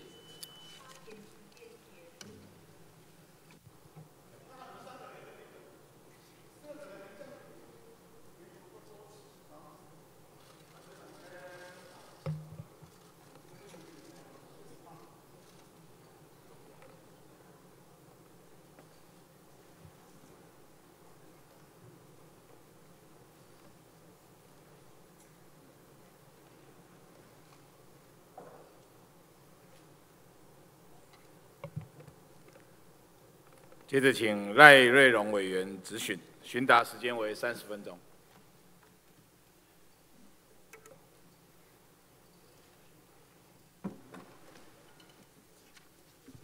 好，谢谢副院长了啊。那是不是请那个林院长？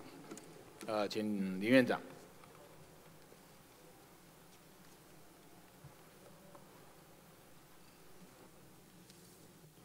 嗯，赖委员好。院长官哈，院长辛苦了哈。是，没问题。好，院长，你是高雄人嘛？高雄出生的嘛？哈，那你到了也待到了高中才离开高雄嘛？哈。是的。对你，你对小港，我的选区啦，你对小港的印象是怎么样子？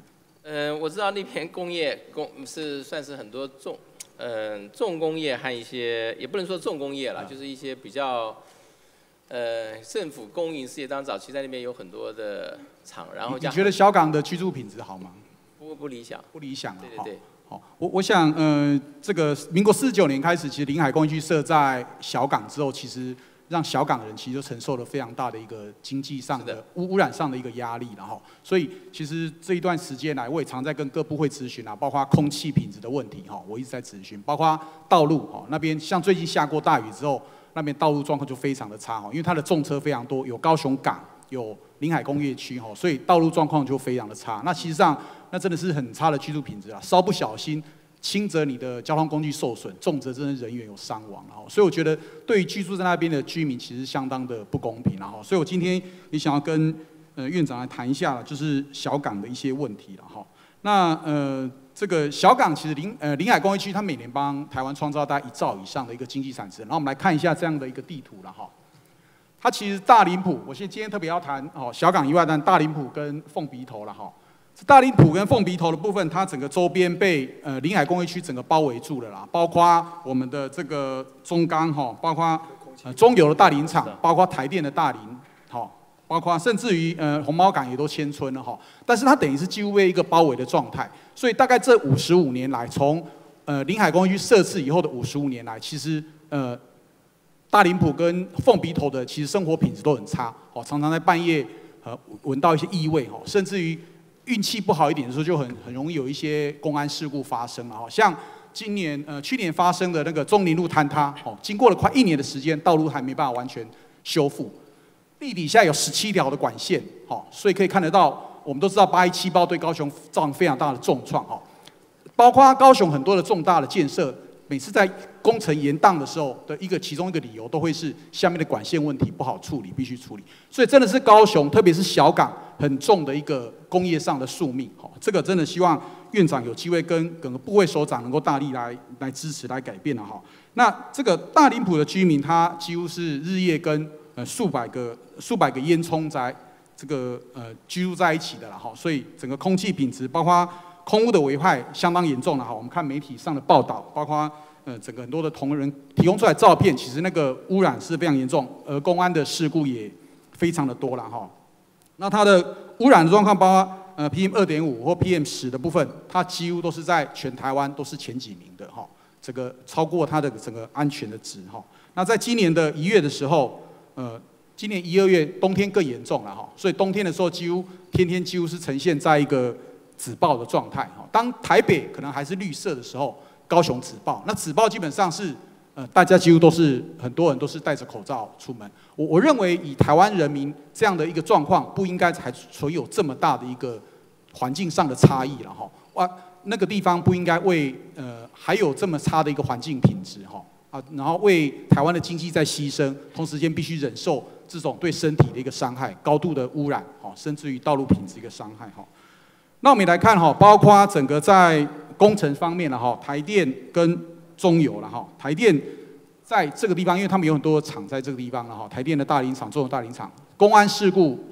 这一年其实都非常的多了哈，那我认为这上次跟部长在咨询有提到，我也认为未来这一块的管理是必须做加强的哦。如果你在环境品质已经这么差的状况下时候，你公安事故还不断的发生的话，哦，刚提到八一七爆也算是一个，那中林路的坍塌，包括前一阵子的台电大林厂的，哦，这个鹰架倒塌造成的三个人死亡，本来是两位，后来变三位哈死亡，这都非常的不应该。包括中油的部分，常常有很多的一些。呃，跳地跳车的一些事件哈，造成，我认为这个都是在增加地方上一个环境上更大一个疑虑了哈。那这些部分其实也都在在呈现出，其实小港它的环境真的需要大力的一个改善，特别是呃大林埔跟凤鼻头这个环境真的是很差哈。那这个部分在千村过去以来有做过呃呃多次的民调了哈，在一百年跟一百零五年的时候。高雄市政府都有做过民调哈，在一百年有七十一点四的赞成千村了哈，那到了一百零五年哈，也是今年了哈，整个有八成八的人赞成千村，好，那在今其实呃我的选区在前镇小港了哈，我想是一个很工业的一个地带哈，它也在做很大量的一个转型。那今年的呃三月一号的总咨询的时候，我也提了这个问题。那一样的，我认为环境的问题、居住问题是最人民最急迫性的一个问题了哈。所以当时我问了一下当时的这个张三珍院长哈，如果可以选择，你愿意住在大林埔吗？当时的张院长告诉我，当然不愿意了哈。我同样问题想要问一下林权院长，如果可以选择，你愿意住在大林埔吗？我想那个地方是不适合居住的地方。好那当有这么多，我想院长也知道这并不适合了。那当如果有这么多人民也愿意选择去呃搬离这个地方，愿意迁村的话，我不知道院长愿意来大力支持这样的案子吗？就是一方面，我还是必须陈述，这个地方的土地其实未来它跟我们的南新的发展跟地方的发展其实。经济上的发展有很大的一个潜力在。那千村它不仅是只是付出那些资源，其实它同时也会取得很珍贵的临海线的一些土地，对未来的经济发展上也有相当大的帮助。我也希望院长能不能大力来支持这样的一个千村计划。我想就这部分，我是不是能够提几个看法？第一个就是，我觉得不管迁不迁村啊，那么那个大那个就是那个小港地区的那个空气污染，甚至于和其他污染问题啊，都应该要设法能够降低啊。那么，即使居民不在那边，也不适合一个有一个呃这个过度严重污染的地区在我们这这个台湾。那么第二个就是在，但是工业污染有时候在至少现阶段，也许一时完全能够难以解决。那么，我想这个大林埔那个地区呢，它因为被这个工业区啊几乎都完完全被环绕。那么您讲的问题确实很严重。在这种情况下呢，迁村当然是一个比较有效而且直接处理问题方法。不过在这个地方下，我们还是要必须要强调，因为这个迁村有迁到很多当地居民的意愿。那您刚刚那虽然显示有百分之八十八的人是赞成，毕竟还是有人可能是不赞成的。所以要如何确保他们的这个啊对这个嗯他的土地或对他的住宅啊这这个的的感情，或者能够让他能够去有一个适当的处理啊，这个部分可能还是要很小心。那么我我我觉得大方向来看，我是乐意看到有迁村的结果，让大部分居民的居生活品质能够改善啊。那么但是呢，我们也希望在这个前提呢是要能够去呃适当的处理那个如果有对迁村有保留意见的居民的这个想法。跟院长说明了哈，这个八十八的比例愿意迁村，其实已经相当高的一个比例。我相信任何一个公共的政策，不可能有百分之百的人会支持。哦，那以这么高的比例，其实但还有很多人，他其实无论如何他也不想要离开他的一个生长的地方。但是同样的，过去为什么这个地方没办法处理，是长久以来呃这样的，为什么这个迁村事情可以延延了十几二十年哈？就是因为呃没有办法完完全所有人都。百分之百的支持，这这是必然的。我想我们看能不能找到一个妥协方案啊，妥协方案。但是如果政府能够提出一个比较好的一些方案出来哈，我想能够达到八十八都愿意签，而且是生活品质已经很糟了哈。是的。如果呃不签的话，其实就让继续这边将近两万户的两万户的人在这边继续受到污染上的一个伤害。我认为这不是一个进步的做法。那嗯，跟大家报报告一下，就是其实这个问题我在五二零之前我有曾经研究过啊。那么我我那时候提出问题说，是不是有可能在那个地方对不不愿意迁的人，是不是还能够留一小块地方，能够让他们能够仍然愿意住在这边，还是给他居住？但是呢，那边的空气品质还是要能够设法能够改善。只是呢，毕竟迁离的话呢，是最好的方法，让他呃改变这个空气品质的这个啊这困扰。但是呢，我们希望朝这方面来解决，可能不能够百分之百完全迁村，是因为有些人可能如果真的想要坚持留下来的话，我们看看有没有这种可能性。但是我目前为止还没有看到他们具体的这个。呃，这个规划和这个这个想法告诉我。所以院长愿意支持，如果愿意迁村的话，让他们能够顺利来迁村。呃，是的，但是就是不愿意迁村人呢，是是不是他们也同意呢？就是他们能够移到嗯，比如讲一个比较稍微远离一点的角落上啊，让那个地方然后继续给他们居住。如果愿意的话，也许这也是一个办法。当然，这也牵到整个整体的土地的规划以及他们的意愿等等，都还在去沟通。所以我刚刚讲的那部分只是一个意向啊，还没有得到他们具体的回复和。给我的一个具体的答案。好，那个张三正张院长的时代的哈，经济部有做了一份的，呃，三月份的时候有做了一份大林浦迁村案的初步评估报告，这个还在院长的办公室吗？呃，我有看到过。对，那对不起，这个我没看到这个，我没有看到这一份提供的资料。那可不可以请部长那边啊？这部长这个出了部长室了吧？哦，经济部的部长是这已经送到了院长办公室了嘛？哈。那个跟委员报告一下，您那一份报告是这个三月份送出去的。那其实，在这个呃，总统本来已经指示国发会进行跨部会的这个协商。那六月十四号的时候，国发会的公副主委其实已经召开一个绿色园区的整体的会议。那当时在这个架构底下，是行政院的张景生政委跟陈天之主委来主持这个督导。那么我们经济部是负责平台的窗口。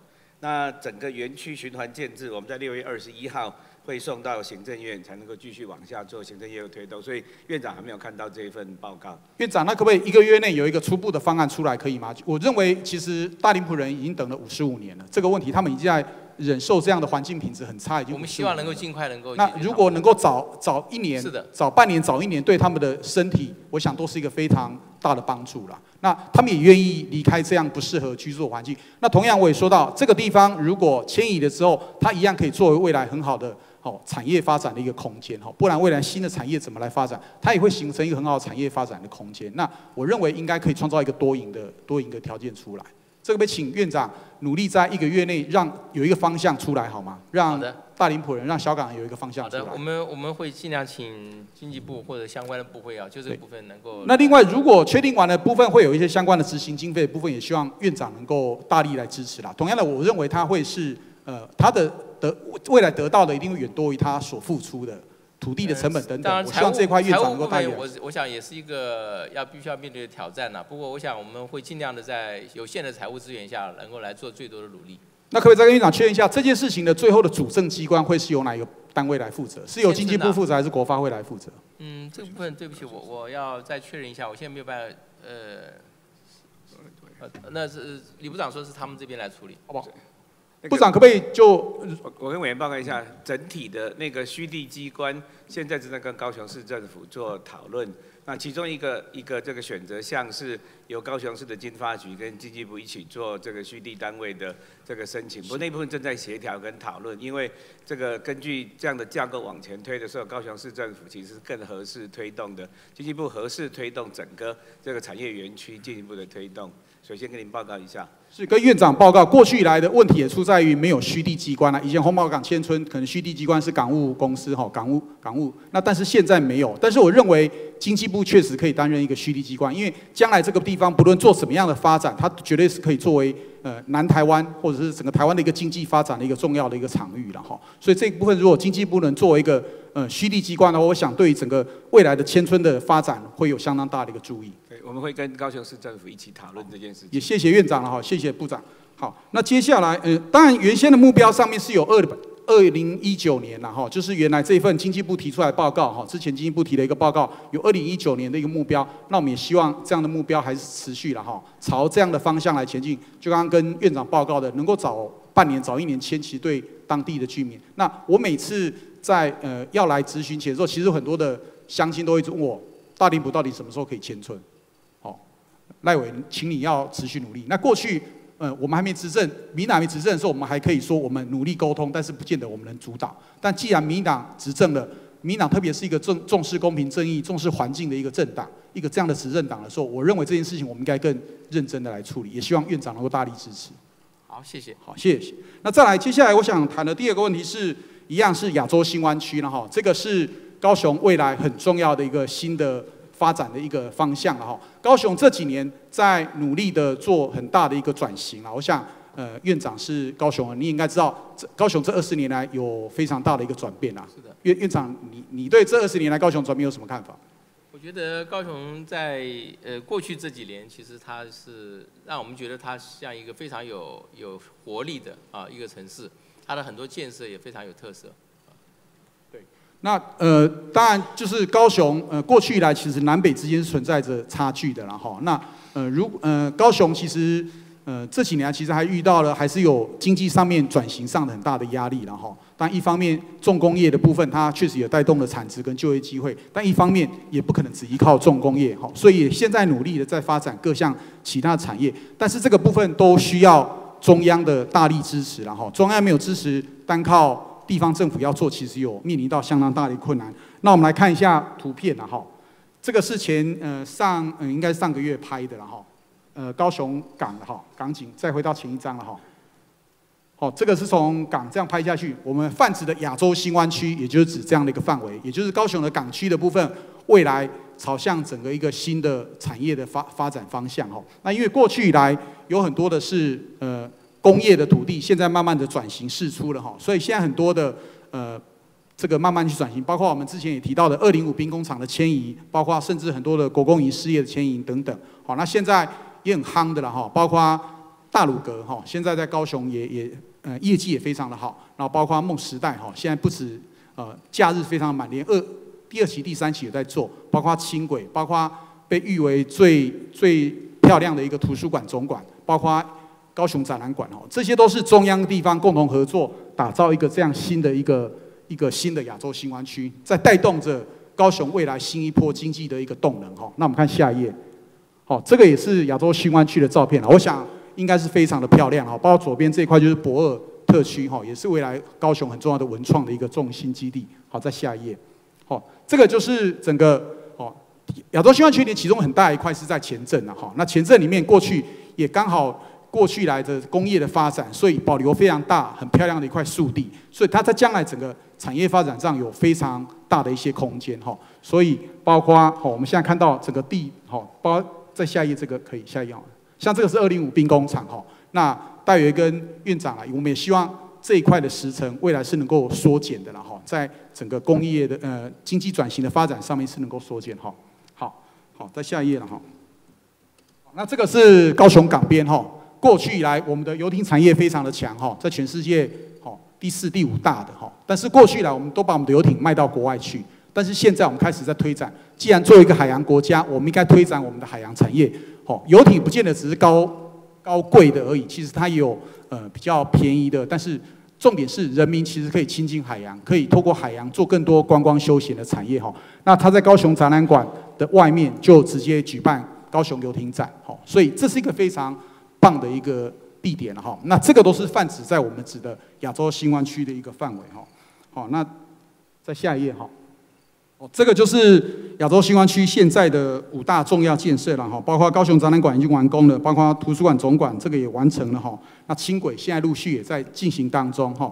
那有两个工程其实是拖到了啦，一个是呃港务旅运中心未来的游轮哈，可以停停泊哦数千人一个游轮，好，这个工程已经慢了，好，包括我们的海洋文化流行音乐中心这个也慢了，所以这个当时也有呃拜托公共工程委员会，啊拜托文化部跟。交通部哈都能够加紧速度了哈，因为只要慢了的话，其实对于高雄的这个发展就是会影响到它迟缓哈，所以这个也有拜托他们来加速。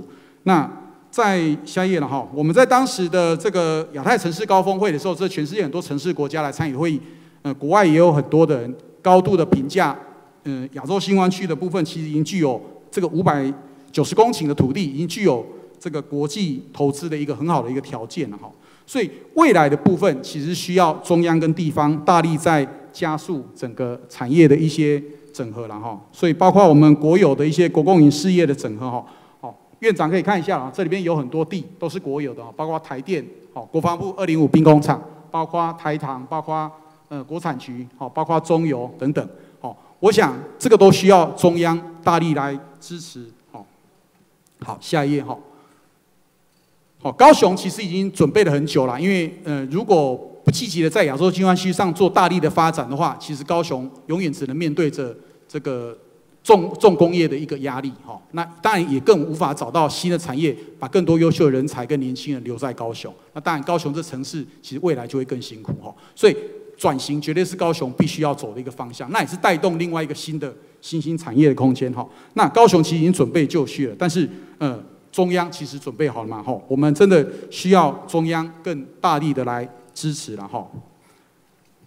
包括这个二零五兵工厂好的迁移哈，那呃必须要更加的加速。那再看这个呢，新湾区周边的公司跟商家这几年其实已经虽然还没完全开发，但是其实已经大力的在成长了哈。这个快速的成长，包括博二周边，包括梦时代的周边哈，包括在。呃，软科跟整个中钢的周边，其实都已经快速的在整个成长了哈。那呃，高雄市政府跟呃港务公司有成组成立了一个土地开发的一个公司了哈，等待挂牌哈。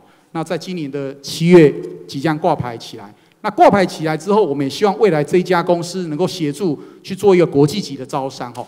土这些土地将来不要都只是盖高级住宅区，不要都只是在盖饭店，我们希望它更多的产业的可能性。那这个真的需要由中央跟地方共同合作，有想法、有策略的去引进更多国际级的招商。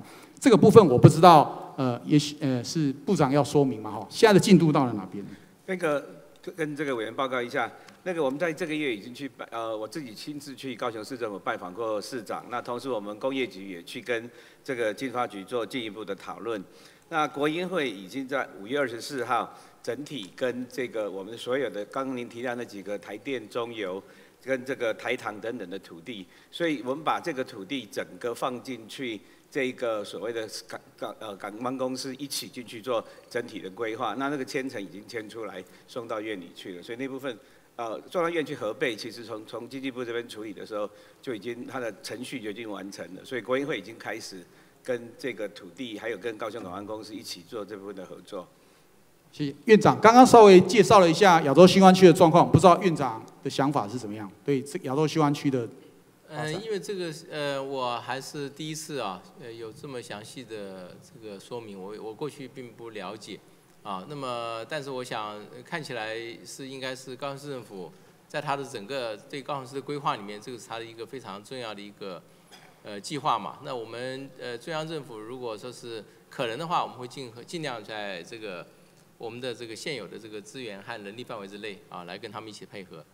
好，谢谢院长了。我想，我我相信很多人其实也不见得那么熟悉，但是这个确实是目前高雄大力在推动的一个计划，也是高雄很重要的一个计划了哈。所以也希望利用总咨询的机会，让院长、让所有的阁员都能够了解，其实高雄在这一块的一个努力。那但也需要更大家更大的支持，然后因为高雄呃南部人其实对呃新政府有很高的期待了。那但不只是在环境改善上期待，其实对于产业产业未来的整个转型方向上有非常非常高的期待。那我们也希望政府在这一块，院长能够用更多的时间去了解一下这一块的整个发展潜力，那给予高雄市政府更大的一些支持。谢谢。我想高雄市政府能够把高雄市建设做得好，对我们整个国家经济发展、就业和这个城乡平衡都会有很大帮助。所以这个大家的目标应该是共同一致的。对，谢谢长。好，那接下来呃。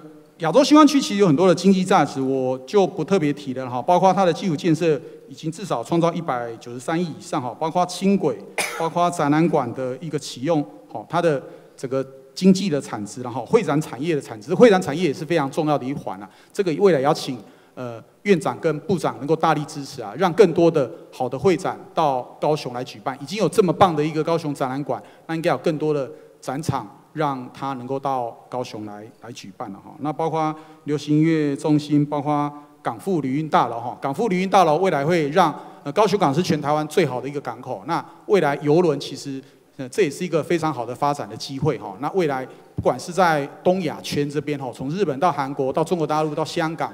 到台湾甚至东南亚，它其实可以形成一个很好的一个游轮圈，好，那它能够带动很好的发展。那其实这个港务旅运大楼起来之后，对于高雄整个观光休闲的商机也会有非常大的一些帮助。这个也希望整个呃院长跟部长能够大力支持了哈，让它一方面是硬体加速完成，另外一方面是它的软体的部分。好，因为还是需要培养更多的一些量了哈，这个可能交通部部长这边也要大力支持了哈，让更多的呃观光客能够在这边让高雄有更好的一些发展的机会哈。那图书馆总馆当然是一个呃高雄很大力在推，好，那接下来是二零五兵工厂，刚刚其实一直提到了哈，二零兵工厂其实占地五十几公顷，然后五十四五十六公顷，这个是一个非常具有指标的一个地点哈，因为在市中心。这么呃，亚洲新湾区的一个中心的地点，它有一个五十六公顷的地。那这个等了十八年了，然后从一九九八年的时候就已经提出来要迁移了哈。那到了现在哈，到了今年终于总算动了起来哈。那现在预计啦是七月份开始由国防部要跟呃高雄市政府要签订一个合作意向书，但是这个签完之后，后续的迁移动作可能预估原先一直说一定要八年了哈。那我们希望能够再缩短它的期程哦。我想八年，呃，一个几乎是两个政府的任期了哈，这非常的长。那我们希望院长能不能大力支持这个期程能够缩短，四到六年内能不能把这个迁移完成，那让这个地方能够搭搭配亚洲新湾区的发展，然后整个带动整个高雄的经济的转型发展。好，这个部分我想是不是我们请国防部啊来看看，就你所提的这个部分有没有可能啊把这个。迁移的时程啊，再来缩短。呃，院长，其实我上次有过，就是其实一个那个迁移案啦，哈，要八年时间。我我想我之前问过，就是你不觉得这也太长了吗？就任何一个民间公司要做一个迁移的话，我们先不理不论它的后面有多少的一些理由啦，哈，等等。但是一个公司通它决定要迁移，到迁移完成要八年的时间，我想任何一个民间公司都会很难承受这样的一个这样的速度了。它是一个非常没有效率的一个速度，所以这个做做这件事情要完成，真的需要政府高度的一个效率才有办法完成。当然，它后面牵扯到环评，牵扯到很多建厂的工程，牵扯到很多的。细项，但是我认为，如果一个有效率的政府，其实是可以加快这个的效率。这个部分是不是能够请那个国防部冯部长来做个说明？部长先说明哈。委员你好，这个七十四年的十一月到现在，我们已经做了很多的努力。就像刚刚您报的，就是说我这个月的下个月的八号要到高雄去跟陈市长签这个合作。七月份确定要签署合作意向书了了。对。然后呢，因为要你那个地方要环评、要勘测，还有做一些必要的在工程方面的这个计划，它明年一整年一百零六年要到年底才会开工，所以这个时程上的耽误我们无法能够掌握。还有就是开工以后，我们是不是能够选择优良的厂商，它的期程不要耽误？我想这个就会提前。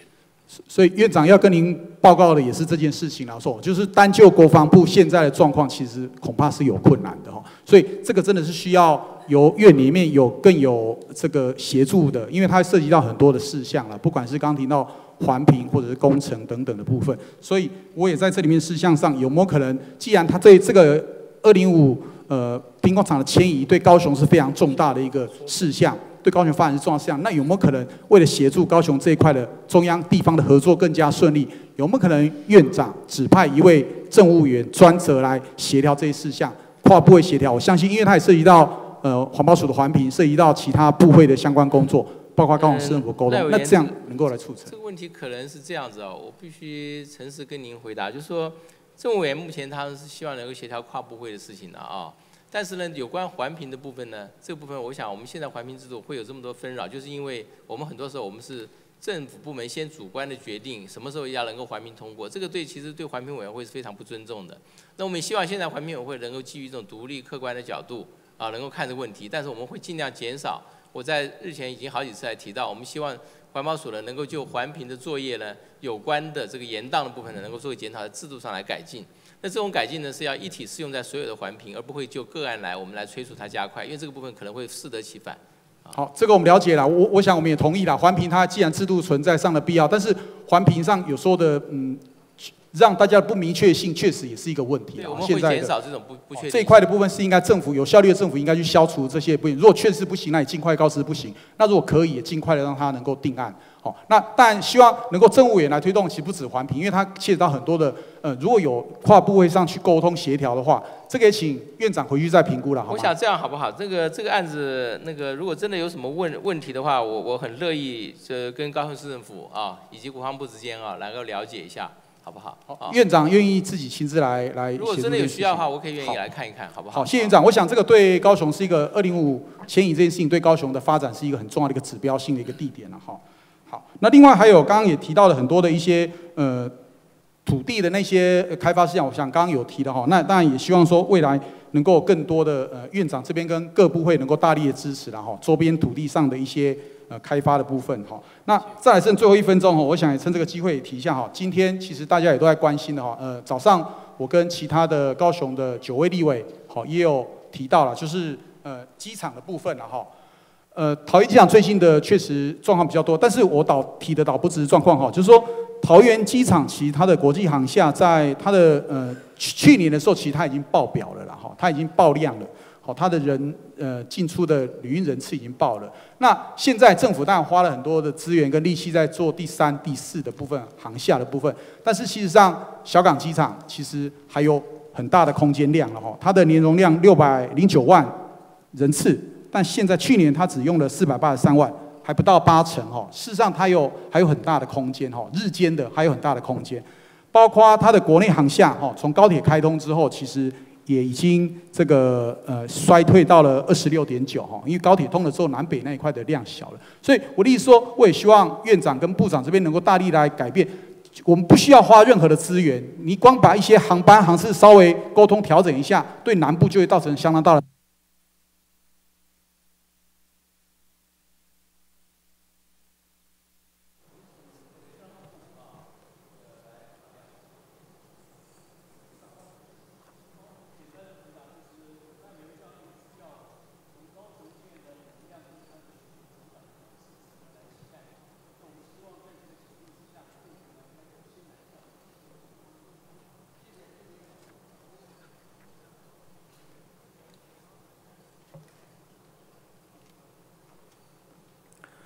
请林委员静怡、陈委员曼丽及李委员立芬联合质询，询答时间共三十分钟。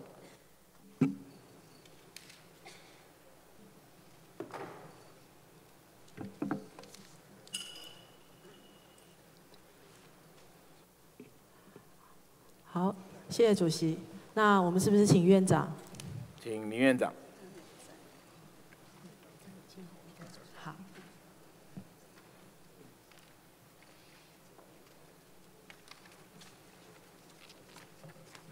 院长好，呃，林委员、陈委员还有李委员好，辛苦了。您要不要坐着休息一下？呃，没有问题，哎，好吗？好。哦，好。那院长，我想先请问一个问题哦，您觉得台湾的分级医疗制度做的成不成功？嗯，应该是不成功的。您认为不成功的？是的。那我们台湾这几年的这个医院暴力，您有听说过吗？医院暴力就是护理人员或者是药师被打的事情，被病人打、家属打。呃，我有在媒体上看到，但是我没有看到官方统计数字。是，目前来讲，光最近这一段时间哦，六月七号就有一位药师被打，六月十五号又有一位护理师被打，好，所以其实我相信，就像刚刚院长所观察到的哦，分级医疗制度其实一直没有做得很好，不够不够实施，不够实践哦。然后呢，医病之间的关系其实。很紧张，好，所以我们的这个呃，在提供医疗专业的这些医疗人员们，其实是遭受暴力的威胁，好，那我们就回去看了一下，在我们对于国小的小朋友跟医疗相关知识以及就医的这个能力的这个教科书哦，这个是小学六年级的这个呃健康跟体育的课本哦，那课本里面呢？我们看一下他的教学计划，其中有一个篇章在讲的就是就医啦等等的这个能力哦。当然，他在这里面提到的说，呃，他的重点包含呃就医的行为啦，然后希望了解分级医疗啦等等哦。不过，其实我们也可以看到哦，他在这个小单元学习目标的第一栏哦，他只有讲说要呃了解这个西医的科别哦。那其实整个团队的教育是没有的，也就是说。呃，以小朋友在上这个课来讲哦，他其实是并不晓得原来整个医疗是一个团队才能够达成的一个目标哦。下一章，那这一个这一页是给老师看的哦，就是老师在教这个课的时候，我们要有一些对应的能力指标哦。院长，您您认为在您的想法里面，医疗行为是不是消费？嗯不能够完全从消费来看呢，因为医疗是在解决呃病人的呃他身体上的一些困难或不舒服嘛。是，所以如果说像这样子，每一个章节里面都提醒的是说，确认消费者在与健康相关事务上的权利与义务，那这个观念在教小朋友的时候，是不是教小朋友说，其实这一切你都在消费，你可以杀价，你可以退货，你可以比价？部分是不是？我想从请那个卫福部林部长来说明。是，好，部长。这个是不是消费行为呢？我从学生开始到现在教学生，我一向的理念呢，就是看病并不是做生意，而且医疗跟教育一样是一个良心事业，所以是医疗行为并不像商品一样，所以而且法律上呢，您是妇产科医师，你知道艰难产事件之后。啊，大院在八呃九十四年医疗法八十二的修正已经非常明确，这个医疗行为不是消费行为。是，谢谢。所以呃，谢谢部长哦。所以说，医疗行为不能用消费行为来看待哦。那在我们给小朋友六年级的小朋友的这个课本上面哦，他其实用的都是消费者这个词哦。那今天也很感谢我们的教育部在这边哦，是不是部长未来在课纲的调整上面会把这样子的观念给正确的观念带进去？是呃，跟呃，谢谢林文，我跟委员报告哦，这个确实是，呃，当时呃有这样的讯息啊，我也特别请呃国教院哦来针对啊这样的一个呃教科书啊来做一个了解哦。那确实在这部分呢，因为是依照九十二年的呃当时发布的修订的课纲，那这个教科书啊到一百零四学年度的第二学期就会停止了哦。那这里面当然我想在呃后续新的课纲跟新的版本呢，我想会把。啊，这样的一个在啊比较适合在整个呃这个相关的这个呃医疗方面的这个观念啊，能够在啊这样的课纲或在后续的教科书的发行里面呢，能够给呃我们啊学生啊这个比较更适切的这样观念哈来做修正。谢谢。我想今天院长跟两位部长都在，我们就一起把这个章节顺完哦，那来了解它其中还有哪些问题哦。那像接下来。他有提到看病的时候要有医疗要有分级的这个经验哦，可是他对于分级医疗的这个说法呢，根据这个课本里面他的教的方式是说，非紧急的状况之下，你应该先去基层诊所或者是区域医院哦。那这个紧不紧急是谁判断？我这个病我觉得很紧急，还是很不紧急？这个当然。当然，这个病人自己也会判断了。不过，呃，可能很多是需要一专业来做判断。所以，如果以我们分级医疗制度的思考来讲，其实应该是就近他附近的诊所或加医的医师来帮他判断，他应该是不是有需要转诊。如果没有，他其实就在这个自己自家附近的诊所或者是加医的医师这边来做判断嘛。好，所以他在这个里面他提到的，哦，他其实并没有好好的跟大家讨论，你应该尊重的是医疗专业的判断。哦。那接下来呢，它里面在这这个篇章里面，他也完全没有提到，呃，我们国家长期以来一直在讨论的要有加医制度。啊，以及诊所能够提供最基础的医疗保健以及咨询哦，在这个篇章都没有哦，甚至在最下面的这个资讯小站哦，我如果是一个小朋友或者是一个看资看资料的人，我其实看到的只有地区医院、区域医院跟医学中心哦，可是真正应该涵盖我们台湾重要的医疗的基础的基层的这个医疗诊所是完全不见的哈。下一章，那接下来这个章节他在讲部分负担的时候，他举了一个例子。他说：“隔壁的张妈妈说，每个月缴那么多健保费，不看白不看，这个药不拿白不拿。”哦，我想院长，你应该不会认同这个想法吧？这个是不恰当，是医疗资源的浪费。是，好，这样的行为其实我们要求的应该还是说，应该要遵照专业的判断嘛，哈。而且其实以我们在做妇女权益的看了，觉得这里很不舒服哦。他。举例出来的一个贪小便宜的人，用的是一个女性哦。那我们再看下一个下一个章节哦。下一个章节在讲知识的时候，提供他知识的人是爸爸，也就是说，在教科书的性别思考里面哦，女人是不懂的，没有知识的，贪小便宜的哦。然后这个爸爸呢，是一个知识的来源哦，好的正面讯息的来源哦。所以这边我要麻烦未来我们的这个呃部长在修课纲的时候哦。要请我们的委员们特别小心这件事情哦。好，那这这个章节哦，我跟院长跟两位部长报告啊，其实这这这张图，还有等一下下面的一张图哦，在端午节的时期，其实已经传遍了所有医疗人员的这个讯息媒体里面哦。因为它上面举的例子，他在谈的是医疗纠纷哈。我想请问院长，您鼓不鼓励，假如病家或者是家属，他在对于医疗行为感到不满意，甚至发现有纠纷的时候？去撒名纸跟开记者会，啊，这个不是一个理性的行为啦。我们还是希望他能够寻一些正常的途径，啊，来处理有关的医疗纠纷。是。但是当然，我们也同一个时间应该让这种医疗纠纷的处理。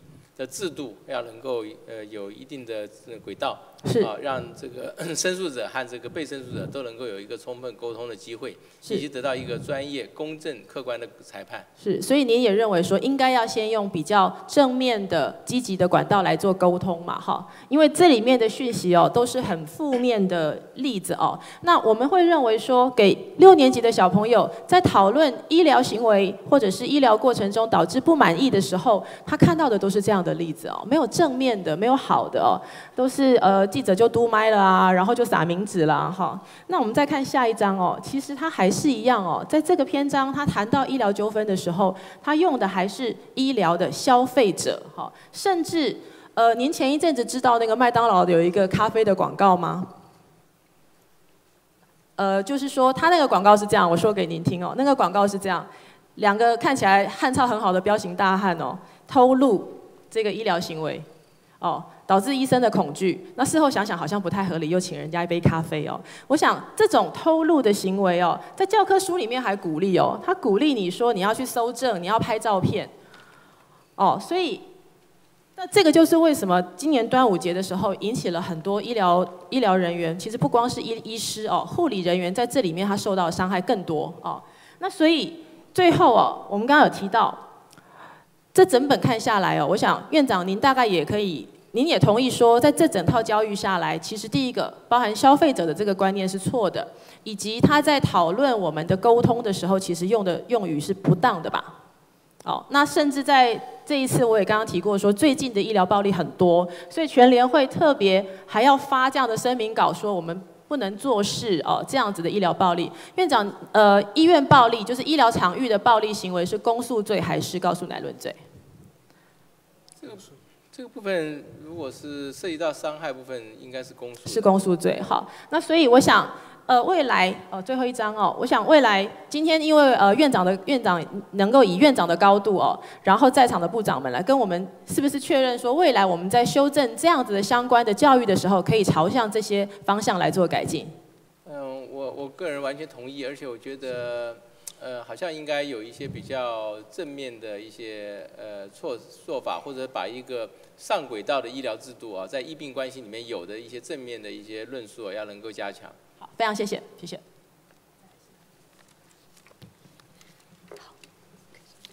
呃，院长好，我是陈曼丽。陈那我想就是说，我在开始做这个咨询的时候，要先跟院长报告，我大概有三个题目，很简单的要来请问我们的的院长哈。呃，第一个题目是我们的永续发展首次成为国际的重要议题是在什么时候？这边有三个答案，请院长回答。嗯，很抱歉，我这方面的了解很有限。不过，如果以这个来看的话，应该是一九七二年的那个人类环境会议应该就有这个观念了。好，我告诉院长答案哈，是第二个。呃，下一章。呃，一九九二年呢，联合国它在巴西的里约开了一个呃地球高峰会，然后全世界有一百七十一个国家进入到这个会议场去开会。后来联合国呢，在一九九三年的时候呢，就成立了这个呃永续发展的委员会，然后他就督导和协助全球的各个国家都来成立永续发展的这样的一个事事件。那再来呢，就是说我们的这个呃永续发展的，它是以哪几个主题成为它的永续性？请问院长，您认为呢？嗯，我想，呃，环境的有序性是合理的啦，啊，那么社会的有序性也应该是存在的。经济的有序性，我不太清楚它指的是什么意思，啊，当然经济本来就是应该也要持续下去的。好，报告院长，呃，这个答案是以上皆是，因为在永续发展里面呢，它强调的是环境面、经济面跟社会面，所以它是生态，还有我们的生经济的哈，生计的，还有就是说我们的这个呃生活的哈，它整个都加在一起的。那当然就是说我再来就要请问院长，就是我们国家呢有一个呃行政院的国家永续发展委员会，请问一下它的法源是什么？嗯，这个很抱歉，这个应该要请我们的这个好，我很想帮你调一个人上来哈，内内政部的那个呃叶俊荣部长，可以吗？你可以帮院长答这个题目吗？呃，请叶部长。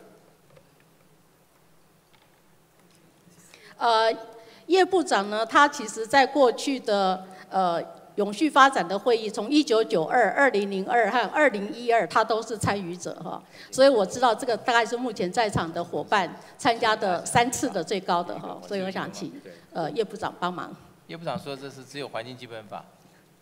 环境基本法哈，所以呢，其实呃我们会看到哈，也是因为国国际上面有这个永续发展的事情呢，所以在一九九四年，我们的这个行政院就成立了那个呃全球变迁的政策指导小组。后来在一九九七年的时候呢，就给它改组哈，改组成为这个呃国家永续发展委员会。那这个委员会的主任委员是谁？院长您知道吗？呃，目前就是在制制度上规范的就是行政院长。是，所以呢，这件事情我就要跟院长，因为我们今天是针对院长的咨询，所以我就想拜托一下院长哈。因为呢，呃，到目前为止呢，我们的永续发展委员会运作的并不好哈。过去的八年呢，他开会非常的不正常，有一年开会是零次，有一年开会是一次，有一年开会是两次哈。错错错，呃，就说有 有一年开会是零次了哈，然后呢，大部分都是开会一次和两次哈。那当然，当然在这个部分呢，我们就会看到，就是说整个国家它如果不重视的话呢，其实它这个委员会哈，它这个分组都是空的，完全没有人在注意这件事情。所以呢，它的内容完全都没有符合到永续发展这样子的一个方向。所以我们就会看到哈，其实，在两二零零二年的时候呢，我们环境基本法里面就明列了这个呃国家永续发展委员会的位阶，所以它其实是一个行政院里面的国家永续发展委员会，它是一个有法定的委员会，它不是那种组合性的委员会，它是有法源有法定的一个委员会。但是呢，我们就看到哈，就是说因为它的呃没有很好的运作，所以呢，到后来你就会看到。呃，民间的委员非常非常的抱怨，民间的委员也不是只有 NGO 哦，还有包括学者。那我不知道在这个官场 官方是不是行政院的系统的呃官方的代表是不是也很抱怨呢？那所以呢，当这个政府组织再造的时候呢，我们就看到了哈，就是说有一个国家发展委员会，所以大家那个时候就在想。有没有可能把这个呃国家发展委员会呢，把它就直接再加两个字，就是国家永续发展委员会。如果能够这样子的话呢，我们就能够让我们的永续发展是放在国家整个的定定我们的政策里面的，不管它是属于经济面、环境面，还是是说我们的呃就是呃社会面，它整个都有涵盖进去哈。可是呢，好像到目前为止都没有办法如愿。那我们会看到。行政院的国家永续发展委员会的这个部分呢，它就是说，因为没有人，又没有钱，然后呢，秘书处也是放放在环保署里面，所以你就会看到它整个功能是完全是错乱的，没有办法真正的执行大家的一个期待。所以呢，我们的国家为什么永续发展在这个部分是非常非常落伍的？然后呢，在二零二二年呢，再过几年哈，那个呃，联合国要开这样的一个一个大会。那我们当然国家也会有国家的代表去，民间也会民间的代表去，学者等等都会过去。可是呢，我们到那边去的时候，我们就会觉得很丢脸，因为我们到了那个现场，完全没有办法跟一些的好的国家跟他们比较，然后呢，比较差的国家也不用去管它了哈。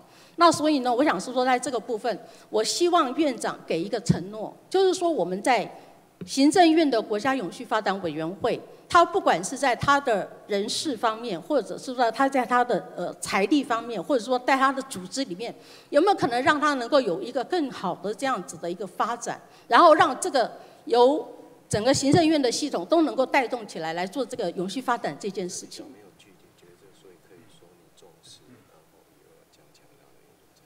这个部分，呃，我想。刚才您提到这个部分，如因为现在是应该是虽然是行政院是是永续发展会的啊院长是来主持，但是他的下面的这个部分因为涉及到好几个部会，那么目前是应该是由环保署啊他来这个。啊，来这个做有关的这个幕僚和这个相关的这个工作了啊。是我们是非常希望哈，它是真的有在运作的，而且真的有国家的目标的，而且它是真正能够落实到我们的生活圈里面，让每个老百姓都能够感觉到我们的国家是要朝向一个永续发展的这个和联合国的一百几十个国家通通都是一样的，我们是这样来期待。院长可以给一个承诺吗？在你的任内，你会好好的把国家永续发展委员会好好的因为因为现在现在那个永续发展委员会的委员还在改聘中啊，所以我还没有开会，所以还不了解他们整个的运作的问题出在什么地方。如果说是呃，照您刚刚讲意思，也就是说，也许您不认为应该用院这种用这种这种方式来存在，应该是放在某一个机关部会。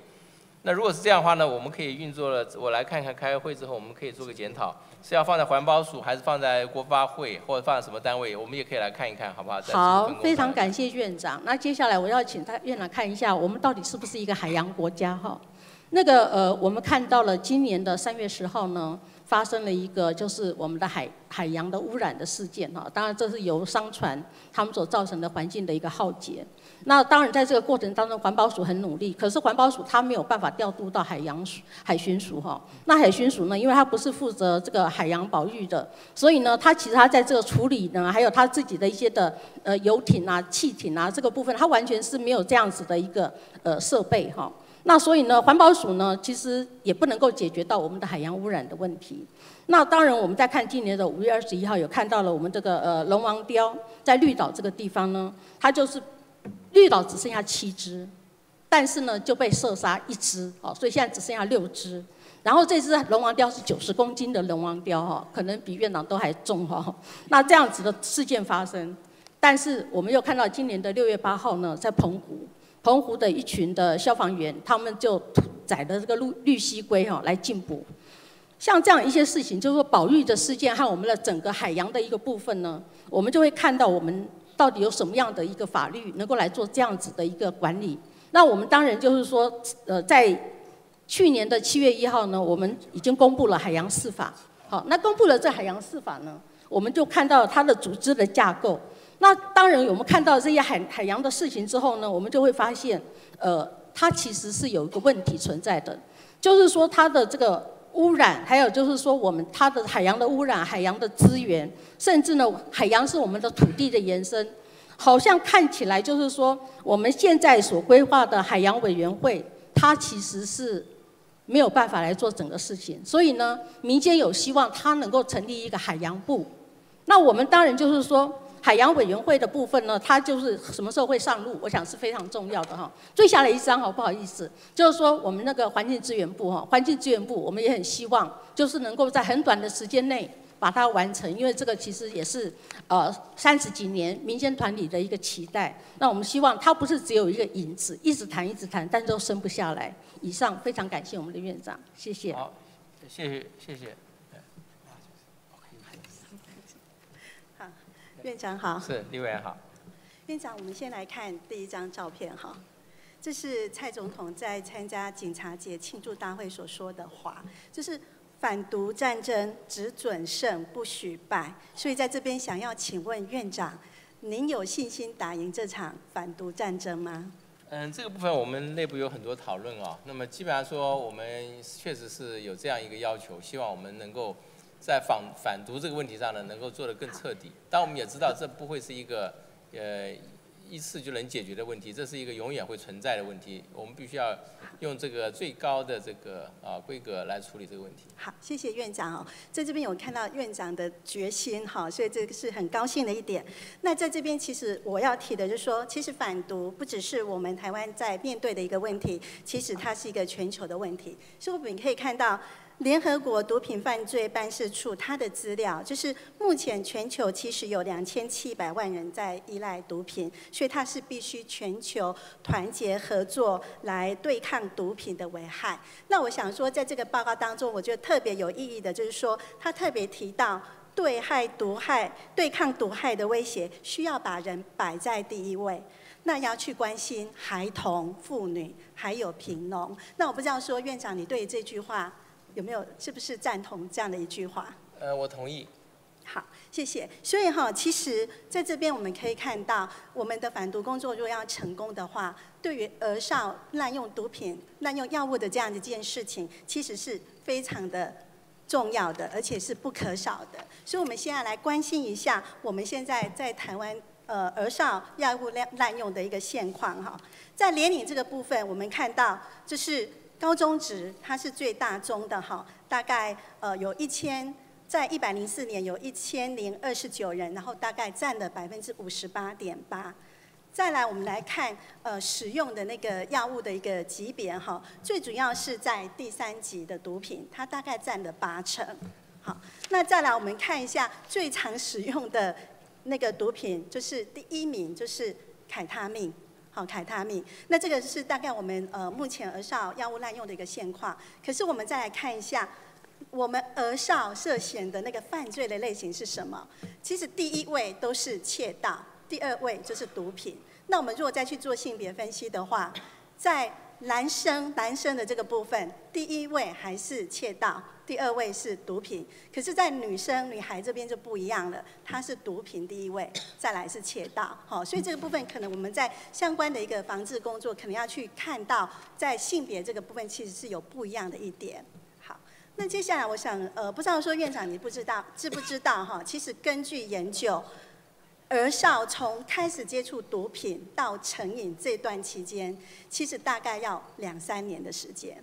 所以，其实我们如果可以及早介入，给予辅导，给予相关的一个协助，其实是我们是可以有效的来降低儿少继续再遭受到这些毒品的危害，甚至也可以来降低防范相关的犯罪社会的一个问题。好，所以我们可以来看一下我们目前对儿少，特别是在滥用第三级毒品、三四级毒品这边的一个协助的一个方式。哈，这个就是这个流程图。哈，简单的来讲，哈，就是。分在学或是非在学，那在学的部分的话，就是我们教育单位要提供协助、提供辅导。那如果是未在学的话，其实现在是由我们卫福单位提供相关的协助跟辅导。好，所以在这边想先请问一下我们潘部长，请问一下，你对目前学校给予这些学这些呃学生的一个辅导，你觉得你满意吗？呃，跟呃委员报告哈，我想因为这个宣导辅导一定是要呃继续再加油。好，继续还要继续加油哈。那接下来我可能要请教那个林部长，我们卫福部的林部长，不好意思哈。这是我们那个卫福部对于这些未就学的呃儿少的一个辅导，你觉得我们现在卫福部卫福单位做的，你你觉得你满不满意？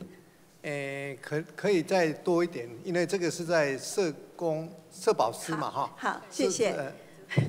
对，谢谢。是保护师。对，所以其实两位部长也都提到，就还有很多要努力的地方。那我这边我看到的问题是这样子的，在教育单位这个部分，我们看到我们的做法其实就是宣导，就是尿塞。可是真正要去做辅导的人力，其实是不足的，专业也不足。我也看到了，其实教官还是替代役下去做辅导的工作。好，这个是我觉得在教育这个部分，我觉得有优先的一个地方。那在卫辅这个部分呢，其实首先要肯定我们卫福部在二零一四年承担了这个责任，开始针对那个未就学的儿少进行辅导工作。可是，一年多来有发现说有两个问题，第一个就是辅导能力真的还在摸索，还需要加强；第二个是人力的流动很高；再来就是其实这个服务方案它还没有扩大到全国。好，所以我会希望就是说，我们两位部长是不是可以针对我刚刚提出的问题，能够来努力改善，让我们对儿少的一个协助更加的一个完备。好，一定是。那再来就是要来关心那个我们这个整个呃最重要的一个单位哈，这个整个毒品防治最重要的关单位其实是在县市的毒防中心。那它是在二零零六年设立的，好，可是这个毒毒防中心呢，它不仅自己要做相关的防治工作，还要去协助相关单位。好，可是目前看起来这个毒防中心有很大问题。好，我们看到监察院他在一百零二年就已经指出全呃毒防中心权责不明，人力不足。那我们自己法务部在今年初也提出了检讨，就是说没有专责人力可以做辅导工作，还有各单位多数各自为政，以及辅导人员跟医生不足，医师都不足。好，所以在这边，院长，我们看起来哈，我们这个整个防护网的破洞真的还蛮多的，所以真的希望我们呃院长，对不起院长，这个破洞还蛮多，所以希望我们院长是不是我们可以在最短的时间把这样一个破洞可以来补起来，这样子我们才可以打赢这场反毒防毒的一个呃反毒的一个战争。好，所以在这边我要请问院长，就是说你会亲自主持行政院的毒品防治汇报吗？这个毒品防治汇报目前的主任委员是，呃，我看一下全责，如果是是我的话，我就一定亲自主持。好，对院长，这个类似这种跨部会的协调的这个业务哈，真的很需要我们院长能够亲自的一个主持。那接下来就要请问院长啊，那请问一下，你会不会主持行政院儿童及少年福利与权益推动小组？嗯，这点抱歉啊，因为我们有一个那个我们的行政任务编组也太多了，所以现在是由院长、副院长、秘书长，还有升级政务委员，他们分别负责。是那么我们曾经检讨过，但是我光是我负责已经很多，我现在一下记不下来是哪些。好哦了解所以我我想看一下我们的全职单现在是不是啊？好现在是谁在负责？好，所以院长，我跟你说明一下哈，这个小组其实它依它是依据儿童儿童权利公约施行法第六条来设置的。那它有六大工作。那目前我们看到这是第五的工作，其实就是要接受涉及违反公约之申诉。可是目前这个申诉机制完全都没有设立，好，这是第一个问题。第二个问题，我们来看到这个权益小组的一个编制，其实院长不需要你主持，因为他的召集人其实就只有政务委员，然后相关部会只有次长，好，次长呃只有那个次长作为委员哈，所以这个部分就出现了两个问题，第一个就是。成绩真的太低，很多事情没有办法协调。因为我曾经是里面的委员，就很多事情就只有讨论，没有办法做决定。第二个就是这是跟儿少有关系的一个小组，可是没有儿少的代表。好，所以我这边要提出来的是说，要请院长的呃来来做的决定，就是说我们能不能把这个小组的成绩升高？我也知道院长很忙，所以我其实我这边只希望我们是不是可以至少提高到副院长来主持，这是第一个。第二个就是说我们要尽快去设置这个申诉机制，好落实这个他应该要的一个执掌。第三个，我们应该要遵守联合国儿童权利公约的四大原则。第一个就是要尊重儿童的意见、儿少的意见，所以我们这个小组应该有儿少的代表。好，OK，所以。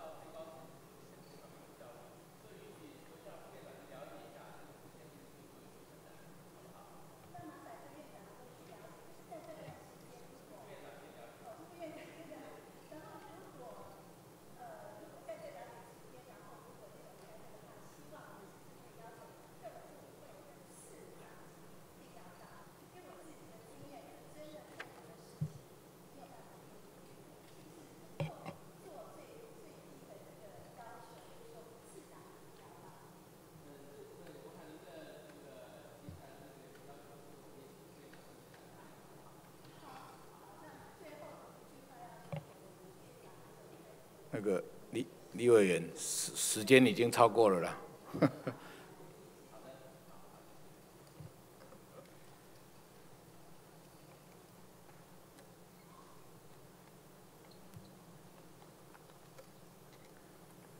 报告院会休息十分钟，休息之后继续进行施政方针报告之实询。现在休息。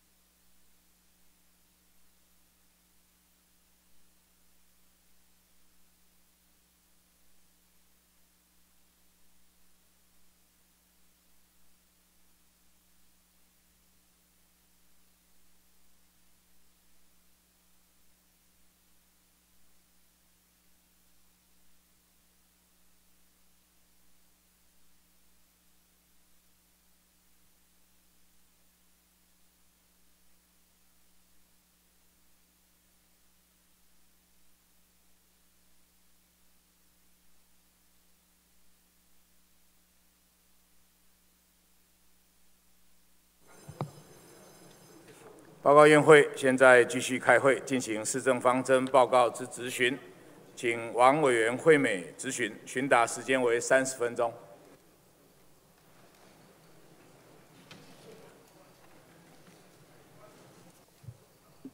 主席，有请院长，呃，请李院长，还有交通部部长。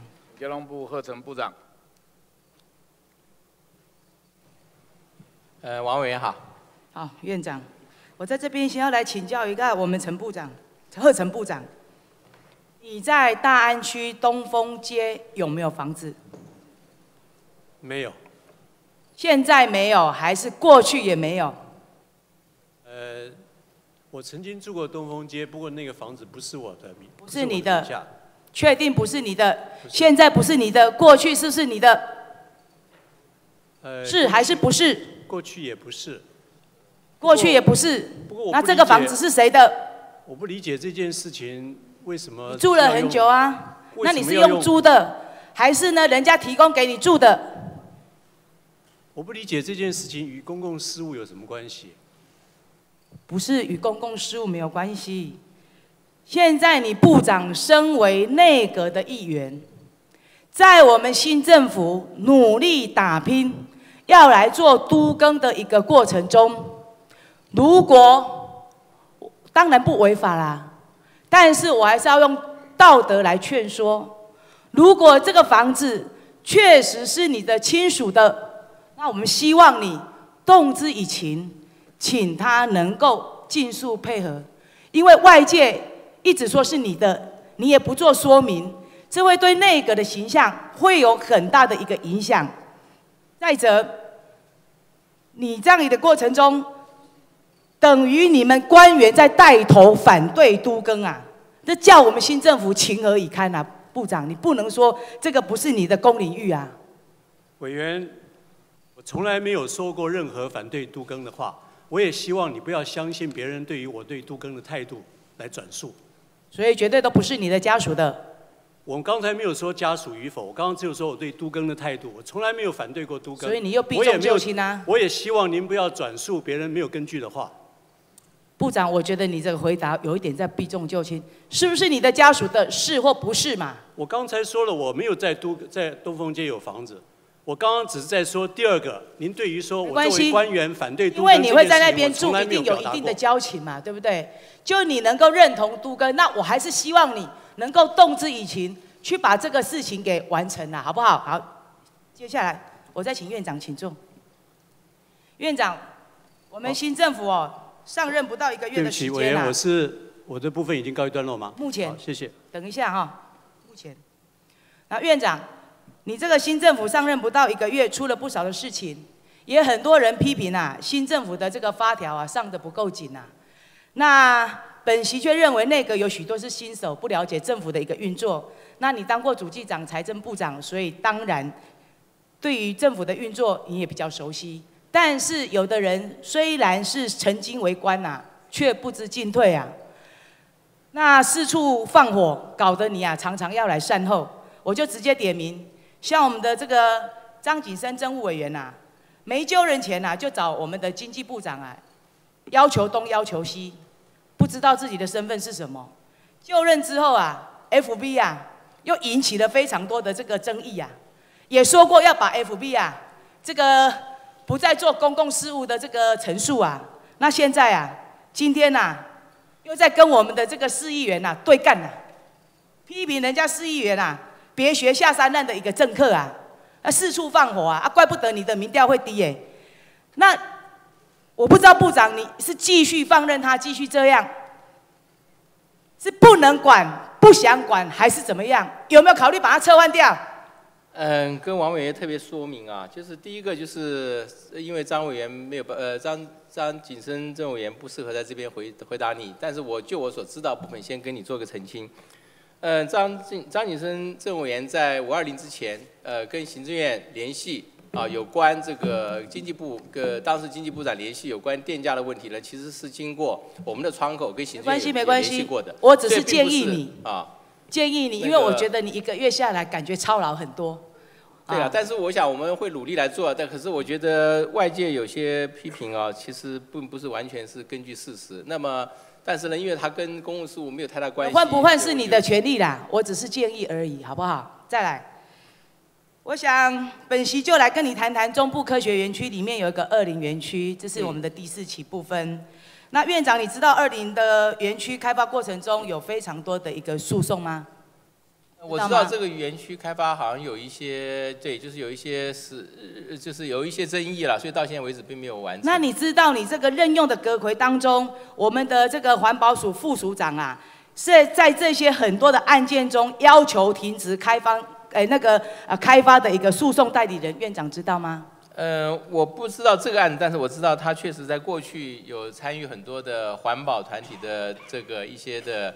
呃，抗争和主张，而且是呃，在这方面其实是呃有相当多的这个呃做了很多事情呢。其实有设有设的是有在环保团体受到很多的重视和和。我看院长你在接受访问的时候，你有说台湾现在最主要，我们真的要让外资来投资，要增加投资，我们要变经济，对不对？是的。单单一个二林园区啊，总共到现在。官司缠丝到到现在，总共有开发了九年呐，都卡在环评上面。那一度遭到台北高等行政法院撤销开发许可，后来经我们内政部继续争取上诉，发回更审，后来胜诉。在这个月的六月六号啊，我们的公民诉讼又继续来上诉。本席要问一下。我们中央现在对二零园区的开发立场到底是什么？好的，这个部分是不是请主管机关科技部来说明？哎，王委员好哈，有关那个二零园区，我们还是呃会，因为现在已经进入二阶环评了哈。那在我们科技部立场里。呃的立场里面，我们还是会继续加强招商。只要这个二阶环评这个呃顺利通过的话，我们这个也是。你看招商哦，人家跟你哎核准进入啊，核准进入在八九十八年就有好多厂商啊，陆陆续续核准啊，到现在都没办法进入啊。你看一个企业有多久的一个黄金期呀？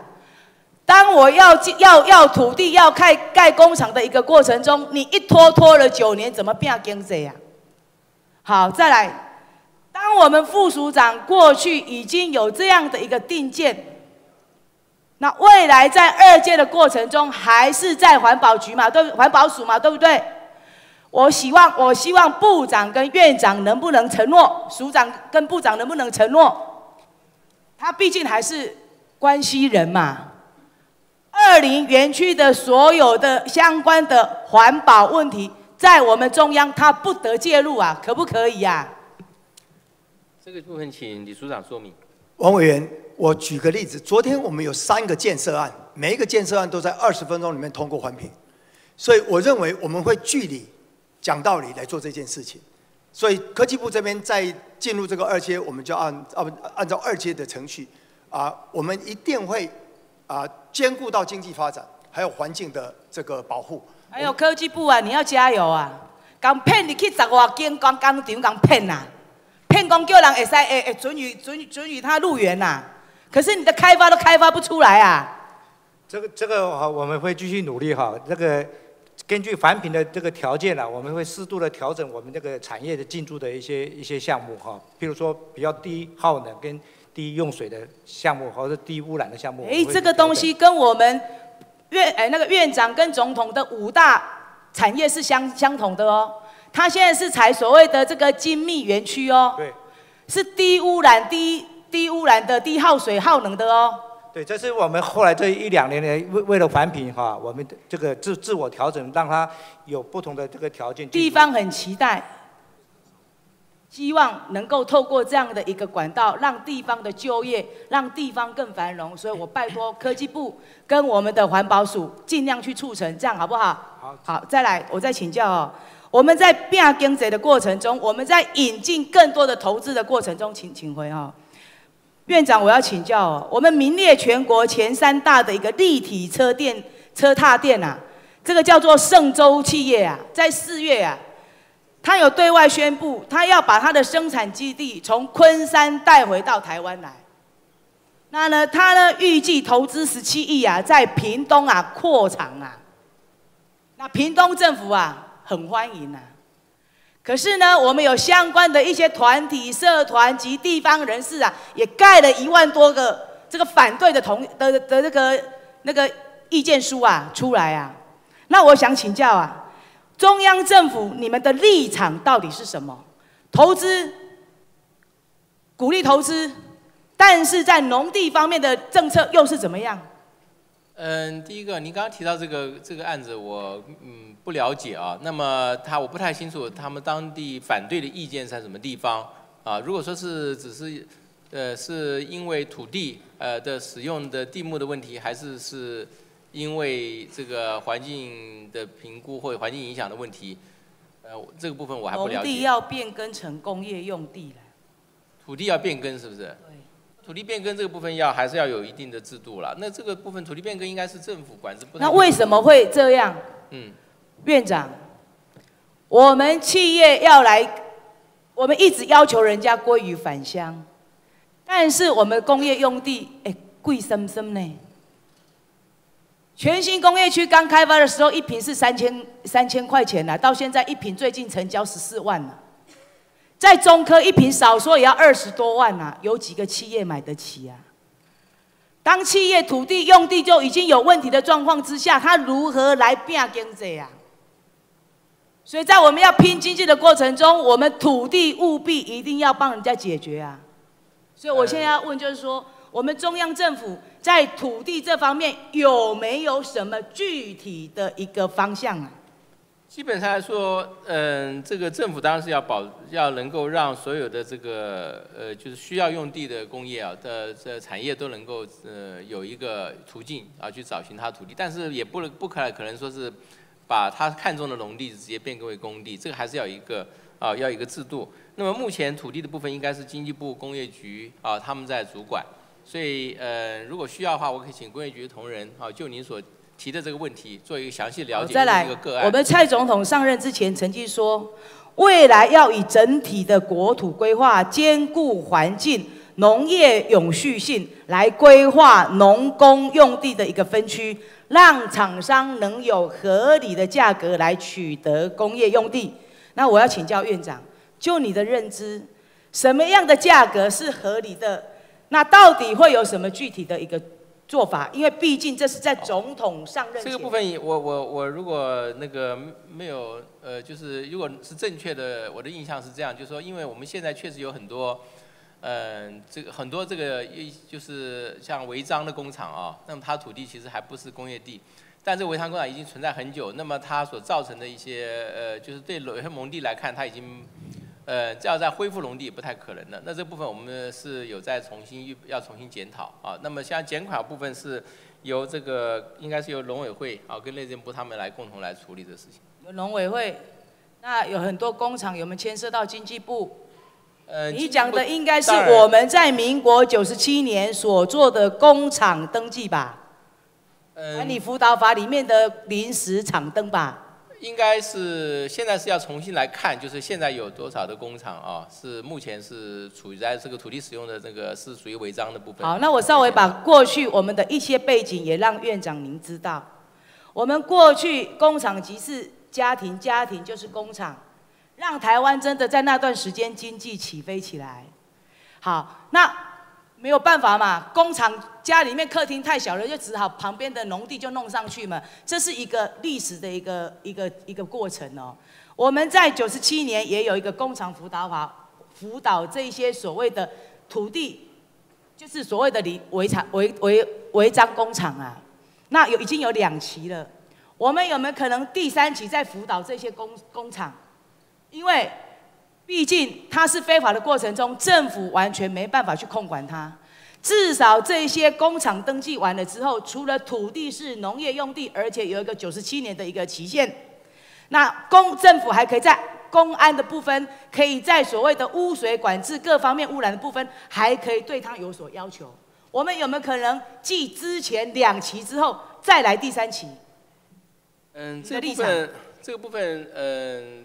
目前我们是有在检讨了。至于说是会是不是按照以前的做法，我看也不完全是因为这个签到，假设农地真的要去要再来重新，就是把已经污染的农地啊，或者已经是现在做这个违章工厂使用农地要把它变更的话呢，那么还是要考虑一些整体的，就是变更之后他要嗯有一些回馈或什么啊，整体的规划这个部分要通盘来考虑。所以你是不排斥让他来做变更的，是不是？只是我们需要更完整的法令跟更完整的考虑，是不是这样？我们正在去评估和检讨这个问题，啊，目前并没有，就是还没有一个具体的结论。好，我刚刚问的你的是第三期啦，哈，我还要再问一下，就是因为前两期的时间即将来临，很快了哈，现在已经呃一一零五，我们在一零九年是最后的一个落日，也就是说他们已经申请。现在除了地目没有变更之外，不是所谓的工业用地之外，所有的法令条呃都都符合我们的一个规范。那只剩下一，但是他们合法性到一百零九。那这个这个法条到底有没有功能？有，确实是非常多的企业，他们也因为有申请了这个零灯，拿到了非常多国外的订单，甚至有一张上上亿的，也有它的功功效。但是他们现在很惶恐。一百零九年之后，他们何去何从？所以在院长你刚接刚接任的时候，这些部长、主委你们刚接任的时候，我希望你们能够神圣的去考虑这个后续的一个问题，啊，让台湾的经济能够继续去发展，这样可不可以？嗯，您刚刚讲这个问题，我们会请经济部啊来去了解啊他们的目前的状况。好，再来。在二月二十六号，我们的蔡总统啊，曾经到彰化来关关心我们的这个水五金的一个聚落产业哦。那说真的，水五金它也是我们的这个呃一年的产值有到六百多亿了哈。那也为台湾赚了非常多的这个外汇回来哈。那当时我们的总统有讲了一个叫做田园化的生产聚落，我想要请教什么叫做田园化的生产聚落？你们具体的做法到底是怎么样？嗯，这个部分是不是我我是不是呃应该请经济部还是嗯来说明一下好吗？那个跟委员报告哈，这个水五金是一个常年的问题，工业局的确。对于他们有长期的这个辅导，但是它牵涉到您刚所提到的这个所谓的这个零灯跟变更的这个部分，那部分我们会就进一步，就像刚刚院长所交代的，我们会整体的做一个考量跟评估这样子。我们哦，政府现在的财政有限，很多的这一些零灯过的企业、企中小企业，他们很愿意花钱变合法。在政府没有钱的状况之下，这不失是另外一个裁员筹措的一个方式。再来，当他们土地没办法合法的过程中，他们绝对不肯大力去投资，他们的企业要来升级，就会速度更慢。所以考量这个过程中，我希望你们针对这个部分回去真的好好的去做考量，好不好？再来哦，我再请请问一下院长，到底我们会不会缺电？会不会限电？请回答。嗯，在目前我们手边的资料来看啊，这个目前就是至少呃过去这一周啊，我们看到的是台电的这个供电状况还算稳定。那么当然夏季真正的热夏季还没有完全热浪还没有完全来了啊。那么我们也会尽量的去维持台电的这个现有的机组，尽量在一个呃能够充分运转的状态下啊，来维持这个电力的问题。那么当然就是未来，因为呃飞鹤家园的目标啊，我们是呃已经是原来设定在这目标下，我们是认为呢，如果就是呃就是核一、核二、核三都是不延役啊，但是也不会提前除役的情况下呢，那么当然供电的问题应该是不会有困难。但在现在因为有一些大家对核一、核二的一些机组的维修啊有一些意见，那么当然这部分我们会尽量让社会觉得这是安全的。同时也应该有一定社会共识。那么当然在这种情况下，我们会尽量的让我们的其他的这个呃接风用电或其他的这个电力的供给，我们也会尽量让它能够维持在一个稳定的状态，同时能够让呃供需呢能够在嗯短期之内都不会看出有太大问题来。我想不论是美国商会也好，欧洲商会也好，他对台湾的一个建议也是这样。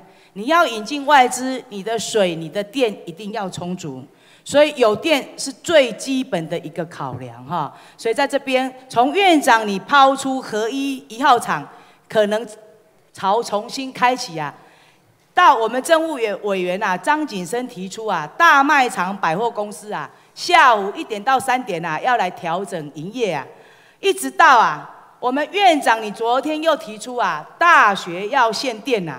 每每都造成我们民众很大的一个恐慌啊！那请问院长啊，你这个不加思索的发言，到底是把行政院是行政院把自己当做青蛙在试水温啊，还是行政院把人民当青蛙用冷水慢慢的煮啊？而且呢，你在这个时候啊，刚好暑假快到了，针对大学要求这个电的问题啊。会不会是让人家感觉啊，是不是形式做的还比较比比较重重要，还只重形式而已啊？是不是这样？嗯，我想有关这个大学的这个要不要装智慧电表啊，能不能做这个有效率的这个这个能源使用啊？这个部分其实我看今天媒体的报道，有些是讲得很清楚的，只是很不幸就是有一些报道是没有把它讲清楚而已。啊，其实我们在谈这个问题的时候呢，其实并不是说要。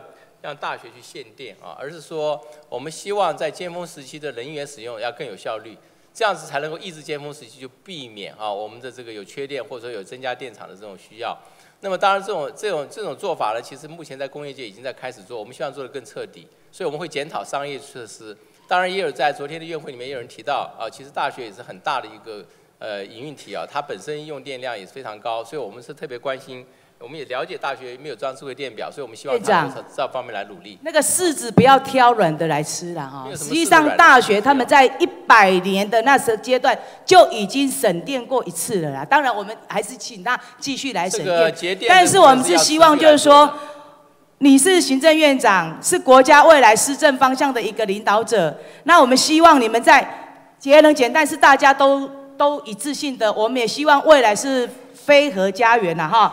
但是我们希望你们不要想到什么就说什么，你们一定要有一个整体的规划，不要让民众啊常常都处于这个惊恐的一个状况，这样可以吗？这个这个部分啊，其实昨天在院会讨论的时候，从来没有最正式对外说明。但是呢，因为有媒体报道的时候，显然是中间转述中间有一些出入啊，所以并不是我们对外是呃有刻意来做这样一个政策宣示。再来啊，我们台电在二零一五年呐的十年电电源开发方案里面呐。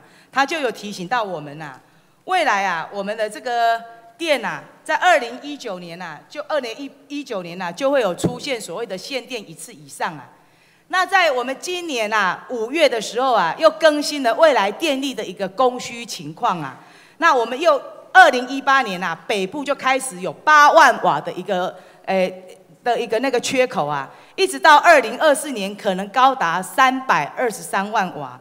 那所以说，在这个过程中啊，我们希望啊，我们的所谓的干净的能源呐，这些替代能源呐，是不是有一个有一个脐橙呐？不能只讲说我二零二五我就是要飞核啊，我的动作怎么怎么做，我怎么去补这一些所谓的电力的一个缺口啊？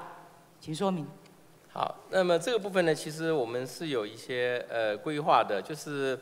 我们因为是如果合一、合二、合三会逐步的这个呃，就是它在退役之后呢，那么事实上这个某些电力的结构调整是必要的。那么呃，再生能源的部分呢，我们是希望能够风力发电和太阳能发电都能够并进。但是呢，这个部分呢必须要有搭配，因为它再生能源它的有一些不稳定性，所以必须要有一些储能的一些设施要配套来做。就是它有它的不稳定性。再来开发的过程中，不见得会完全如期。如果我们在整个的施工过程中都很顺利，那我们不用很担心。我们现在会有这些短短电的这个短缺的问题，就是我们施工非常多的一些新的工程，现在正在施作的工程，并没有照我们当时的一个程序，才会让大家现在这么担心。所以我们也希望说，尽快去把这个区块补足，好不好？啊，当然我们会呃特别的嗯强调这个再生能源这个这个未来在我们电力结构上的重要性。好，再来，我们刚刚讲的要变经济哦。现在企业是说一切无刚啦，那很多的年轻人告诉我们一切无逃路啦。那在我们之前呐，这个工时啊，我想，劳资双方啊，在对工时的意见啊，当然都常常会有冲突，也会有部分是看法是相同的。那对于法法定的工时哦，大家歧义大概都不太大，但是加班哦，就有很大的一个歧义哦。那当然呢，这个资方啊，希望调高我们这个加班工时的上限，但是劳工希望不要增加。但是我们确实也接受到了一些劳工的陈情呐，有的劳工。他买房有小孩，买车他要顾及家计，反而希望他能够多来加班，增加他的收入。包括最近本席看了一些数字，我们的外劳脱逃比率显然一直在攀升，因为伊无法度加班，他来到台湾最主要是要赚钱了哈。那在这样的一个状况之下，我不知道我们的劳动部这边。能不能有一些比较具体的、弹性的，让企业活得下，让这些想要多加班的劳劳工，在不影响他的身体状况之下，能够有一个弹弹性的做法？部长是包委，目前在卫环委员会有个版本是在等待审查。那么那个那个版本的具体内容是从四十六小时到五十四小时，但还有很多其他委员的提案，包括是不是有更弹性的是三个月到六个月等等这样的一个总时数的限制啊？那这个在未来在委员会审查的时候都会一并提出来讨论。这个部分我们希望我们要有一点弹性。当然，有的人追求生活的品质，那有的企业现在很烦恼，因为我们现在真的很多企业是找不到工哦。啊，不要说一些比较辛苦的缺，我这缺，甚至有一些缺还找不到工。再这样继续下去的话，当这些企业放弃台湾的这个战场，改到能够劳力密集的地方的话，到时候我们的这些劳工，我们真的就不知道我们要何去何从，我也不知道我们的台湾的经济如何能够向上去提升哦。那如台湾的，更何况。我们的这个企业如何的去转型哦？这所以这个部分，我们请劳动部在这部分能够有弹性一点。好，毕竟我们的企业是这样哦。到时候在委员会都会都会。我们企业的心声是这样哦，我有大月，我有小月，你单单给我固定的时间，我很难配合。我大月我要赶着出货，我今天有单我也痛苦，我没单也很痛苦啊。所以在这个部分，希望你们能也能够朝向企业劳工都能够接受的平等方式，一起来努力，这样好不好？好，谢谢，谢谢委员指教。再来，我我我要请教一下哦，院长，我们彰化有一个鹿港国家历史风景区，这是我们县长一个很大的一个政策。可是啊，我过去啊一直在问我们的这个观光局，我们交通部观光局啊。他一直哦，很不给很很不给面子啊！他一直说这个哦，安平并不是发呃发展观呃安呃观光的，他觉得鹿港小镇还是要往观光的方向来发展，因为呢，鹿港如果成为一个国家风景区啊，台湾有太多地方可以去画设。那我想哦，现在改朝换代了，或许会有新的不一样的一个想法。那请问部长，鹿港成为国家历史风景区有没有这个机会？呃，委员确实这个事情我还没有看到有这样的一个分析啊。不过我想以入港的条件来讲，应该作为观光的重点，绝对是大家的共识。观光你可以接受吗？历史风景区这个历史，那我是不是请文化部长一起来了？好，这个里面可能就是看看怎么样它最活，来帮助地方了。怕的是有时候有些规定太死了哈，反而不好。因为我看我们安平啊，这个风景区啊，它是只有五个里呀。我们现在彰化这个啊，是鹿港、福兴、秀水和美深港线溪啊，以鹿港的文化为主啊，带到其他的乡镇，通通来搭便车啊。那在这样的过程中，交通部认为是往观光的方向去走，那他因为跟历史有关系啊，跟我们这个部长所说的啊，这个历史有，你你想要的连接与再生土地跟人民的历史记忆有相关，有没有可能放到你文化部这边来处理？啊，报告委员哦，这个的确鹿港是有它相当丰富的这个呃历史的价值，包括它的古迹以及传统工艺等等。所以呃，文化部我们秉于对有形呃文化资产跟无形文化资产的重视哈。那我想我们会来这个协助呃鹿港对文字的这个保存。再来哦，我我们在文化部里面有一个自己的资产，我们有一个这个中央广播电台鹿港分台，它总面积有三公顷多，里面呢因为时空背景不一样了，有二十二间的宿舍，是非常适合我们来做文创的一个产地一个地方。那它又有结合到历史的一个感情所在哦，所以我在这边邀请院长跟我们的部长有空，我们来看看。这是你文化部自己的资产哦，你一直在活化人家铁路局的，一直在活活化别人家的资产，自己家的资产放任在那一边闲置，这个是很不对的哦。所以我希望说部长也花点心思了解看看，他过去是鹿港一个很重要的地方，阻碍鹿港发展真的很久。拜托，透过这样的个机会，透过在院哎那个部部长你的任。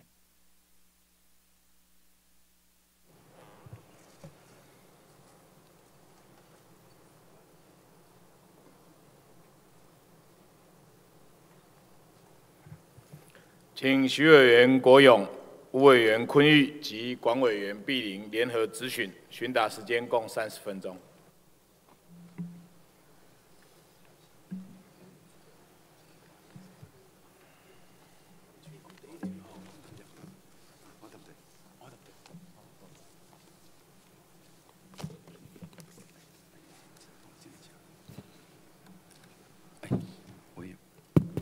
啊。七号哈啊，院长好啊，请院长。那可能啊，也麻烦请内政部叶部长好。呃，请林院长、叶部长。下下一张。啊，呃，吴委员、管委员、徐委员，好。好。啊，院长哈，想请教您哈，您在五月十四号哈啊，自由时报写说，您要啊各部会所长要注意好，做好危机的管理跟灾害处理的准备。要针对好灾害的这种资讯要掌完整的掌握嘛哈，那不晓想请教说，您希望各部会首长怎么来掌握这样的讯息这样子？我们有一个应变中心，它会随着如果有真的有灾情发生，它会分不同等级一直往上升高啊。如果灾情会减严重的话，那么这个应变中心它就会嗯呃会盖就是相关的部会都会同时升。通报，我的了解是有这个机机制在的。下下一张，好。那我们知道说，因为台湾确实好跟国际上都面临到所谓温室气体效应，那这个就会潜在，哦有极端气候带来严重的天然灾害。好，下一张。好，那在今年三月的时候也是发生过，哈，虽然气象预报前几天就报告了说我们会有极低温的这个气候出现，但是还是发生很严重的这个。啊，渔民的损失哈，那造成好很多。我想中南那个南部的养鱼业者造成很大的损失。我想，其实有时候我们收集到资讯，那如果没有及时的防范，也是会产生问题。好，下一张。那从今年哈，也是因为台湾大地震以后，那有些政府县市政府就想要公布这种啊土壤异化区域，但是这种。资讯的公布是不是得体？哈，我我有时候会蛮担心，因为这个不是代表好房子就会倒的这个资讯哦，所以可能反而引发了某一些居民的担心。哈，有时候在资讯的公告上，其实我们要公告什么资讯，可能哎要一些相当的研究了。哈，好，下一张哈。那在这种灾害的防救方面，哈，我们上市长内政部在。啊，消防署下哈有通过一个叫做啊灾害防救法。那根据灾害防救法，我们国家写了灾害防救基本的计划。哦，那要求各部会哈针对不同的灾害写出这个防救的计划书了哈。那比如说像为什么要请那个叶部长，就是因为内政部要负责这个地震的防救计划哈。那所以，但是虽然各部会在写，但是我们发现说，其实最后哈下一张哈。就是啊，消防署要负责最重要的这个啊救灾的工作嘛，哈。那所以他们啊就要负责这个救灾哈，所以其实承担的最后的最终的这个任务了哈。那也负责整整理各种应变的措施哈。但是我们发现说，他们做的工作主要是在灾害发生以后在做救灾的工作，但是我们知道。灾害发生以后，虽然我们极力的去救灾，但是民众的生命还有财产的损失还是非常大，有时候有点楚求相对的这种苦境了哈。所以我们怎么来做好？好，怎么整整理我们目前碰到的这种资讯？比如说，好，下一张哈。比如说，我们从哎，怎么是这一份？好，我们从这个资料里面才发现说，哈，可以发现说，真的，我们台湾气候事实上是有在增加哈，平均气温是有在增加。好，下一张哈。那确实哈，从国际的评估里面，我们发现说。很多的灾害，好，在台湾实际上是蛮严重的。比如说，百分之九十的台湾人民可能会面临到两种的天然灾害，百分之七十三的台湾人民可能会面临七三种的哦天天然灾害。那我们怎么去整合这些资讯，好来做好这种防灾救灾的计划，可能是非常重要。那在政权交接之前，我也针对各部会相关单位去咨询过，然后发现。目前我们政府里面虽然我们有防灾中心哈办公室，但是缺乏这样的整合，好还有这种所谓灾害平常要怎么去做防灾减灾的工作的这种计划比较缺乏，好所以我会非常建议哈下一章哈，就是说我们应该是整合目前最佳的科学资讯，我们也收集了很多的数据，那怎么来整合做好灾害的风险评估，然后进行灾害的风险管理，那我们。做这样的工作，平时我们是可以就来做减灾跟防灾的工作规划。好，那其实上这也是国际的潮流。好，下一章。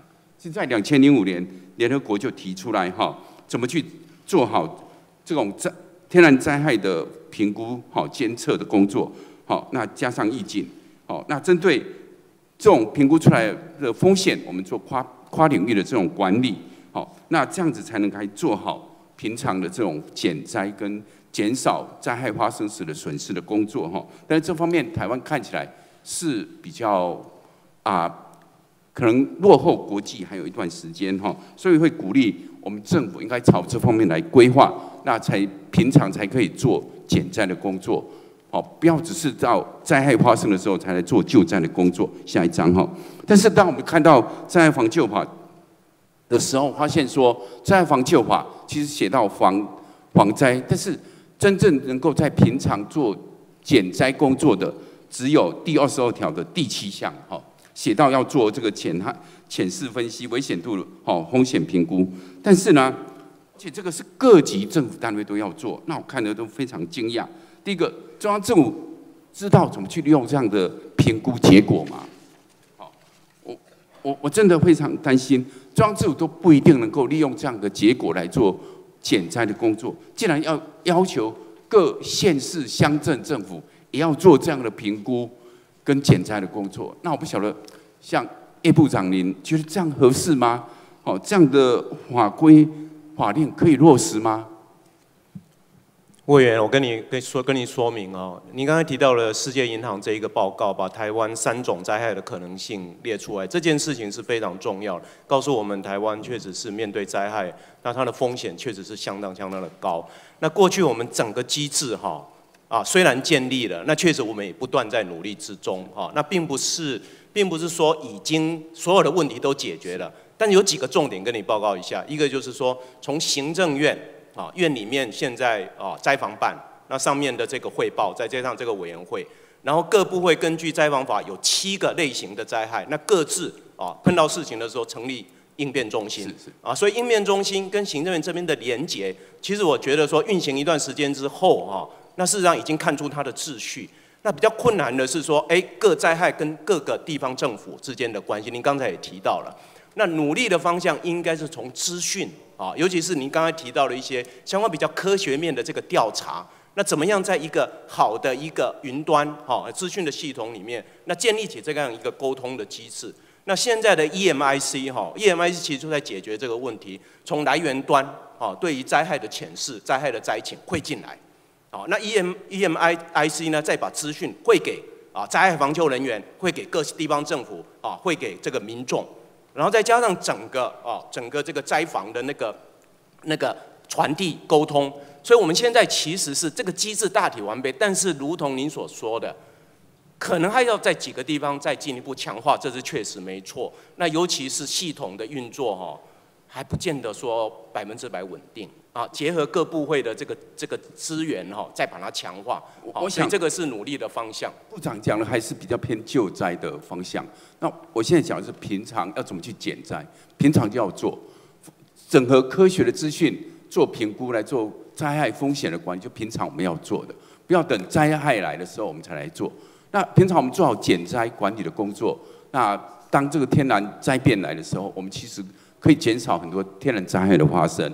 好，当然我知道内政部会碰到很大的困难。好，下一张哈。好，下下一张，嘿，这个就是碰到台湾目前体制上的困难。我们发现很多灾害防救的中心其实都在科技部了。好，那我想请杨部长，就是说这些灾害的中心研究单位，他平常是做学术的研究呢，还是做任务导向的研究？这样。OK，这个我们可以看到的国国家灾害防救中心哈，右边有个台湾台风洪水研究中心，基本上我们这个都是整合所有的研究资料，这那个就是一个平台了哈。最重要是那个平台，我想不止平台了，这里面我有稍微去看过，就有收集资料、研究哈相关的。这所有把但这一些应该这个资料应该是要给好内政部来做防灾计划使用了，所以平常我们收集才可以所有的科做好技资料，在那的工作边一个平。台上分析好，，才才可以做好减灾的工作内政部好，但是如果以防灾中防灾办公室这样，不是定期好，只是灾害化天然灾害要来的时候才运作的话，那这个无法做平时减灾的工作。所以我会觉得说，这里我们应该思考中央部会重新怎么去调整，整合出一个很好的防灾好的部会或是单位出来，不然我们面临台湾面临像这么啊、这么多人可能面临三种或两种的这个天然灾害的时候，有时候真的是很难去应变救灾哦。所以下一章哈、我真的会建议说，哦，我们怎么去利用这平常收集到的科学证据，来做好天然灾害的风险评估，进而做好灾害的风险管理，才能够减灾的工作。那相关的部分，我们重新思考怎么去整合，做好防灾的工作。好，谢谢。好，谢谢。呃，三位先请回哈，我先请我们卫福部、劳动部跟财政部三位部长。呃，你们一面走啊，本席要呃先一面让两位知道，就是说在上个礼拜财政委员会的时候，王玉明等委员去提了一个案，要求卫福部呢，还必须要积极的去追讨高雄市的劳健保的欠款，这个跟两位部长有关。好。你们知不知道为什么北高两市会有这么多的劳健保欠款，而其他的县市好像没这个问题？你们知不知道？谁知道？各位，这个是因为从呃，因为北高两市才会有所谓计算的嗯计算的那个呃涉及非涉及的来这个问题。告诉各位哈，过去其实各县市都有，但是动省以后，其他所有非直辖市的县市，他们的欠款其实中央吸收了，所以就留下北高两市，这是有历史的。所以中央对于这笔款项，它的差别待遇，其实从历史上面来看，北高两市在那个时候被留下来这所有的债务。那从要偿还这些债务，让我们的劳健保的基金能够健全化，在这个过程之中，你们看一下，以高雄市政府，我们现在从台北市政府所能够拿到的资料，我们只能够计算九十六年到一百零三年这几年之间，中央去补助这两个城市北高两市去偿还欠款，你看看那个补助的差额，这不公平。从九十六年到一百零三年的时候，补助台北市多少？补助他们三百二十五亿。补助高雄市多少？补助他们三十六亿。换句话说，高雄市跟台北市相关的补助的差额多少倍啊？中央补助的差额高达两百八十九亿，很不公平。为什么？为什么？因为民国九十九年马英九总统上台了以后，他去发展一个公式，那个计算公式是什么？非涉及的二分之一。那有道理吗？呃，这个很显然是对台北是有利的，所以呢，对高雄就不利。有道理吗？合理吗？你们认为这个？三位部长，你们认为合不合理？我觉得应该应该再再加以检讨。非涉及的住民，当他们大量的中南部人民来到台北市的时候，涉及在他们的故乡，可是他们的经济活动、他们的消费、他们对于经济的贡献，全部都在台北市啊。这个对他原涉及的城市来讲，这本来就已经不公平了，还锦上添花，用非涉及的计算公式，只补助非涉及住民他们的健保补助费，这个太不公平了。既然这些非涉及的住民经济的贡献已经在台北市了，然后中央政府呢，还让台北市因为这些非涉及的住民得到的补助。比这几年下来，比高雄市得到的补助要高达两百八十九亿。财政部徐部长是有什么想法？合理吗？这一部分呢，我想在未来呢，财政收支划分法的时候呢，我想我们会同主计主计总不对，不止。财政收支划分法要讲的话，我后面我又更生气了。不只是这个计算公式有问题。当民国一百零一年修法，我们看到这一页。当民国一百零一年再往下，再往下，再往下。好，当民国一百零一年修法以后，劳健保的这些补助费全部由中央政府负担，所以呢，中央政府就把这个部分的经费呢拨下来了。结果拨下来的时候呢，你看看，竟然我们看下一页，又把它列入作为一般性补助款的内涵呢。又含在一般性补助款，换句话说，我们高雄市又让你们从一般性补助款里面把这一笔补助款又把它扣掉了。然后这个扣掉的时候，两个县市被扣的数字哈，你来看很不公平。台北市被扣平均一个人才被扣两百九两千九百九十七块，然后高雄市呃高雄市民呢一个人平均被扣四千三百九十五块，你们欺负弱势。部长，徐部长，是，回去好好重新审视这个问题。我希望三位部长承诺。这一部分呢，我想要会同主计总处，因为补助款这一部分呢是主计总处在负责。今天主计长也在嘛，好，也听到了嘛。我希望院长呢把这件事情放在心上，一定要反映在明年度的预算编列，七月份送进来的时候，我们要看到你们的诚意。专案重新思考，去补足过去。这些年，你知不知道他九十九年的时候，这个计算公式是追溯到八十九年去计算哎，从民国八十九年以后就用这个公式在补助哎，所以才会有两百多亿的这样的差额，要去补足当时这个错误的计算公式上面对高雄市的不公平。专案处理这一块好不好？我们会从主计总处来处理，因为我们财政部的。而且我希望来，我们请院长上来哦。我希望要反映在你们也不要下去啊。没有叫你们下去啊，请林院长。希望要反映在好，反映在明年度的预算编列，好不好？好，院长。我希望院长能够重视这个问题。这个问题我有注意到，那其实我跟您特别来说明一下，就是我们请那个许占尧政务委员啊，去了解过去的那个建因因为建保费造成这个分配上的问题。好。那么呃，他会跟主席处再来同同时来探探讨一下。这个问题里面是不是啊？好不好？呃，我们会在今年的预算编列的时候呢，会把这个问题理清，好不好？好，谢谢。但是呢，我想那另外有一件事情，没关系，因为我时间很有限，剩下三分钟。另外有一件事情，我希望院长给我们时间表，那就是在马政府的时代，花了八年的时间进行主改。其实今天叶俊荣部长在这里，他担任研考会主委的时候，主改就进来了，行政院的主改就进来了，然后。在马政府的时代，长达八年的时间，主改现在是做半套，是的，剩下还没有完成的主改，大概以院长您来估计，多久的时间内会完成？嗯，这边牵牵涉有几个步啊，其实还是就是主改没有争议的都过了，有争议的都留都留在这边，那争议的部分还有问题还蛮复杂的啊。大概要多久？你的决心，一年还是两年？我觉得不能超过两年。这样好不好？最好是一年。因为这里面牵到我们要做的幅度有多大啊？就是呃，比如讲说海洋委员会现在都没有挂牌，是因为他大家对他这个了解他的定位争议的问题。我们不谈细节，我只有时下两分钟。是，那我我是不是我我们来呃，让我们去给你一个月之内，我们给你一个回复，就是我们预备怎么去做。然后这样就会有个时辰在后头，这个部分我们请那个呃人事总处，人事总处。一个礼拜以后给我时间表，好不好？一个月好不好？一个月之后，好不好？一个月之内请他思考一下，一个月之内给我一个时间表，给你一个时间表，对对对，要怎么做好不好？好，谢谢。另外，等一下我们徐委员会谈一下今天联合报的头版头条哈。我是这样看：二十天之内有三大争议事件发生。我们在五月二十五号的时候，贺成部长端午节收费的问题、横向收费的问题争议出现。六月五号的时候，是不是并联合一发电的问题出现？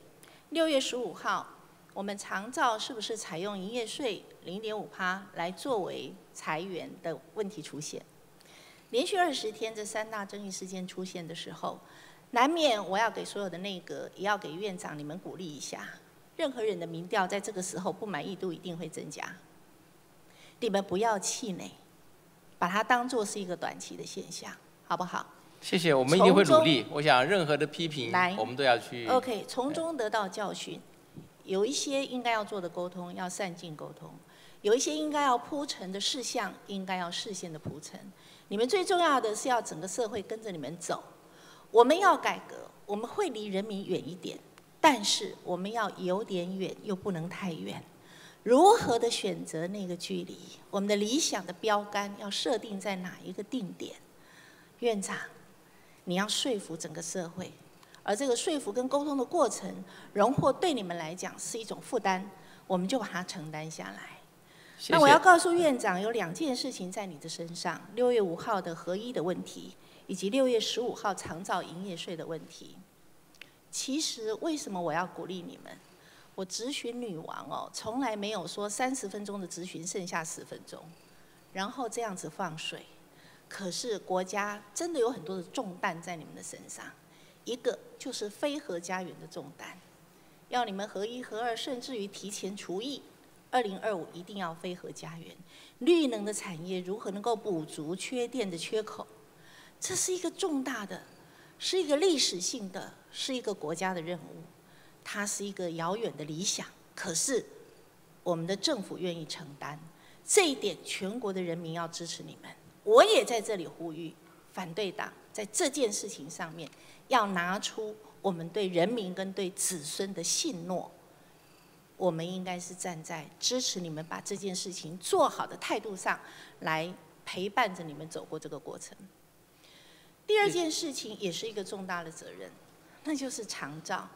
长照不应该是一个选择题吧？长照要或不要，还需要去选择吗？院长，长照不应该是选择题。是的，我我们相信这是一个社会共识。我们就是要做。当我们要做的时候，长照二点零的裁员在这里，在哪里？我们要不要去选择？这是必须做的选择。所有的选择都有得失，所有的选择都会增加社会的负担。而这些负担由哪一些人来承担？我觉得这也是一个理性而科学、客观可以讨论的问题。我也在此呼吁，千万不要把我们国家要去布建长照体系的初期，当我们愿意承担，我可以不做啊，我在拖啊。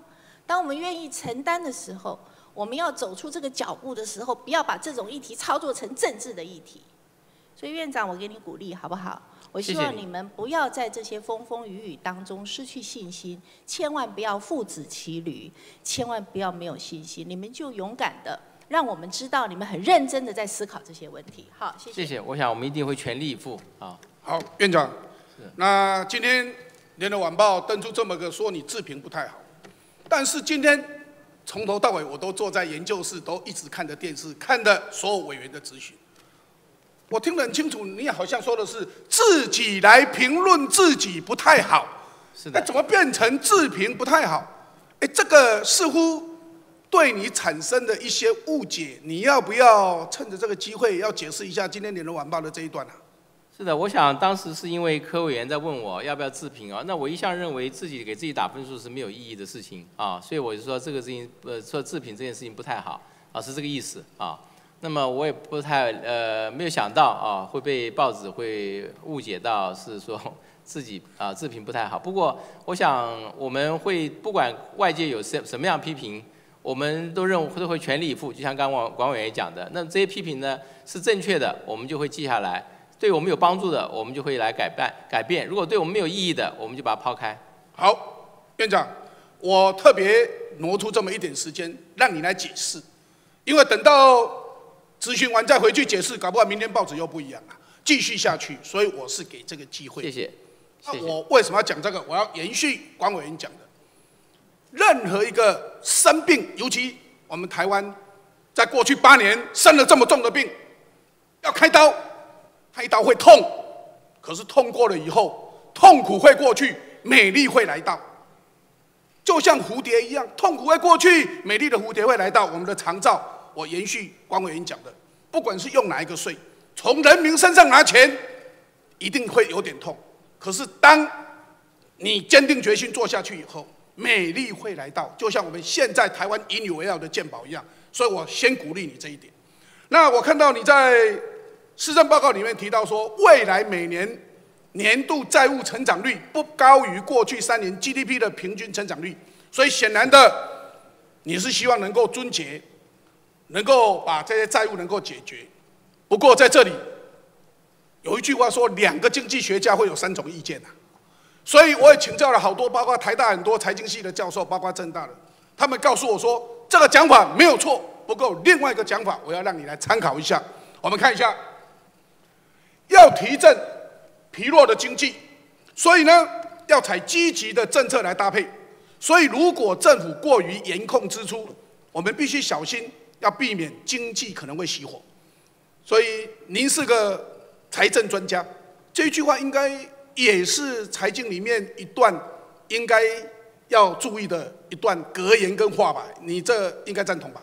呃，我想这也是对的，就是说，如果我们这个希望这个景气能够好转，当然最最简单的做法就是增加需求嘛。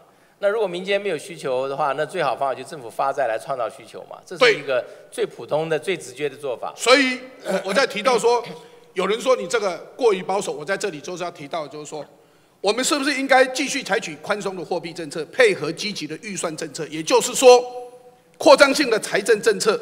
来进行结构性政策的改革，呃，也就是由政府你率先，就像十大建设一样率先来投资，人民看到政府的建设、政府的投资，对政府的投资建设，人民是有信心的，他就会跟着进来。所以，我们再看下一页，那这个院长，这主要是因为经济学家很多意见，说我一次把它讲完，你再一次回答，你可以坐着看没有关系，好不好？哦，你因为你站了一整天很累，你可以坐着没关系哈。所以我们看到政府的职责在平稳景气循环的波动，要达成景气循环周期的平衡。那这个有好几个学家，包括诺贝尔的得主 Joseph，还有 Jeffrey 这个哈佛的经济学家都提到了。那我也不再把这里面的内容赘述。所以换句话讲，他们的意思是说，景气是要看一段时间，而不是看一年、看两年。如果是一段时间，那换句话讲，这一段时间的波动的平衡，那才是最重要的。我们再看下一章。那目前处在低利率、低成长环境，这种低成长环境，那应该如何应应？我们看到 IMF 也提出了他们的一些建言。那对于公共投资等等，甚至于应该要举债来处理这些事情。那看 OECD，他们也也提到了这一些，所以内容，我想你是专家，我也不再赘述。我们再看下一章。所以呢？在货币政策、财政政策跟结构改革要三管齐下，所以我也把这一些专家学者所提到的这些问题，我也把它列在这里。那我们再看下一章。那下一章呢？我特别要把 IMF、世银、OECD、那么 G 团体跟 G 7这些通通写下来，还有 Summers，这个是哈佛大学的教授，也是校长，他们提的这些东西都在讲这。这一些，所以是不是也应该好好的考虑，在某一个层次，那应该好好的来增加政府的一些建设投资等等，然后呢看整个景气的循环，不要老是顺循环，反循环也可以用嘛。所以在这一部分，当然每一个学者的意见不一样，不过这是几个学者他们希望借由我的咨询，希望院长你也能够参酌。那希望说如何把台湾的经济带上去？所以院长对这一些的讲法，你的看法如何？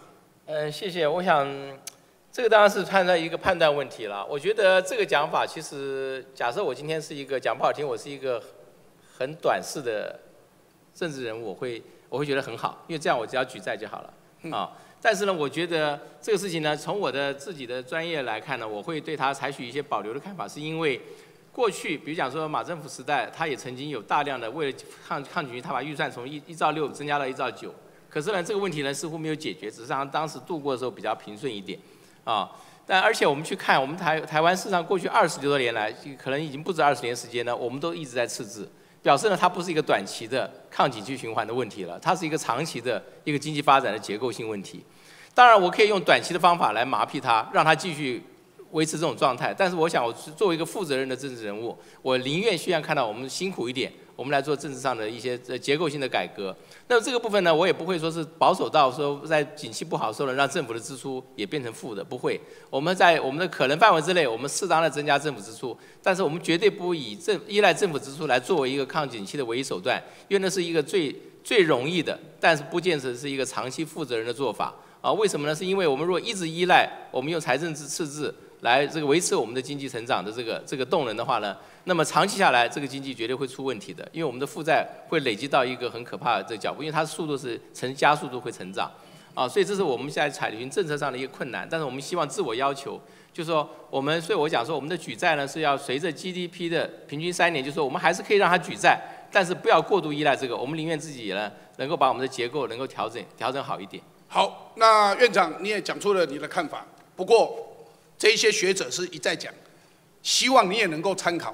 在你的看法跟看看法之间，是不是能够取得个平衡？好的，我我想我我想这个是蛮重要的。是的。最后一点，我要跟院长提一下，营业税，好好的把营业税法第八条，希望全国民众看一看就知道，我们普罗大众，我们的弱势团体，他们最重要的，他们钱花最多的地方，都是花在他们的民生必需品，而在这民生必需品本来就没有营业税，所以如果长照营业税加个零点五趴，对穷人的影响是最少。所以它绝对不是穷人税，反而是富人会支出更多，会支出更多的营业税。所以这一部分的论述，我希望院长要加强，好不好？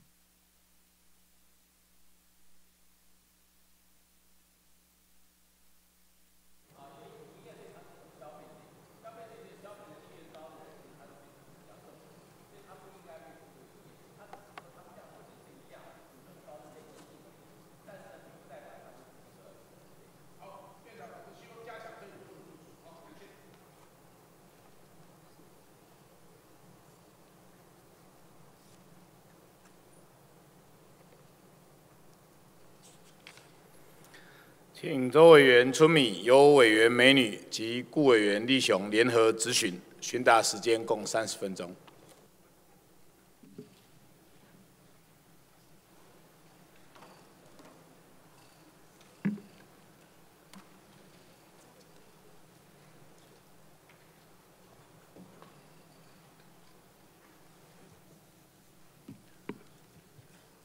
好，主席，呃，是不是有请林院长？呃，请林院长。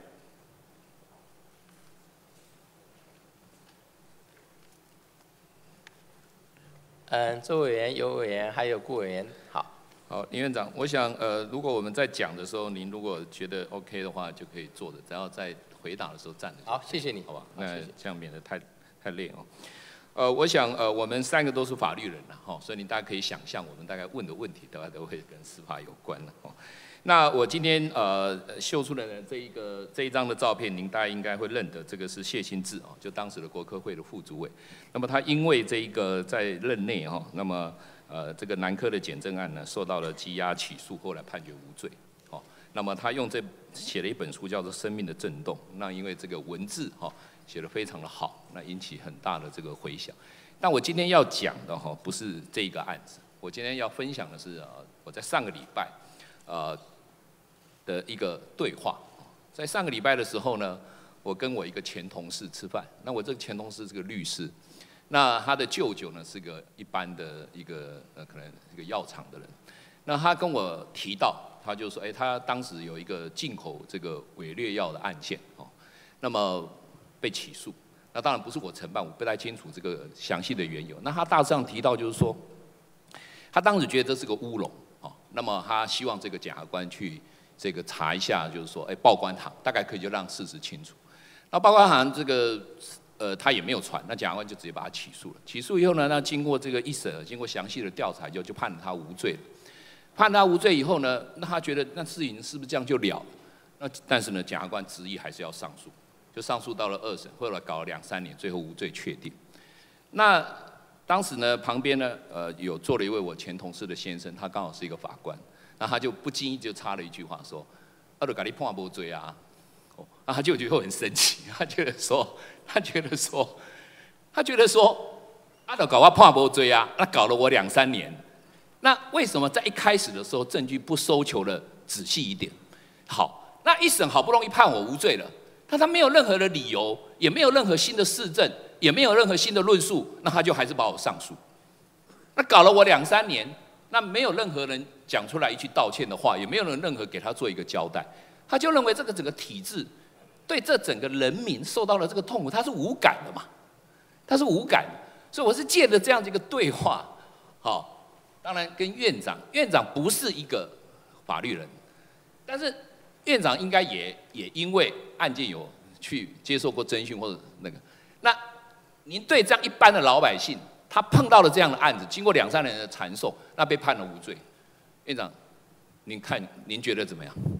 嗯，我觉得这个是我们制度上非常不好的这个状态，就是我们的检察官如果起诉无罪，啊，那么他没有任何的责任，那么这个是我也了解，这个是不对的。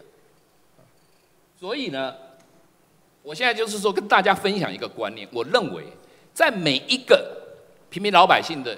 他难得的去到了法院，他被起诉，他受到了无罪判决，他一生中都不会忘记。你只要跟他讲这个案子，他就跟你讲到整个细节，历历如绘。每一个无罪的判决对他来讲都是一件大事。那我就认为说，既然对每一个人一个人受到了这样的待遇都是一件大事，我们的检察官为什么把他当没事？我觉得这是缺乏同理心。那这个问题就在于什么呢？我们对于检察官一开始的搜求证据不足就起诉这件事情，我们没有任何对付的方法。我们对于判决无罪之后，检察官没有任何新的事证，没有任何新的论述，胡乱上诉，我们没有办法。我们现行有了办法，一个叫做《法官法》的九八九条的第四项，叫做检察官负评鉴的事由，这个针对了重大的违失。但是针对这样的一个重大违失啊。我们要证明说他的搜求证据本身有重大违失，我们从这个个款找不到。我们对他没有任何的市政提起上诉，新的市政提起上诉，我们也没有办法从这个里面找到他任何一个可以对付他的一个理由。那很多人很很不高兴，觉得检察官从一开始就滥权追诉，所以呢，我要告他滥权追诉。但结果呢？我们的法律规定，这不是这一个被告，这个被这个被告主张他被害，等于判无罪。那么的法律规定，不能够由他来起诉，要由谁来起诉？要由检察官来起诉。所以你要告这个检察官，你要告到另外一个检察官那边去。那我到现在为止没有听说过检察官有对这样子一个所谓滥权追诉来起诉。好，接下来我要重点是在这里，就所谓的检察官的管考制度。检察官的管考制度啊。它是用一堆的数字去堆积出它最后的一个一个管考的一个结果。这里面呢，大致上最重要的就是一个办案维持率跟一个结案件数。那周部长也在，你可能会说，诶，那他起诉最后判无罪，他的结案件数会被扣分。但报告院长，他大概只用两三件的结案件数，他就可以抵掉那一个无罪的对他的不利。那么他只要利用另外两件比较简易的案件。的有罪判决啊，他也可以抵掉这个对他的不利。那甚至他可能在一开始用一个很大的动作把他羁押，把他起诉，求刑二十年，最后只判伪造文书五个月，他还是有罪确定哦。但他这样的一个起诉品质啊，是完全散弹打鸟，但你也没有办法从这个管考制度啊，得到对他的一个真正的一个所谓的品质的管考。所以这个所谓的。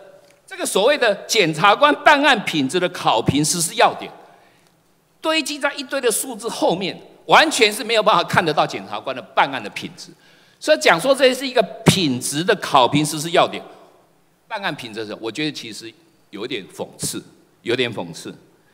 那因为这样子，再加上我们检察官一直强调他们要随法院配置，因此呢，我们的侦查检察官是一批人。我们的起诉到了一审公诉是一批人，我们到了二审呢是要由二审的高检署再来接续公诉，所以他完全是不同的人。在这样的一个情况之下，他随着法院层级配置啊，找不到一个该负责的人。找不到一个该负责的人。那么之前法务部说，那他就讲说，那能不能一路由一个人专责追诉到底，我最后可以抓你啊？你你你起诉，如果最后有问题，你最后判无罪，那那你是不是应该负责？但法务部的报告说，各省级的公诉检察官合一，由特定专责检察官实施公诉，一直到整个案件确定，于法无据。这是法务部的报告，这是法务部的报告。所以我今天我知道，我要跟院长，你就站在一个不是法律人的角度来看这件事情，你觉得这样合理吗？我觉得你讲的都很有道理。所以，我今天只是说借这个机会跟你分享，那一天我们三个法律人对着一个一个一个被判无罪的人，我们面面相觑，没有办法回答他。检察官为什么可以这样子草率起诉？检察官为什么可以毫无理由的再给我上诉？我们没有办法回答这个问题，我们的司法信赖就永远没办法建立。那现在院长作为一个不是法律人，但是从事这样子的一个政治工作。那么，当然，法务部是专精于这一个检察官的整个升迁考核调动，还有整个检察官的这个组织的配置的。那我希望，在我经过这样子的跟你讲了一，这样沟通了之后，能不能够责成法务部，不要再说于法无据，不要再说我的数字这样的管理是 OK 的，不要再跟我说检察官的起诉。最后被判无罪，检察官没有负在新的市政再上诉这件事情，我们整个司法的体制对这件事情是无感。我只是希望跟院长沟通，让部长了解人民的痛苦，在这一件事情上，为什么司法的信赖会这么低的原因。那么希望拿出一个最有魄力的方法来解决这样的问题，而相应的解决问题的方法，我事实上已经。在相委员会里面也提过一些我的看法，当然也许是不见得成熟，但我相信要有一个明确的办法来做到这样的一件事情。检察官的权力是比一般所有在座各位的公务员都来得大很多的人，但是他负担的相对应的责任却比远远比院长你在这里、部长在这里负的责任相对的低的非常多，甚至在我来看，他从人性的观点来看，起诉对他没有他的 cost 是零。他上诉对他来讲，他的成本的负担，他对他的不利是零。这样的情况之下，他只有一再的借用程序来折磨人，一再的用程序来折磨人。我希望这个部分院长真的能够体会到这件事情。我们从一般非法律人的角度就可以来看出这个问题而解决它。我想您提的问题啊，其实我虽然是外行啊，我也有曾经关心过。但是我我也问过邱部长，好像邱部长也有满肚子苦水，我不知道他在改革的时候是有哪些困难。邱部长今天写了一封信，今天写了一封给检察官的公开信，里面有一句话是说，如果要修法的话，也一定要来修。那如果真的要来修法，我们立法院一定只有至少就少就我的立场，我一定全力配合支持，怎么样子建立一个好的对检察官的一个克责的制度，就是我一再讲的这所谓的 accountability 的一个。一个制度好不好，部长，可以吗？好不好？那我因为我的时间已经到了，我现在接下来，还有没有？他说明吗？不用，没没关系啦，没关系。我们在委员会可以再沟通。我今天主要是希望跟院长做一个分享，好不好？好，谢谢。好。院长辛苦了哈。刚刚顾委员质询的是检察官的苛责的问题，那本席接下来是要请教院长有关于犯罪被害人保护的问题。司法改革不能只看到法庭里面坐的法官、坐着检察官、律师还有被告，司法改革也要听到暗夜的哭声，也要看到被害人。那接下来本席要请院长看一些照片，那院长可以坐下来看哈，我们再一起来讨论。那照片中我们依据这个灾难的时间哦，分别是高雄的气爆，还有新北市的八仙城爆，还有今年农历年前的台南地震哦。那这些灾难有天灾有人祸哈，当时这些灾难所造成的伤痛，今天我们来讨讨论哈，还是历历在目。但庆幸的是，台湾这个社会哦，有最温暖美丽的人情，整个民间总动员哈，捐钱的捐钱，救灾的救灾，各级政府也都投注大量的资源。除了给予金钱上最大极限的补助之外，在后续的这个辅助保护措施上，也提供了生理跟心理的医疗，还有生活重建哦。虽然不可能完全弥补，然后回到从前，但是政府跟民间都是尽力在做了哈，责无旁贷。但是呢，相对于上述的这些重大灾难及人祸哈，台湾社会也一再发生让人家扼腕的犯罪被害案件哦。我们接下来要讨论的所谓犯罪被害的案件的太阳哦，就限于说，第一个，生命被剥夺了，因为犯罪被害的案件，生命被剥夺了；因为犯罪被害的案件，身体造成重伤；因为犯罪被害的案件受到性侵。那有些引起社会的注目跟关注，有些是在角落里没有人去注意的。那依据现行的制度跟法律运作起来。这些个案的保护是相对于上述我们讲的这些灾难或者重大人祸的时候是来的微弱的哦。我有我想给院长看一个内政部统计查询的一个刑案被害人的统计表啊。这个是从九十二年到一百零四年，虽然这个上开犯罪的案件有逐年降低的趋势哦，但是呢，在一百零三年跟一百零四年这两年。每年还是有高达四千多件的犯罪被害。我所谓的犯罪被害，就是我刚刚讲的那三种的犯罪被害结果。所以呢，我想请教院长哦，你认为因为犯罪行为而导致被害人死亡，他的遗嘱你想帮助他做什么？因为刑案重伤者，你认为他需要政府给他什么样的协助？遭受到性侵的被害人。政府怎么帮助他，让他走出阴影？嗯，谢谢。我是是外行人，不过我可以想象得到啊，就是犯罪被害人他需要的协助其实非常多。第一个是对他隐私权的保障和保护，第二个是应该是对这个整个侦查或者是这个嗯这个这些事项在发展的过程中间，应该他应该有充分的资讯和这个得到尊重啊。那么这个部分我我的了解其实可能在过去做的都是不够的。啊，当然最后还有牵涉到的就是一些他的这个，呃，这个在他的审审理这个案件审理还有这个过程中间呢，他应该能够得到迅速的啊，就这个一个一个一个判决，让他能够得到啊，不要让他这个正义词来的太晚。那这里面当然有很多事情，我想都应该在制度上去再思考。那么因为我是外行人啊，不是那么了解他的关键问题有哪些。院长，虽然你自称自谦是外行人，但是你讲到了在司法制度里面，犯罪被害人需要被保护的一些非常很具体、很重要的细节。那事实上，在我们现行的法律规范里面，金钱补偿是一个很重要的制度，那也是一个最基本的制度。那我想请院长来看一下我国犯罪被害人保护法第九条有关补偿金数额的规定啊。也就是说，如果发生了死亡的结果，在殡葬费部分是最多是领四十万元，法定抚养义务呢，就是说他有法定要抚养的人，那每个人金额最多是一百万元，精神上的慰抚金呢最多是四十万元，这是在被害人死亡的情况。那如果是在重伤的话呢，最多就是一百八十万元，就是他的医疗费跟他的精神慰抚金。如果是性侵呢，最多是一百四十万元。只是呢，我们要讨论的是说。被害人跟他的家庭跟他们的伤害，会因为这样的金钱补偿就可以完全弥补吗？刚刚院长也讲到了同理心哈。如果今天被害人死亡，他的家庭要怎么去面对一个没有被害人生活的余生？那如果说这个被害人是死亡，他是家庭的经济的支柱，那他发生了死亡的结果，或是或者是重伤，那这个家庭往后要怎么维生？那如果是遭到性侵，他要多久才能够走出阴影，不再伤痛？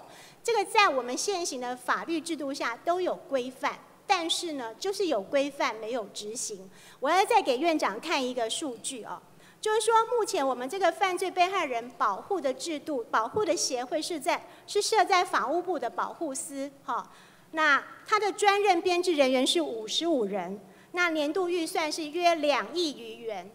扣掉了人事、行政、宣传的业务费用一亿一千一百三十八万，真正用在被害者跟他家属的保护费用只有九千两百一十八万元。就如同我刚刚跟院长报告的，在一百零三年、一百零四年，这些犯罪的被害案件有四千多件。所以事实上，这样的一个补助保护的费用分配到个案的话，大概每个案件只有在两万元上下。好，两万元上下。那除了这些基本的生活的补助补偿之外，我们还会提到有关于社工人力、心理咨商这些资源。我们要请教院长，也要请院长去思考说，在这样的资源有限、人力不足的条件下，我们怎么样有效去保护？怎么样有效去协助这些多达四千多件的被害案个案？所以请教院长，是不是可以承诺，在犯罪被害保护这项工作，政府再多提供资源，政府再多提供人力？嗯，我想。您讲的是很正确啊，当然我了解政府的预算资源在使用上每个地方都非常辛苦，但是我觉得在这方面去呃逐年的适度的增加资源，同时要检讨它的使用效率，这部分都应该要做啊。那么呃是不是因为这是法务部的嘛，是不是由法务部来做个补充说明？好好，那部长简短。呃，谢谢三位委员哈。那我想呃刚刚这个周委员提到了这个犯罪被害人保护呢。那基本上呢，呃，到底他是要站在第一线的这样的一个角色，还是呃共同的角色？因为通常犯罪被害的这个原因呢，啊，主要是有也蛮多种的。那我们犯罪被害人的保护呢，当然站在是最后都会有政府来给予做这样的一个呃补偿，补偿这样的一个照顾。那确实，陈武您刚刚提到的哈，在经费上面呢，啊，我们是尽力的来做这样的一个编列。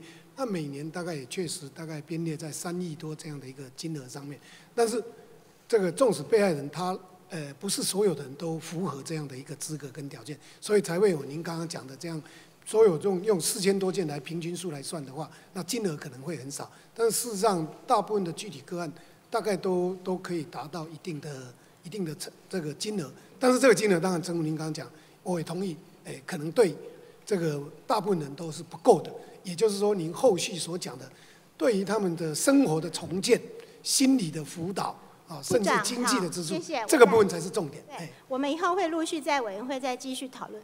我想要强调一个重点，我当然知道政府裁员有限。我们今天最后一个提，最后一个要讨论的，也不是说希望金钱的补偿能够再提到提高到哪里，也不是说我们希望用一个代位的责任或者是一个补充的责任变成一个完国家的完全责任。我们要讨论的是说，怎么样在有限的资源里面，我们把它统合。好，现在它发生。被害的案件了，他可能第一个犯保的协会，他可以第一线提出来金钱的补偿。那他可能在法律的辅助方面，他可以到这个法律辅助基金会。那如果说他有一些相关的社工或者需要心理咨商的这些协助的话，他可以到地方政府。可是呢，第一他不一定知道说他有这些资源，这些保护的措施他可以去做。第二是说，他在一关一关在协寻求协助的这些关卡、这些管道的时候，他必须一而再、再而三的去陈述、去回想他这些被害的事实跟经过。我想对他是情何以堪。所以呢，我们今天主要就是说，希望有限资源，大家也都知道，现在大家都在抢资源。那就如同刚刚本席讲的，司法改革你不能不不听到被害人的暗夜哭声。我们只是希望说。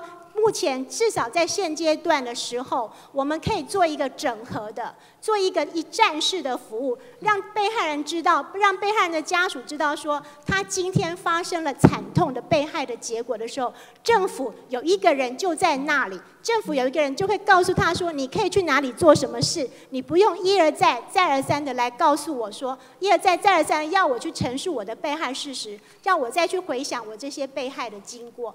所以呢，我们希望是说，今天院长也有承诺，大家会会来考量。第一个，我们希望能够统整资源；第二个呢，我们希望能够设一个一站式的一个服务，希望说将来这个相关的，因为这个之前的议题也讨论过。”除了法务部之外，可能还有卫福部，哈。那但是呢，我想行政我们对新政府有很深的期待，人民对新政府有很深的期待，我们希望能够苦民所苦，让被害的人民有所依靠。谢谢。谢谢谢周委员，是不是允许我再稍微回应一下？这其实您刚刚讲这个问题，我觉得非常重要。其实它也不是钱的问题，它根本就是我们的做法上的问题啊。那么至于你讲那个应该有一个平台能够一站服务到底啊，这个事情我们在内部曾经有检讨过，特特别是在那个小灯泡事件发生之后啊，我们有去特别去亲自去了解，也知道被害人家属的心那心理伤害。那么我们也请那我们的林美春呃林美珠政务员啊，他去那个呃去来协调，就希望将来这个我们的内政部啊警政单位啊能够在那边呢会有一个适度的窗口去解决这个问题。当然这个制度我们希望能够积极来推动。那么需要的这个协助可能是跨部会的，我们会来检讨。好，谢谢院长。呃，主席，我是不是可以请教育部长到前面啊？啊，那教育部潘部长。啊，院长，啊，其实从刚刚两位所听到的，其实是大家对司法改革其实是非常的期盼。那尤其呢，在小英呃总统在这个就职典礼上提到说各种重大改革，提到司法改革的时候，人民是响起一片掌声。表示说，人民对司法改革是非常有感的。所以呢，今天我们要来谈的就是司法专业体系的一个供需失衡。大家知道说，我们在目前在各个大学还有技职学校设立有五十九所的啊这个法律系系所，那有一百一十个呢这个相关的这个科系。那每一年呢，大概有这个四千多个这个法律系的一个毕业生。那每一年呢，其实这些的毕业生，大家都几乎以法官、律师，还有这个检察官呢，来作为考试的一个标准。所以在这种情形之下，一年大概就录取的大概只有一千人。那还有呢，三千人，这些三千人，这些优秀的，我们政府花的这些的财力所培养出来的优秀的法律系的这些学生，到哪里去了？可能呢，他们因为对于这个整个一个啊法律的这个部分呢，他们可能就是仍然投入在这年复一年的准备这些的考试。所以我们说，今天司法改革，司法的漏洞破了，司法的这破洞，那这些破洞要由谁来改革？不是只有律师、法官跟检察官，其实他需要更多的专业的人才。我们来看看，就像说在医疗体系里面，医学院不是只有医师。事实上，医学院里面还有这所谓的护理师啊、物理治疗师啊、检验师啊，然后呢，这个呃职能治疗师，还有这所谓的啊这个医技啊，还有这个所谓的医管等等，所有这些周边的这些的专业的人才，一起去撑起这整个一个医疗的网络，让这个医生呢，他在这个整个替病人看病，在这医疗的过程里面，他能够呢没有有所有的这个支撑，让他去做出非常高品质的医疗的行为。但是我们来看看，我们在这整个一个司法体系里面，我们里面所有的什么，就是法官、检察官跟律师，好像除了这个以外，大家缺乏想象。那但是呢，我们来看看说，好一个刑事的案件发生，他可能需要的是什么？需要血迹的鉴定、火场的鉴定、指纹的鉴定、毒物的鉴定、估价，还有弹道的比对、心神的鉴定、DNA 鉴定等等，需要有这么多的专业人才共同来撑起这所谓的证据的一个认定。检察官也只有有这些证据、坚强的证据来给他，他才能够做一个好的一个起诉。所以呢，今天如果我不给他这些的配备，我们一直在指责检察官，我想这也是强人所难。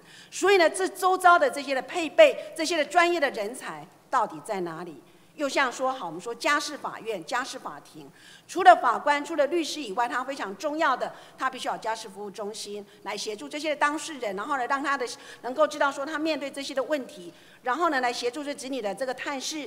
那另外，我们必须要调解委员来协助呢，来调解这些的纠纷。然后家事的调查官他能够到家里面呢去协助啊，然后去实际的调查，然后有程序的监理人来当孩子的这个所谓的代言人。那又譬如呢？我们来看看说，在这整个我们现在在国际的诉讼里面，甚至我们有这么多的外籍的配偶或是外籍的劳工，这些诉讼里面缺少通译，每一个人能够受到一个公平的审判，那是每一个人的基本的权利。可是当他听不懂法官讲的话，法官也听不懂他讲的话，如何进行一个公平的审判？所以呢，这些通译的人才、这些数据的人才等等，这些所谓的跨领域的，虽然说我们有各个科系。可是别的科系不懂得法律，法律也不懂得别的科系，我们需要把这些不同的专业把它结结起来，让它在交集的层这两个交集的地方创造出另外一个专业出来，而这些的专业就是要共同来弥补这司法的破洞。所以呢，这个部分就是我目前所缺乏的，而这个缺乏的东西呢，也就是我们每年有四千位的考试，四千位的大学法律系的毕业生，一千人通过考试。另外这三千人，他们对未来没有想象吗？他们的未来有这么多在这司法体系里面缺少这么多的专业的人才，可是这样的法律的体系、法律的教育体系里面缺乏想象，缺乏他们的未来。教育部长，您的看法？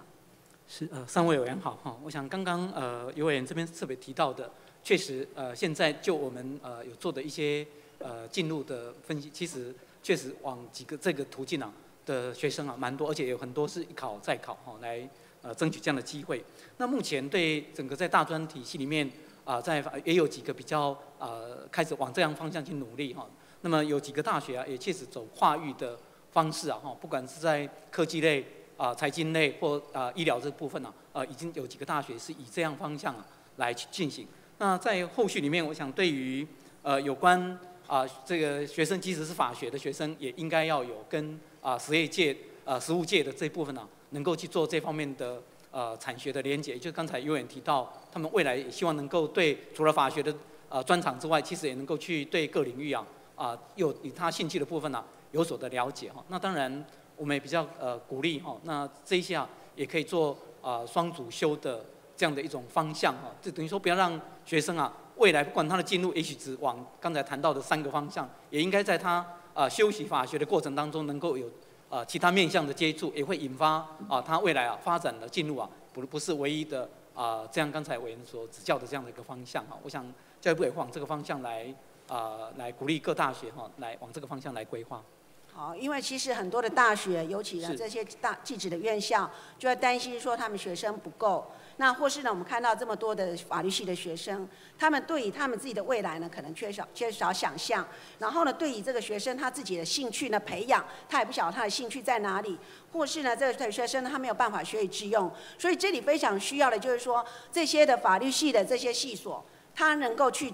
打开学生的这些的想象，然后呢，能够来培养学生的这些的兴趣，然后能够让他们能够学以致用，能够回应社会的一个需求。所以事实上，我们会看到，在各个领域里面，其实都需要有跨领域的这些的人才。我们说现在时代发展的这么快，你说好这种所谓的电子商务，你所谓的这种所谓的并购，所谓的 BOT 等等各些的这些的领域，那甚至呢，你说好这些数据员，对不对？我们用记者来讲，这的数据。对不对？在我们的整个一个交互结构里面，这些的书记官的打字，他来不及，我们现在变成委办。委外呢，你又必须回来校对，所以这些的东西都是需要呢这所谓的跨领域的人才。所以我们说，如果能够在整个一个司法的一个体系，好，它所需要的专业的人才，跟我们的整个一个教育的，好，这个整个一个人才的培训，两个能够互相把它结合起来，那它就能够有这些的各种的专业的人才，他来填补这整个一个司法所欠缺的这些的专业人才。那大家共同来建构这整个一个司法的一个啊，把它补司法的一。个破洞把它补起来。那当然，我们知道说，你们教育部呢，啊，其实也有很多的计划。但是在这里，我们也希望说，教育部是不是也能够协助这些法律系所？因为呢，自上要提出一些比较有创意性的这种跨领域的学科的这种设计呢，是是需要你们有所谓的啊计划办公室的这些的协助。所以，如果你们能够有课程规划的设计辅导的协力，或是提供学用合一的补助计划，或是培养更多跨领域的实务的师资，那用这样的方式共同来撑起我们所需要。的司法专业的人才，是不是可以？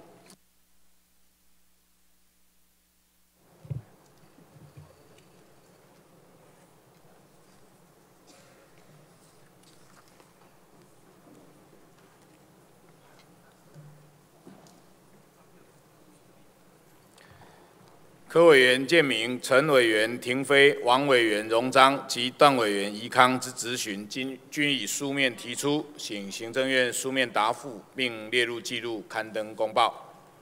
报告院会，本会起至六月三日进行新任行政院长施政方针报告总质询，至今天排定政党质询的委员总计五十五人，均已质询完毕。谢谢林院长、林副院长及各部会首长列席备询。六月二十一日星期二上午九时继续开会，进行立法委员个人质询。我们从内政组开始之质询。现在休息。